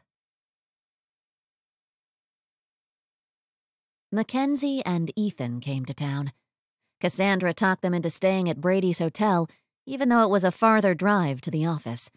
And when Rodrigo called up to tell her they were here, like she'd bribed him to, she ran downstairs to see the boys. And Mackenzie and Ethan. She stopped when she saw Mackenzie, one eye trained on Wyatt and the other pushing Grant in his stroller. Pregnant Mackenzie, in the no one would think it's a little weight gain she is obviously pregnant phase. Again. Cassandra said, Again? Mackenzie turned, rolling her eyes. Tell me about it. Wyatt saw his favorite mark and ran up singing, Auntie Cass! Auntie Cass! She braced herself for the assault, grinning as he tried to knock her over with his enthusiasm. Grant squealed in his stroller. Not really sure who Cassandra was yet. He was too little to remember her. But just like his brother, saw someone he would like to smile at. Out of the corner of her eye, she saw Brady come out from his office, heading for them. Tall, dark, dangerous, big. Mackenzie's eyes widened, and Cassandra smirked. Tell me about it. Best friends didn't need to say a word. Brady shook hands with Mackenzie and didn't look at Wyatt clamped to Cassandra's leg. Ethan came over after registering, shaking Brady's hand and then taking Cassandra's hand and holding it in his. Hello, Cassandra. Lovely as ever. His voice washed down her spine like warm water. So relaxing, so calming, leaving her only with the thought that, why, yes, he was lovely. His green eyes twinkled and she blinked up at him, tinkling a laugh. Brady watched her, his eyebrows knitted together. What's going on? Mackenzie peeled her son off Cassandra's leg and her husband off Cassandra's hand. She's lost the rest of her brain cells. Oh, this is her Ethan O'Connor face. Mackenzie laughed. yes. He looked at the slightly dazed look in Cassandra's eyes, at the matter of fact look in Mackenzie's. It doesn't bother you? Since there is only one woman on this planet who doesn't look at him like that, I've gotten used to it. Cassandra shook her head, clearing it. She looked at Mackenzie's growing belly and said, Pretty sure even that one woman looks at him like that occasionally. Ethan rubbed Mackenzie's belly lovingly. It's my proof to the world. Even this one looks at me like that occasionally. Brady found something else to look at. Ethan noticed his discomfort and asked for a tour of the hotel facilities, and when they trotted off, the women headed for the elevator. The women, the boys, and the three nannies. Cassandra could on occasion hold her tongue, so she didn't comment on it, in front of the nannies. Mackenzie watched the floor number tick higher. Will I be meeting Christian as well? Cassandra tried not to make a face. Tonight at dinner. And you'll hate him, because you're my best friend. I never understood how you could have so many best friends. Shane, me, the guy who changes the oil in your car. Cassandra grinned. Shane's not really my best friend. I just don't know what else to call him. Other half? Part of my soul? And Brady? What do you call him? A nice distraction. A big distraction. The elevator door dinged and opened, and Wyatt went racing down the hall. Cassandra murmured, Tell me about it. They shared a little look that said there would be D E T A I L S, and Cassandra was oddly reluctant. She didn't want to share Brady and their top of the car adventure. Yeah, okay, she'd share that. That had been pretty good. Mackenzie headed right for the couch, groaning as she sat. I hate being pregnant. I hurt constantly. Is it because you're getting old? Shut up. Cassandra went to sit next to her, patting her friend's knee and watching Wyatt run in and out of each room, Grant toddling after him. It's worth it, though, right? Mackenzie massaged a sore spot, nodding. I want a girl, you know? Cassandra started to say, maybe this one, then trailed off when Mackenzie shook her head. Another boy? Well, give it 18 to 20 years. The world will thank you. That's what I'm afraid of. Not even my best friend can keep her head screwed on when my husband smiles at her. What am I going to do with three more of them running around? What did Ethan's mom do to keep him contained? She tried to get him married off as quickly as possible, which, now that I think about it, is not such a bad idea. She nodded, thinking it through, then stopped and sighed. Of course, that didn't work out real well. Maybe I'll just take lots of cruises. I'll come with, for moral support. Okay, if you stop ogling my husband in his swimsuit. Cassandra sniffed. I've gotten over pretty boys. I like mine a little scary now. Mackenzie said, Oh, good. You were embarrassing him with all that adoration downstairs ten minutes ago. Cassandra laughed. I wasn't embarrassing him or adoring him. What would you call what you were doing? Floating in the river of his eyes? Ethan and his eyes came into the suite, zeroing in on Mackenzie rubbing her belly. You need to lie down, take a nap. The boys need to take a nap. I, a grown woman, just need to sit for a little while. The nannies will round up the boys and put them down. You, a grown woman, growing the third of my six children, need a nap. Cassandra said, You're three nannies. Some days it's not enough. Mackenzie held up her hand, ticking up her fingers. One for Wyatt, one for Grant, one to tag in when those little green eyes are too much to take and everyone starts thinking it is a good idea to fill the bathtub with ice cream. Cassandra grinned, watching the three younger women running around chasing the boys. The young, pretty women. You're not worried a little bit? Mackenzie laughed. Nope. Ethan said, The trust, it's terrifying. The trust, and what I do to you. He shivered. It's seared into my brain. Even when we have a softball team's worth of nannies, she won't need to worry. Mackenzie flicked her eyes to Cassandra, telling her without words that Cassandra just had no clue. Maybe sometimes even best friends did need words. Mackenzie said, We won't ever need that many nannies. Six is never going to happen. Your mother likes me already. She's just being polite. We're going to have to go the distance. He wiggled six fingers at her, and just to make sure she knew how he felt, said, Six. You're going to have to get a different wife if you're set on a fourth, fifth, or sixth. Cassandra chimed in. You're going to have to do a fourth at least. For a girl. You just said, oh. Mackenzie closed her eyes. You're losing your touch. Ethan twinkled at his wife. You do want a girl. I wasn't going to just tell you. You like making me change my mind. He smiled this time at his wife. Long and slow, everyone else forgotten, the most important person in his world. Mackenzie opened her eyes to that look, and floated in that green river. Cassandra decided that was her cue. She pushed herself off the couch, heading for the door and saying over her shoulder, I've missed you, Ethan. Hey, and you, Mackenzie. I just didn't think I needed to say it. Mackenzie grumbled. We're out of practice. It'll come back to us. It's like riding a bicycle, right? Brady was sitting in his chair when Cassandra got to the penthouse, his eyes closed, his face empty. She wondered if the weekly meeting with his family had been bad, or maybe he hadn't liked seeing her Ethan O'Connor face in action. She put her hand on his shoulder, and he opened his eyes, and the pain in them made her realize it wasn't about her, wasn't about his family. It had been about the children he'd studiously avoided about four year old Wyatt wrapped around his leg, Grant kicking away in his stroller, pregnant Mackenzie. Cassandra sat in Brady's lap, just sat there quietly with him so he wouldn't be alone. He shifted, moving her into a more comfortable position. I don't know why it surprised me.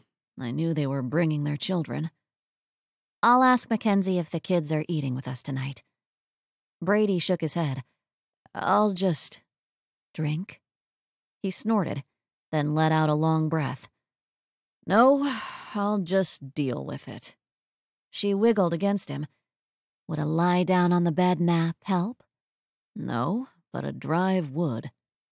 Cassandra cocked her head. Was that a euphemism? He stood, holding her in his arms, and walking her toward the bed. Pretty sure it was. The kids did not come down to dinner, and Cassandra breathed out a sigh of relief for Brady. It would be easier on him, even if she would miss them. Shane was vocal with his disappointment, though, and he ran upstairs to kiss and hug them hello before sitting down to dinner. He showed the table four red handprints on his pants when he came back down and said, Spaghetti. Now I know why they're eating up there. Mackenzie hid her laughter unsuccessfully behind her hand, and Ethan shook his head. I should have warned you. Cassandra put her hand under the table, on Brady's thigh, just resting it there. He smiled at her, patting her hand, telling her he was okay. He laughed at Shane's Ethan O'Connor face, at the tilting of Shane's head, and the unfocusing of his eyes as Ethan talked and joked with him. Brady whispered. Glad it's not just you. Cassandra leaned toward him. It's everyone. Look at Christian. Christian was trying not to stare, trying not to smile stupidly. He kept glancing down at his plate, away from those green eyes, pulling his lips into a semi frown. Cassandra almost liked him for trying. Made her remember when Mackenzie was trying to tell herself she wouldn't fall for a golden boy. Brady laughed again. It's not everyone. Cassandra looked around the table. Mackenzie, Christian, Shane, Cassandra, everyone was under Ethan's spell. Oh, you mean you. I never thought you'd fall for it, actually, because you used to be him. You know all the tricks. Brady raised his eyebrows at her. You think I used to be like that? Charming? Cassandra nodded. Yeah, I've seen the pictures. You were a golden boy, and I have no doubt you could wrap everyone around your finger. And looking between Ethan and Brady, she could see that what he'd been through had been hell. It showed in every pore, and it hurt her. It hurt her to see how all encompassing tragedy could change a man. How he would have been happy, and now there was darkness. Brady said, I don't think I was ever like him. He seems to genuinely care. Ethan did genuinely care. It was his secret weapon, and Cassandra thought it was what Brady had lost. She was sure he knew how to be charming. He hadn't forgotten the skills. He just didn't care anymore. About himself, about anyone else. Except he kind of did. She couldn't count how many times he'd stepped between her and Christian, he wouldn't let her attack someone who didn't know how to defend himself. He was protecting Christian, yes, But he was protecting her, too. And when Brady was sleeping next to her, nearly dead with exhaustion, with six years of sleep to catch up on, she could see what he would have looked like before. And then he would wake and open his eyes to find her in bed beside him and not his wife. And every morning he would remember and die again. And then he would look out the window at the morning sun shining off the hills and feel the bed with his palms and sigh and smile at her. He was brutal, yes, with his honesty, with his words, with his body. That's why she liked him. He was truth. Everything else had been stripped from him, leaving only the raw truth behind. It was what she loved. Cassandra sucked in the last word, choking on it. She met Mackenzie's eyes across the table, and apparently best friend was working again because she didn't need to say what she'd been thinking. Love? They had something, but it wasn't love. Not for her, not for him. He was still in love with his dead wife. She was still in love with Shane. She checked, making sure. But there he was, in her heart. Hers. And see, there was Brady right next to him. Her Brady. Tall, dark, hurt, dangerous. Hers. Well, shit. Mackenzie stood up, stopping Ethan in the middle of a sentence. Okay? She smiled at him. Just one of the joys of pregnancy.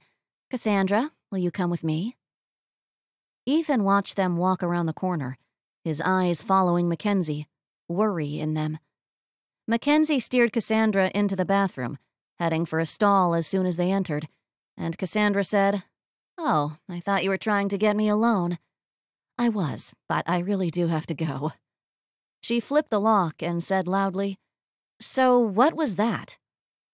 I just remembered I forgot to do something at work. Hopefully, I'll get fired tomorrow morning. Hmm, you looked like you needed a bucket of ice cream to cry in. Please. I remember your bawling into your pathetic pint of ice cream when you realized you'd given your heart away. It was traumatic. Ethan O'Connor, roughly three billion men in the world, and I go and fall for Ethan O'Connor. I'm still embarrassed about it. Cassandra smiled. Does he believe anything you say? No. Kind of like I don't believe you were thinking about work a few minutes ago. I know you. Well, I wasn't thinking about falling for someone who would embarrass me. I'm not sure I could be embarrassed. Okay, if I accidentally fell in love with Christian, I'd have to go hide my face in a pint of ice cream. I get that now. Mackenzie came out of the stall to wash her hands, and she wasn't smiling, and she didn't say anything. She waited, watched Cassandra in the mirror, and didn't say anything. Cassandra sighed. Mackenzie, I've already fallen in love, and it wasn't a pint of ice cream I hid in. It was a keg of beer. Before my time. Well, it was in high school. We didn't start with the beer floats until college. Mackenzie stopped drying her hands.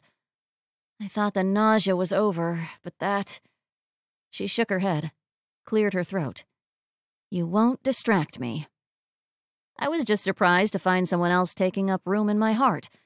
I wasn't expecting it. I wasn't expecting it with Brady. Cassandra could hear it in her voice. Why? Why had she fallen in love with someone who couldn't love her back completely? Again. Why is it bad? Because he loves his dead wife. The guilt he bears for killing her will always outweigh everything. I'd always have to share him with her. How would you like to compete with an angel? Mackenzie said softly, What is it with you and sharing? Cassandra didn't know. I'm hopeless, no, I do know hopeless when I see it. This isn't it. Cassandra looked in the mirror, at herself, at a woman who would love only the parts they could give, who could be happy with just those parts. She said quietly, and she didn't know if she was trying to talk herself into it or Mackenzie, We can't all have the fairy tale. Some of us have to accept as good as it's going to get. And maybe as good as it could get wouldn't be that bad. She'd thought this whole time that when Shane fell in love with his bird, that it would mean he would love her less, that he would have to love her less. But her heart wasn't divided. She could love both Shane and Brady. She did love them both. She wasn't quite sure she wanted to. When they came out, Ethan was waiting for them, pacing back and forth in front of the ladies' room, and when Mackenzie smiled at him, there wasn't any kind of embarrassment in her eyes. Why didn't you send someone in? He was by her side in two large steps. Are you okay? She stroked his arm, sidling into him as best she could. We were just catching up. Girl talk. Ethan's eyes flared. Now I'm really worried. Mackenzie laughed. I know how to girl talk. Cassandra shook her head. No, she doesn't. Ethan turned those green eyes on her and outspilled all her secrets. We were arguing about my sorry love life. Ethan peered at her for one more long moment, then relaxed and stroked his hand down Mackenzie's belly.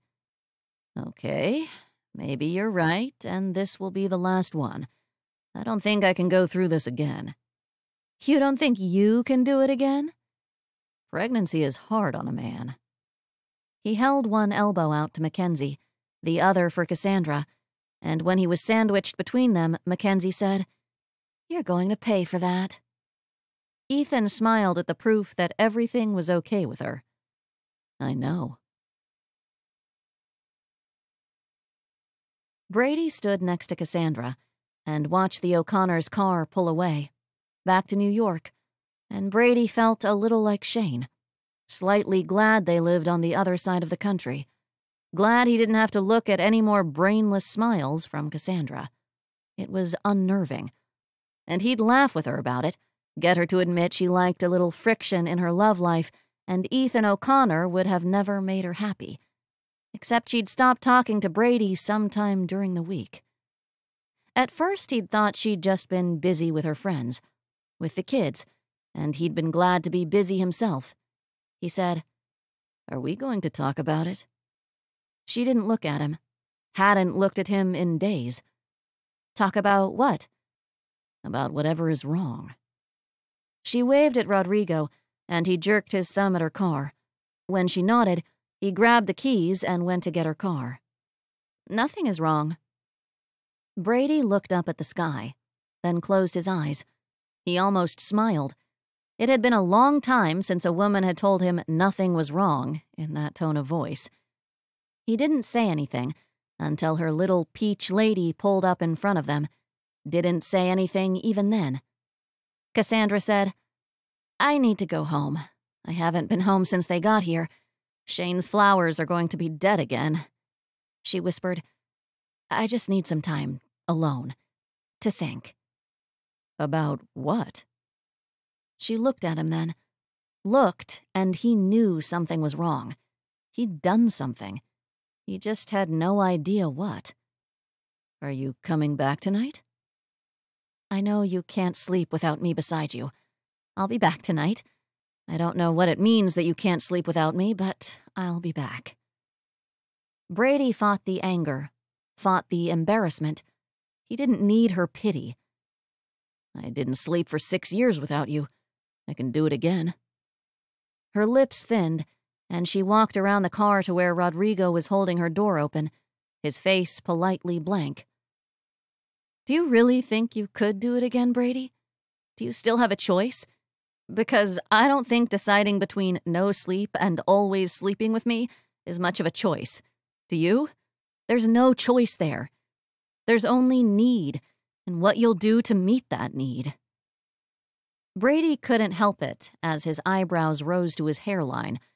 Couldn't help it that he was standing there looking completely clueless. What the fuck are you talking about? The only choice I have is to accept or deny. My only choice is the rock or the hard place. My only choice is the frying pan or the fire. My only choice is to be happy with what I can have or to be miserable without it, because I can't change what I can have. He lifted his hands in the universal sign of incomprehension. What does that mean? She sat down in the car, slamming her door shut and leaning over to look at him through the window. She said something, flicking her hand to emphasize whatever it was she was saying. He shouted, I can't hear you. She sat back up, and all Brady could see was her hands gripping the steering wheel. She finally rolled the window down and shouted back, I just need to think. Rodrigo came to stand next to him, watched with him as Cassandra peeled away. What the fuck just happened? Rodrigo clapped him on the back. It's good to see you with woman trouble, Jefe. What is life without a little woman trouble? The fog of confusion cleared a little as Brady's frustration turned to anger, as his anger triggered his need. He sucked in a breath through his nose blew it out through tight lips. He rolled his neck, turning away from the road and looking at his hotel, at the people streaming in and out. He closed his eyes and clenched his fists. God damn it! He would never beat this beast. He would never be free from this monster. The monster who waited for any tiny chink to dig its fingers in and free itself. The monster who waited patiently because it knew it only needed a moment of weakness to escape. All Brady could do was sweat the want out. All he could do was work his muscles so hard that the endorphins would calm his need. He would blow off his meetings, change his clothes, and go hit the gym. Brady clenched his jaw and said, Get my car, Rodrigo. Rodrigo grinned. You going to go after her, Jefe? Yes. Chapter 10 An hour later, Brady pulled into Cassandra's driveway. He'd driven like a madman for half a block, and then had pulled over and raged in his little Z. He'd screamed and beat the steering wheel. He'd punched the roof until his knuckles bled. He'd pummeled his thighs until they were numb. He'd fought until he'd sat breathless and spent, until he was too tired to do what the monster wanted. And then he'd cried his shoulders bent and shaking, the tears falling unchecked. And he understood what Cassandra had meant. He had no choice. No choice except to keep fighting or to give in. What he wanted was to be free, and that would never happen. He didn't know what Cassandra had been talking about when she'd said she didn't have a choice, but he knew what it felt like. Brady sat in his car and looked at her little bungalow, at the little dead flowers in her front yard. And then he turned the car back on and reversed out of the drive. Another hour later, Brady was digging in the dirt with his hands, pulling out dead flowers and carefully planting the pansies he'd bought at the hardware store. He hadn't known what they were called, just seen them and grabbed them because they were pretty. The sun was hot on his back, and he loosened his tie, unbuttoned the top few buttons of his shirt, and rolled up his sleeves. The door opened slowly, and Cassandra came out to watch him, her eyebrows pinched together, her arms folded. What are you doing? Planting new flowers? Why? Because these looked sad. She watched him another long minute, then went to turn the hose on enough for a trickle. She crouched beside him, watering the flowers he'd planted. She looked at his hands, lightly touching his bruised and raw knuckles, and he said, I was thinking. When he glanced at her, she was fighting a smile. That's my kind of thinking. He took one of her hands in his, twisting it back and forth. Then how come I don't see any signs? Because I think with dishes, not my hands. He dropped her now muddy hand. Smart. Sometimes. Most of the time, no. He popped another pansy out of its little black container, pulling at the roots gently. My wife loved to plant flowers. She loved making her world beautiful. Said it gave her a little glow, and I never understood what she was talking about until now. Cassandra stood up, turned the water off, and went inside, shutting the door behind her so quietly that Brady knew she wanted to slam it. He said loud enough for her to hear through the window, Okay, I'm starting to get a glimmer of what you needed to think about. He heard an inside door slam, and it made him feel better. Better enough to smile at his little purple flowers. Good enough to plant the rest of his flowers, to water them, all the while looking forward to doing a little thinking with Cassandra. They could probably do some pretty good damage between the two of them. When he was done, and as clean as he could make himself, he followed her inside, sitting down on the couch when he saw it had been the bathroom door she'd slammed. Just sat and waited. He closed his eyes, cataloging all the protests his body was making hands and knuckles, thighs, even under his fingernails where some dirt was stubbornly clinging.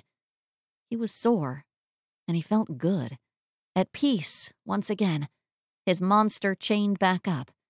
He'd fought, and he'd won, and he was grateful for it. He heard the bathroom door open, and then Cassandra was curling up beside him on the couch, not touching, but right there next to him.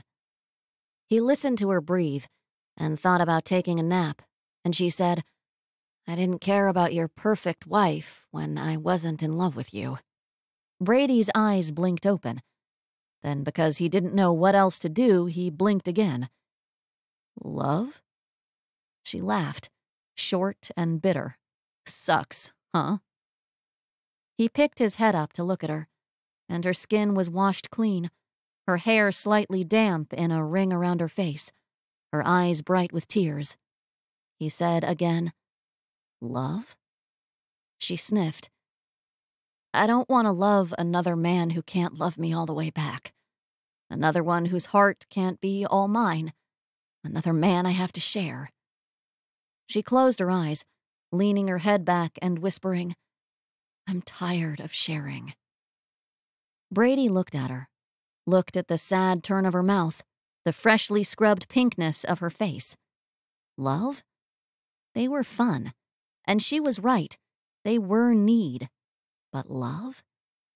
She turned her face toward him and slowly opened her eyes.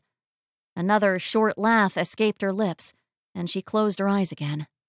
I need a picture of that look for my scrapbook.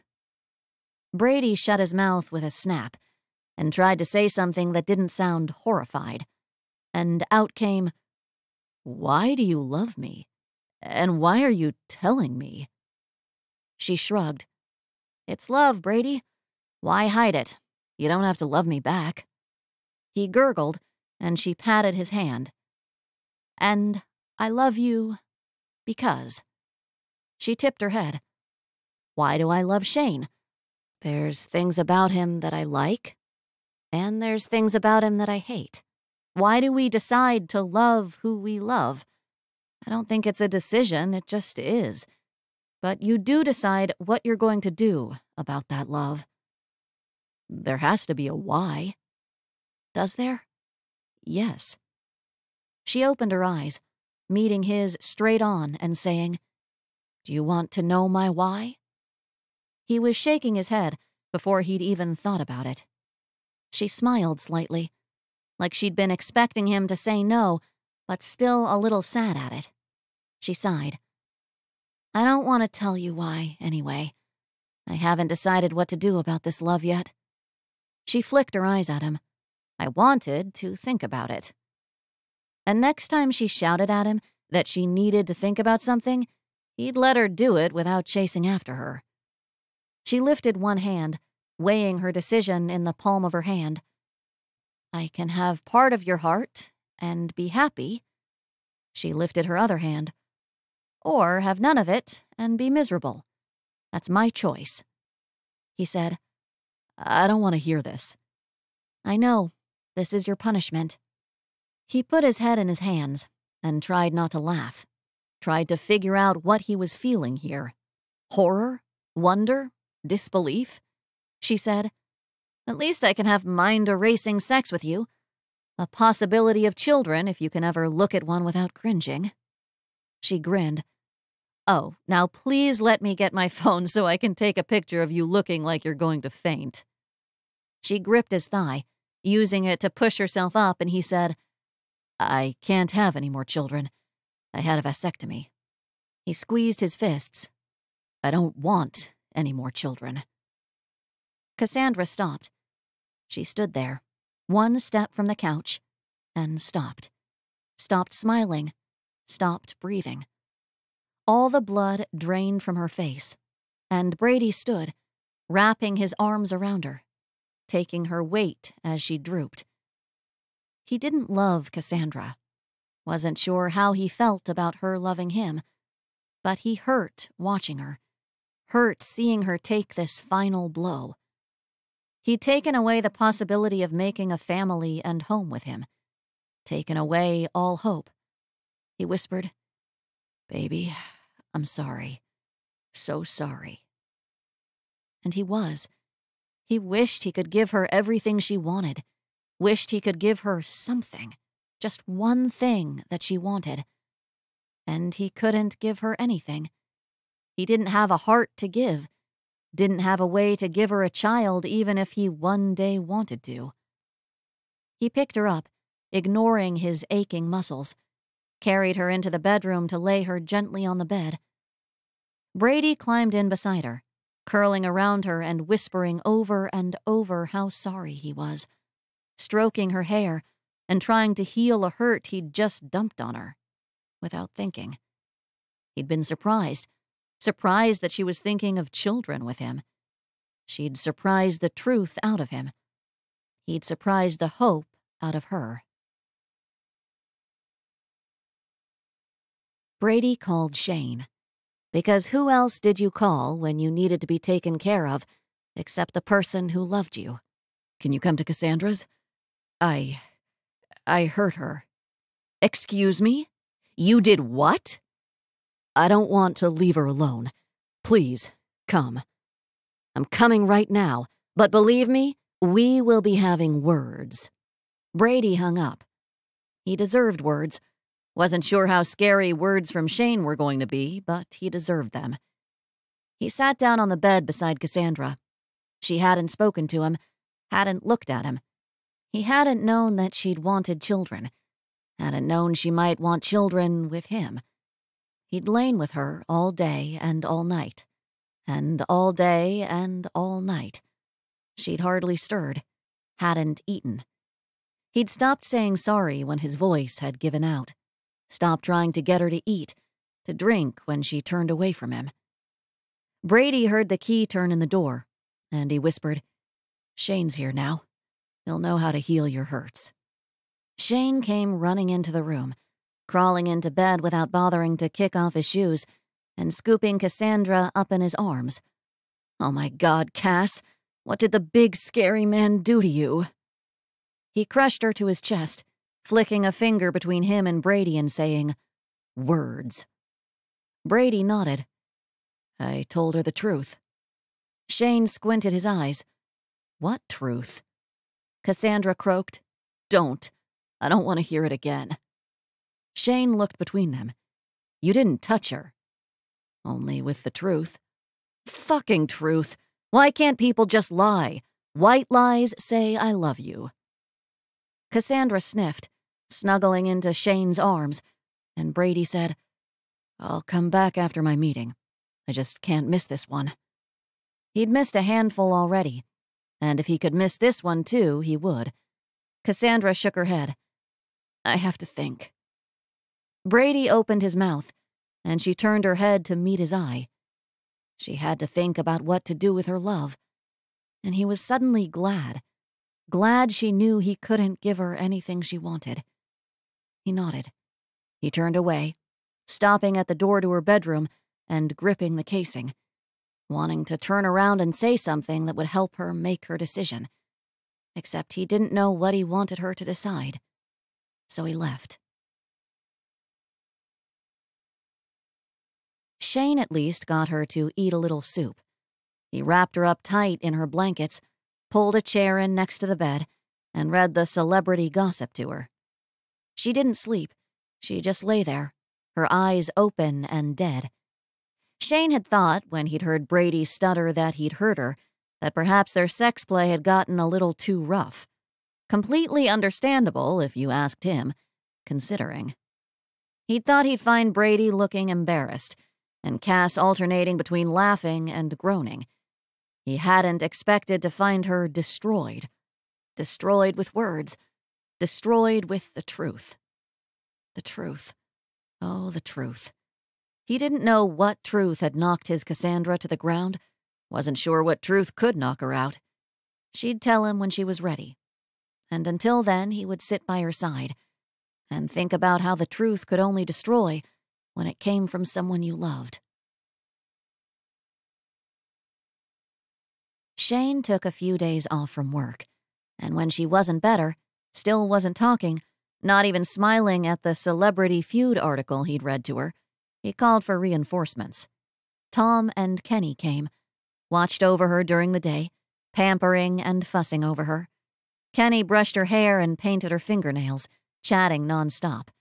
Tom forced more soup down her throat, alternating between concerned friend and gruff uncle.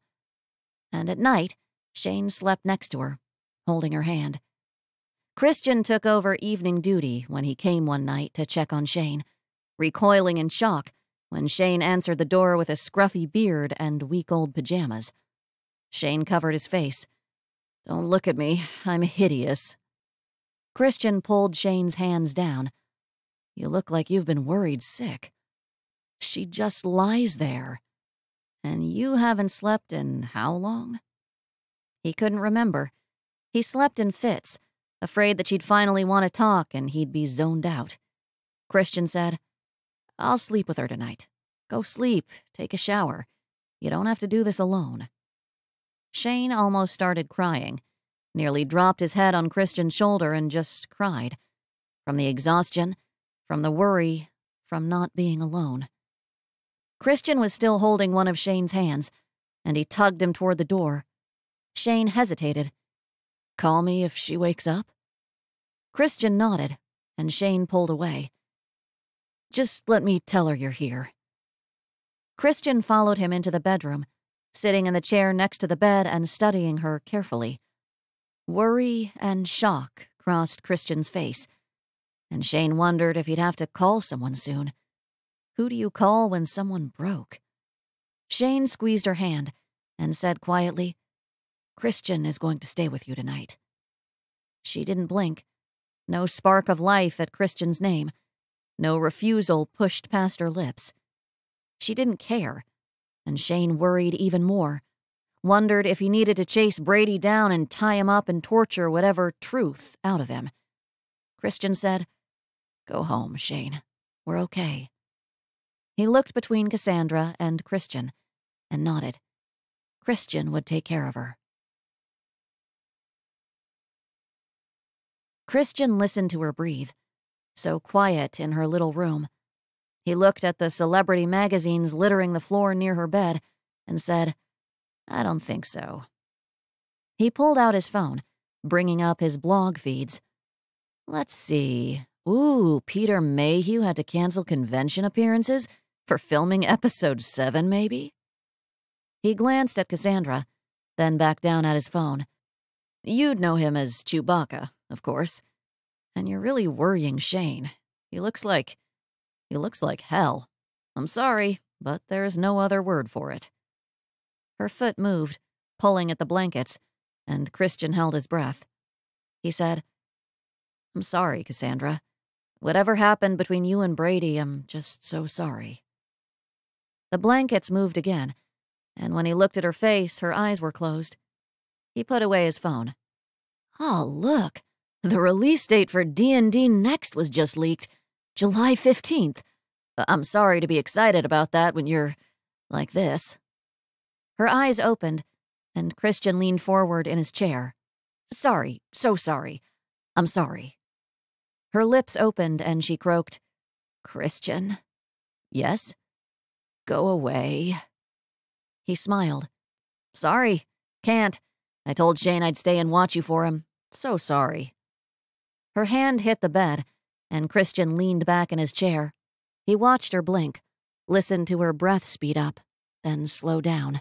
I'm sorry. Stop apologizing, Ree, about whatever happened between you and Brady. But you are hurting Shane, and I. I love him. She sucked in a breath, closing her eyes and saying without any heat, without any rancor, I hate you so much. Maybe. I know you don't like me, but I try not to take it personally. Because I feel bad for you. I'd feel bad for anyone who had to watch the man she loved fall in love with someone else. You. She choked and coughed, pushing herself up in the bed. You feel bad for me? You feel bad for me? He could see the rage building in her eyes, thought he might be really stupid to keep egging her on. But he knew she hadn't spoken in a week, and screams were better than silence. Oh, how he hated silence. He was pretty sure even Cassandra would agree with him about that. Christian whispered, I pity you, Cassandra. Her anger pushed her out of bed, pushing her onto weak and wobbly legs. You pity me? You pity me. I'm sorry. She screamed, wordlessly, and launched herself at him, hitting and scratching and screeching. Christian huddled in his seat, protecting his head with his arms, and sat there, let her scream at him, her hot tears splashing onto his arms and face, his ears ringing from her screams, his arms stinging from the slaps. He was glad that she'd been an invalid for the last few days, knowing it would have hurt far worse if her strength had been up. She didn't last long, and she fell to the floor, still screaming, and then the screams turning to great, gulping sobs. She cried and cried, and Christian wished she was still hitting him. He slid from his seat to huddle on the floor next to her, and he said over her cries, You have people who love you, Cassandra. People who would do anything for you. You're not alone. You've never been alone. Not once in the last week. I don't pity you, I envy you. I envy all the love you take for granted. And she said, What is love? What is love when all it does is hurt? When you can't have what you want? When you can't have children to shower with that love? Christian's heart thumped. Brady? He won't have any more children? She choked. He can't, even if he wanted. He couldn't. She held one hand up, snipping the air with her fingers, and Christian understood the crass gesture. He took a deep breath trying not to let the tears prickle his eyes. But he understood. No children. No children when family was all you wanted. She lifted her head, saw the tears pooling in his eyes. You know that want. To have someone who is all yours. To have a future. It's the fairy tale. Love and kids and a happily ever after. He nodded. He knew that want. Knew not everyone could have it. Love isn't only about children. It's about sharing. Sharing the good, sharing the bad. It's about not being alone. She started laughing, looking around the room. I love two men, and I'm still here alone. No, not here alone. I'm here proxy for Shane, because I love him and he loves you. She looked at him and said softly, You didn't stutter that time. He hadn't. She'd already attacked him for saying it, and he'd survived.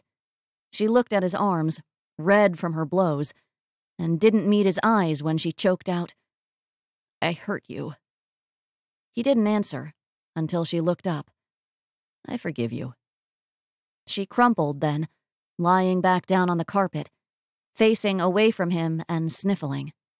Shane won't forgive me, and Brady would have protected you. Christian leaned back against the chair, stretching out his legs. She jerked when his legs touched her back. He wasn't too comfortable with it either, but he stayed there. Stayed until she relaxed against him, her back pressing warmly against his cargo pants. He stroked her hair, softly, haltingly. Shane will forgive you. I provoked you, for your own good. She sniffed again, and Christian said, And Brady wasn't protecting me. He doesn't love me. Her back jerked with her laughter, and when the laughs turned back to tears, Christian said gently, I think I know what it looks like when someone loves who they don't want to, when someone loves when they think they shouldn't. You would. He almost laughed, because she was almost funny. He said, If you could have all you want with someone else, would you give up Shane? No. He smiled, no hesitation. If you could have all you want with someone else, would you give up Brady? She didn't answer. And Christian smiled again, because she wasn't hesitating.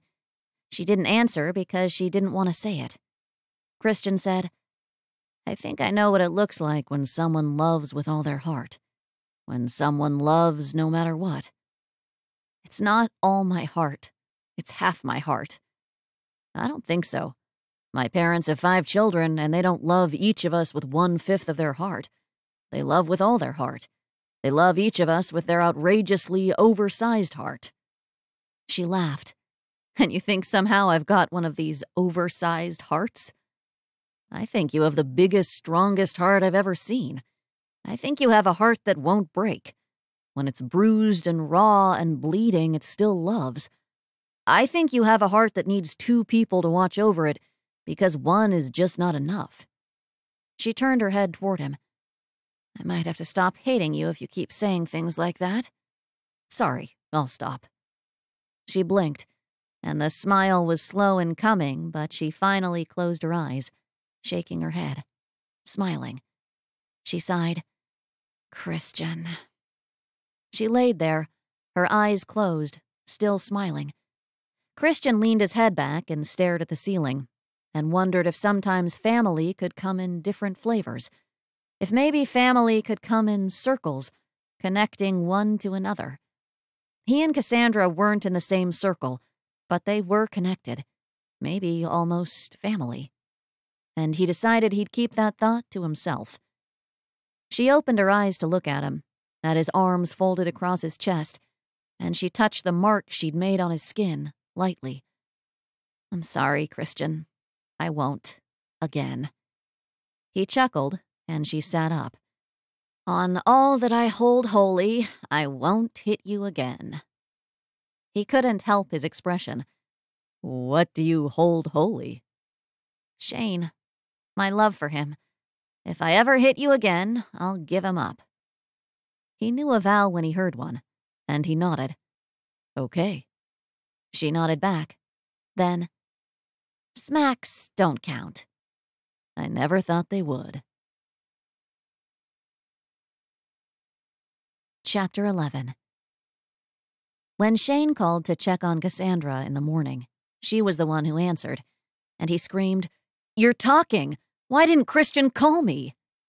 He said, and I quote, that you looked like hell, so we let you sleep. He skipped work again and drove like a maniac to her house, and she was showered and dressed, and she smiled at him when he burst through the door, and Shane hugged her, crying on her shoulder. Cass, don't do that to me ever again.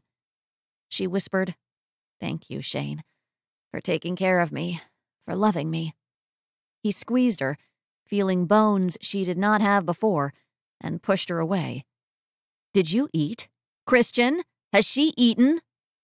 Tom and Kenny showed up for their shift, crying out when they saw her among the living, and passing her between them until she was black and blue from hugs. She exchanged a look with Christian and said, You were right. I'm universally loved. Christian nodded, and everyone else in the room froze. Kenny put a hand to his chest. Oh my God, she's had a near death experience. She shook her head. I was thinking. Don't do that. Okay, I'm pretty sure I'm done thinking for the rest of my life. Shane let out a breath. Okay, good. He didn't leave for a few more days, just in case. But he slept, still next to her in bed, still holding her hand. And he showered and shaved, and they were all grateful for it. Christian came by every night after work for dinner, and while Shane wouldn't say it out loud again, he thought Kenny might have been right. She'd had a near death experience. Because she smiled at Christian and laughed at him. And when he apologized, she smacked his arm lightly and said his name like she was talking to a naughty puppy. And then they'd grin at each other, at some inside joke. Made Shane almost want to cross himself. He took her to work and back, to the grocery store to stock up, not wanting her to drive, not wanting her to be alone. Not yet. They stood in front of the drinks, trying to decide what Christian would want without calling him up because he was making shrimp tonight and they didn't want to disturb his preparations. Cassandra said, Margaritas? He doesn't drink. Neither does Brady. They grimaced at each other, then sighed. Shane said, What do people drink if they don't drink? Root beer? It's like I'm five years old again. What about Coke? Shane hung his head. I don't even know if he drinks Coke. Seriously.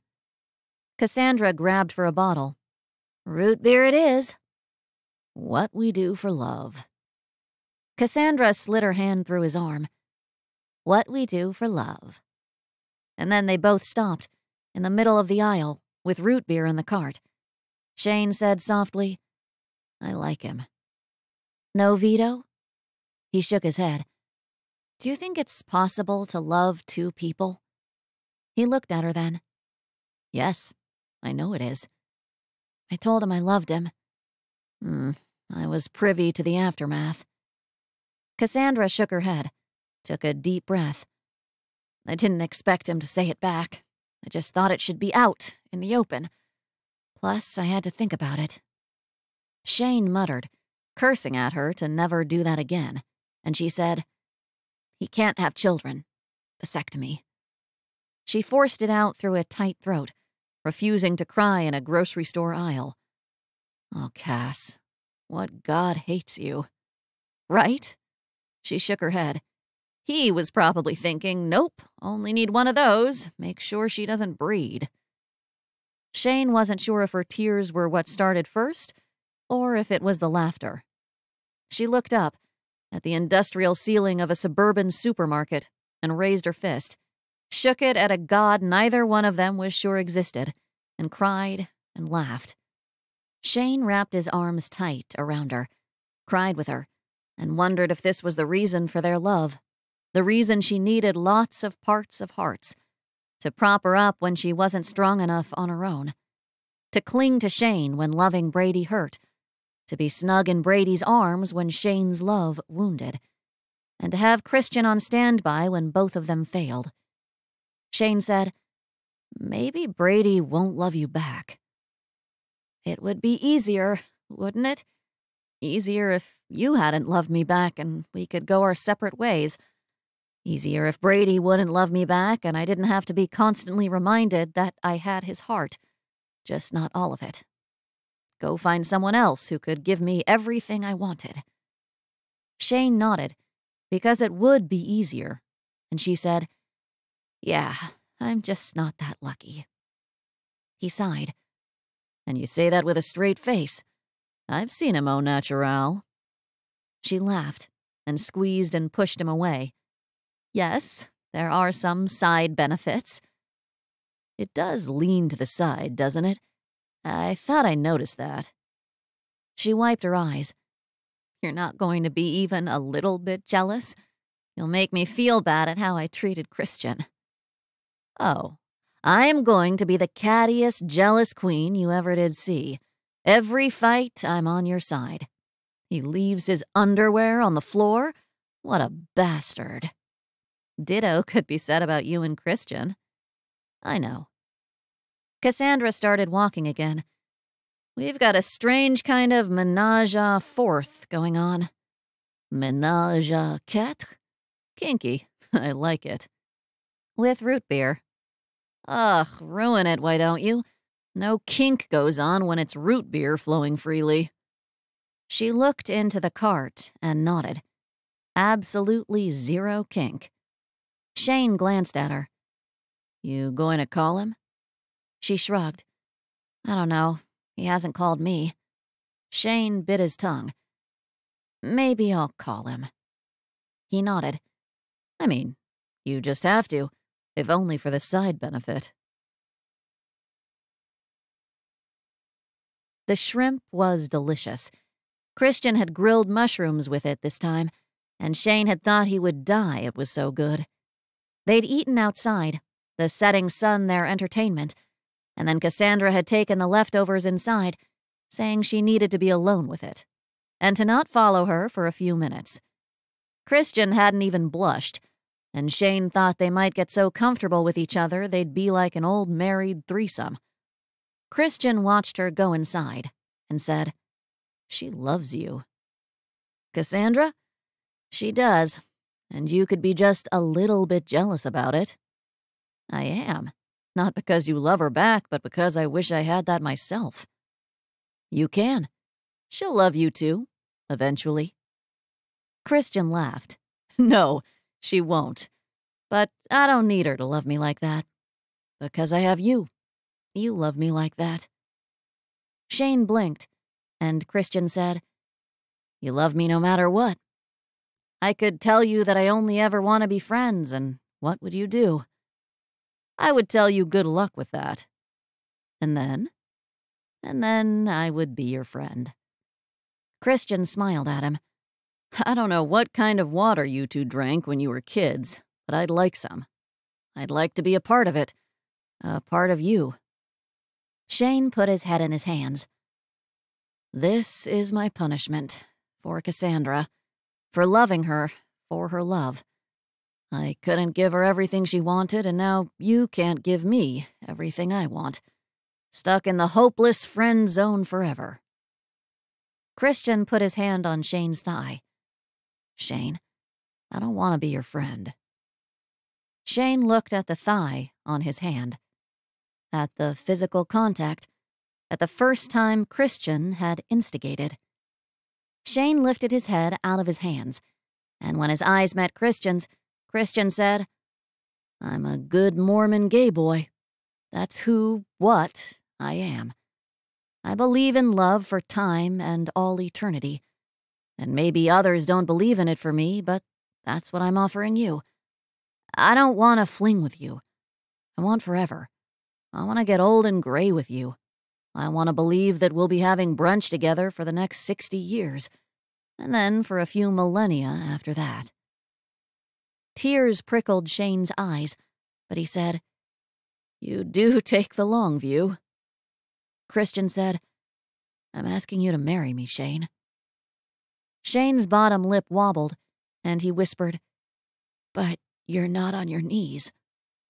Christian smiled and went to his knees. Christian held his hands out, and when Shane gently grabbed them, Christian said, Shane, I love you. I love everything about you. I love me when I'm with you. I love how fearless you are, how loyal. I love your flamboyance and your optimism. I love that you haven't given up on me. Shane shook his head. Never. I didn't think I would ever have this. I didn't think I could. I didn't think I should. He grinned when Shane grimaced at that hateful should. Christian said, I don't think this will be easy. For me, for you, for my family. But it will be worth it. He brought Shane's hands up, kissed them. Will you marry me? One tear spilled over, and then another. Shane opened his mouth, and for the first time in his life, he was speechless. He sat there crying, looking down into eyes that loved him, eyes that were asking him to marry him eyes that wanted to be with him forever.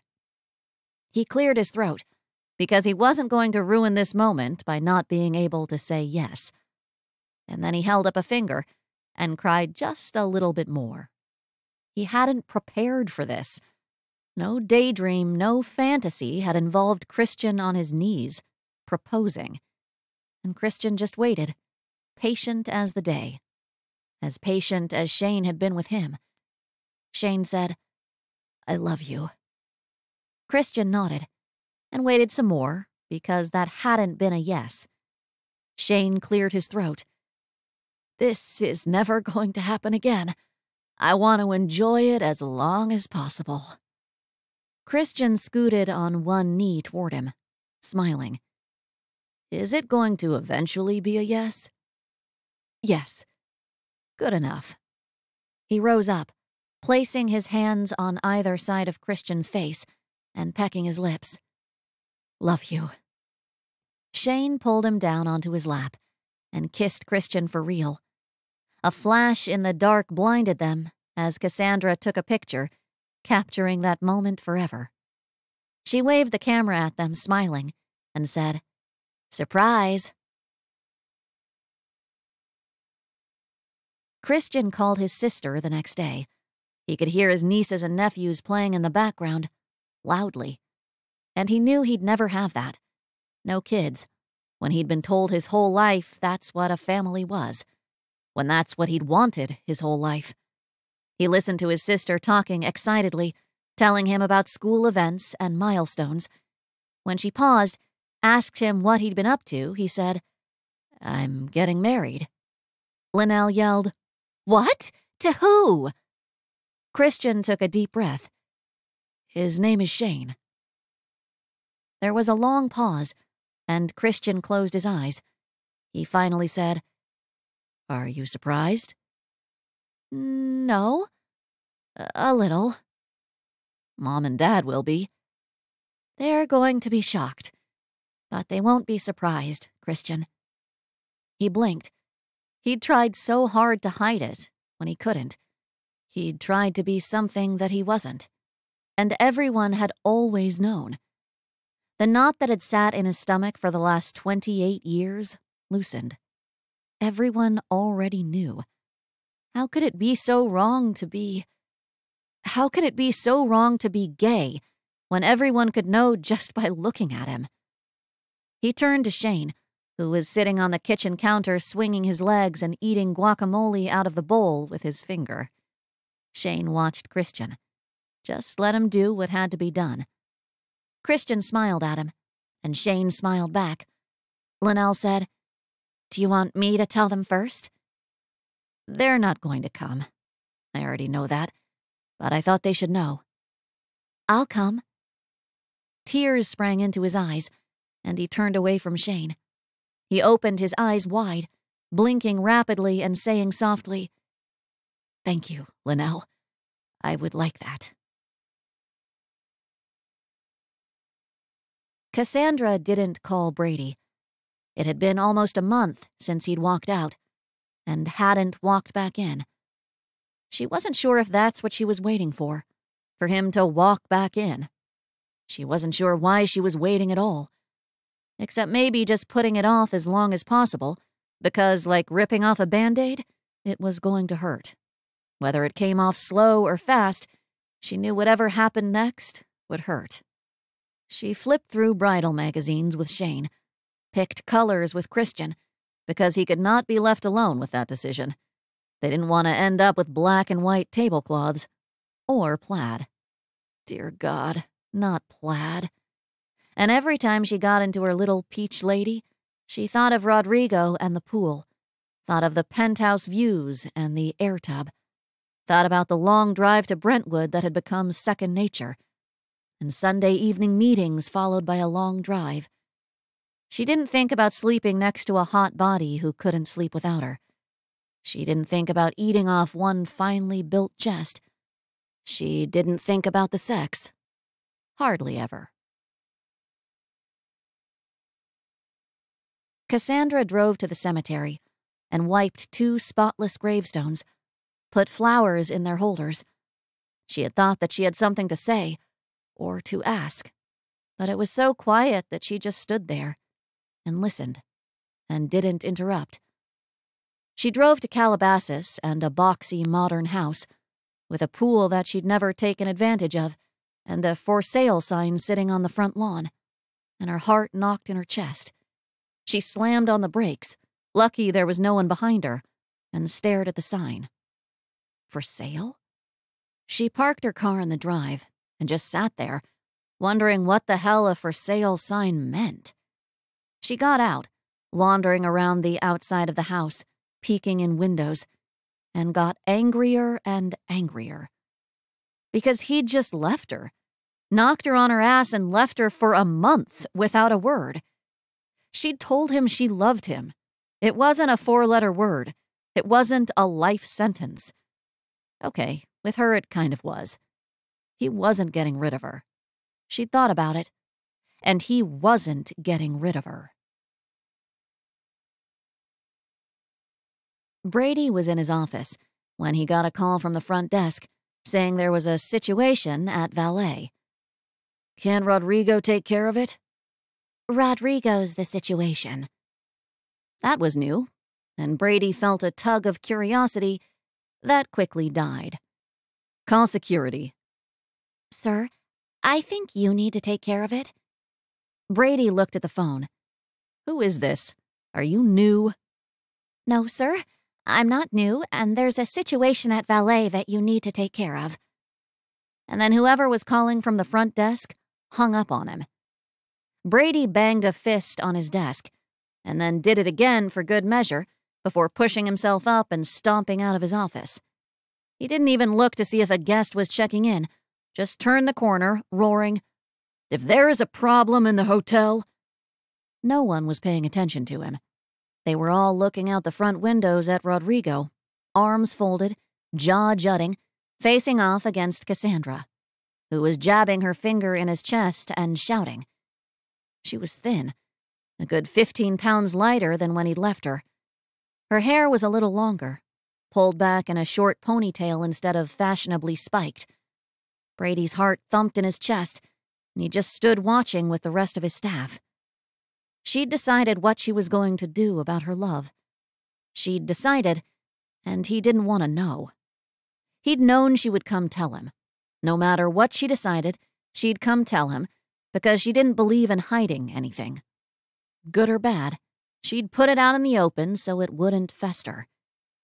A very quiet voice said behind him, Sir, aren't you going to stop them? He wasn't.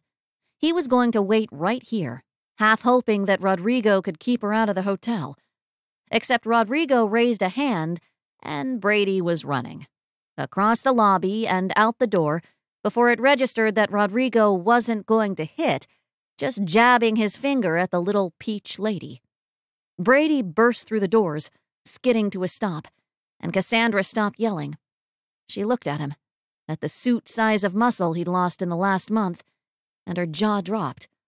She said, loud enough for God and man to hear, Are you using again? No. Are you using again? He said, No. Her eyes searched his, and she flicked her fingers at his shirt. Off. Let's go inside. Take it off, Brady. There's no point in going inside if you've started using again. He stripped his shirt off, in front of his hotel and his staff. His eyes never left hers as he undid his tie and handed it to Rodrigo. One button, two, all the way down to his pants, and he never dropped her eyes. She studied each arm carefully, smelled his breath, stood on her tiptoes, grabbed his jaw, and looked up his nose, measured his pupils. The sun beat down on his shoulders. Her fingers stopped digging into his face and started cradling and he wanted to close his eyes and feel this moment. Feel this moment when he was claimed by a woman who would never let go, a woman who would never let him give in.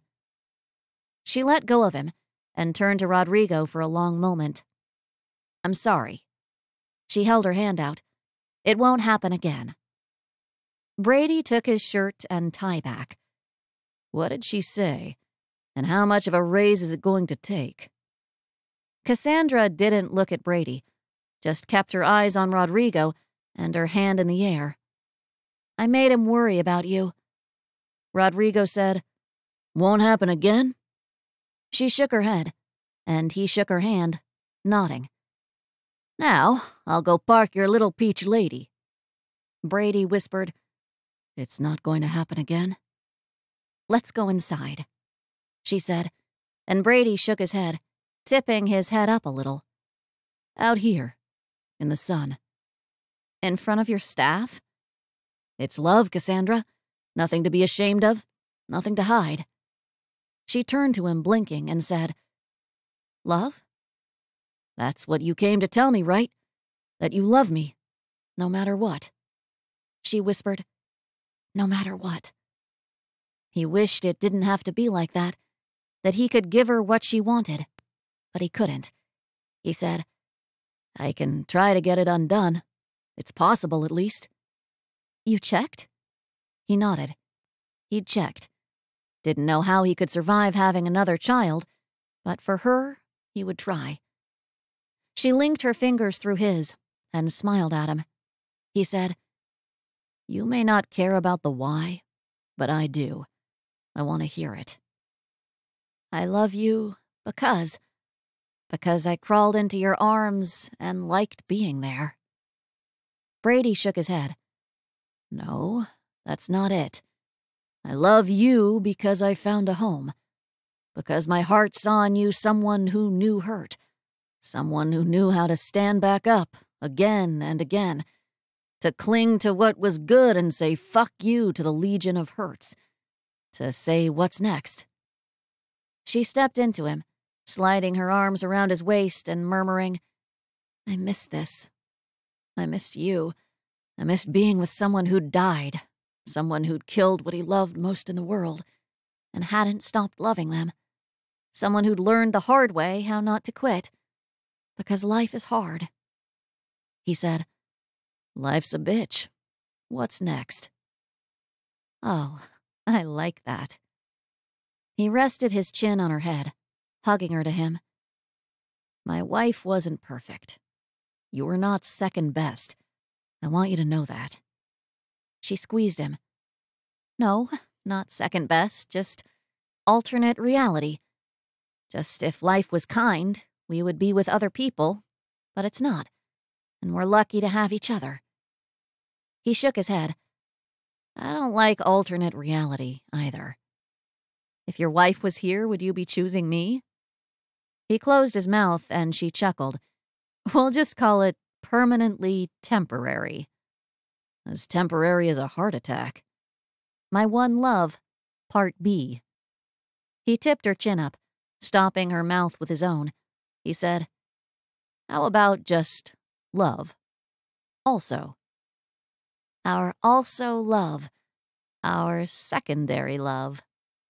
He kissed her again, silencing her, and Cassandra said against his mouth, How about just love? The end. Epilogue Three years and nine months later. Christian pulled out the bottom of the chair, turning it into a bed. He fluffed a pillow. He folded a sheet, just so, and tucked it in. Cassandra closed her eyes so she wouldn't have to watch him anymore. Brady sat next to her on the hospital bed, holding her hand in his big one, and saying quietly, You going to be okay here? Shane said, not so quietly, The real question is, is Christian going to be okay with her? Christian looked up from his sheet.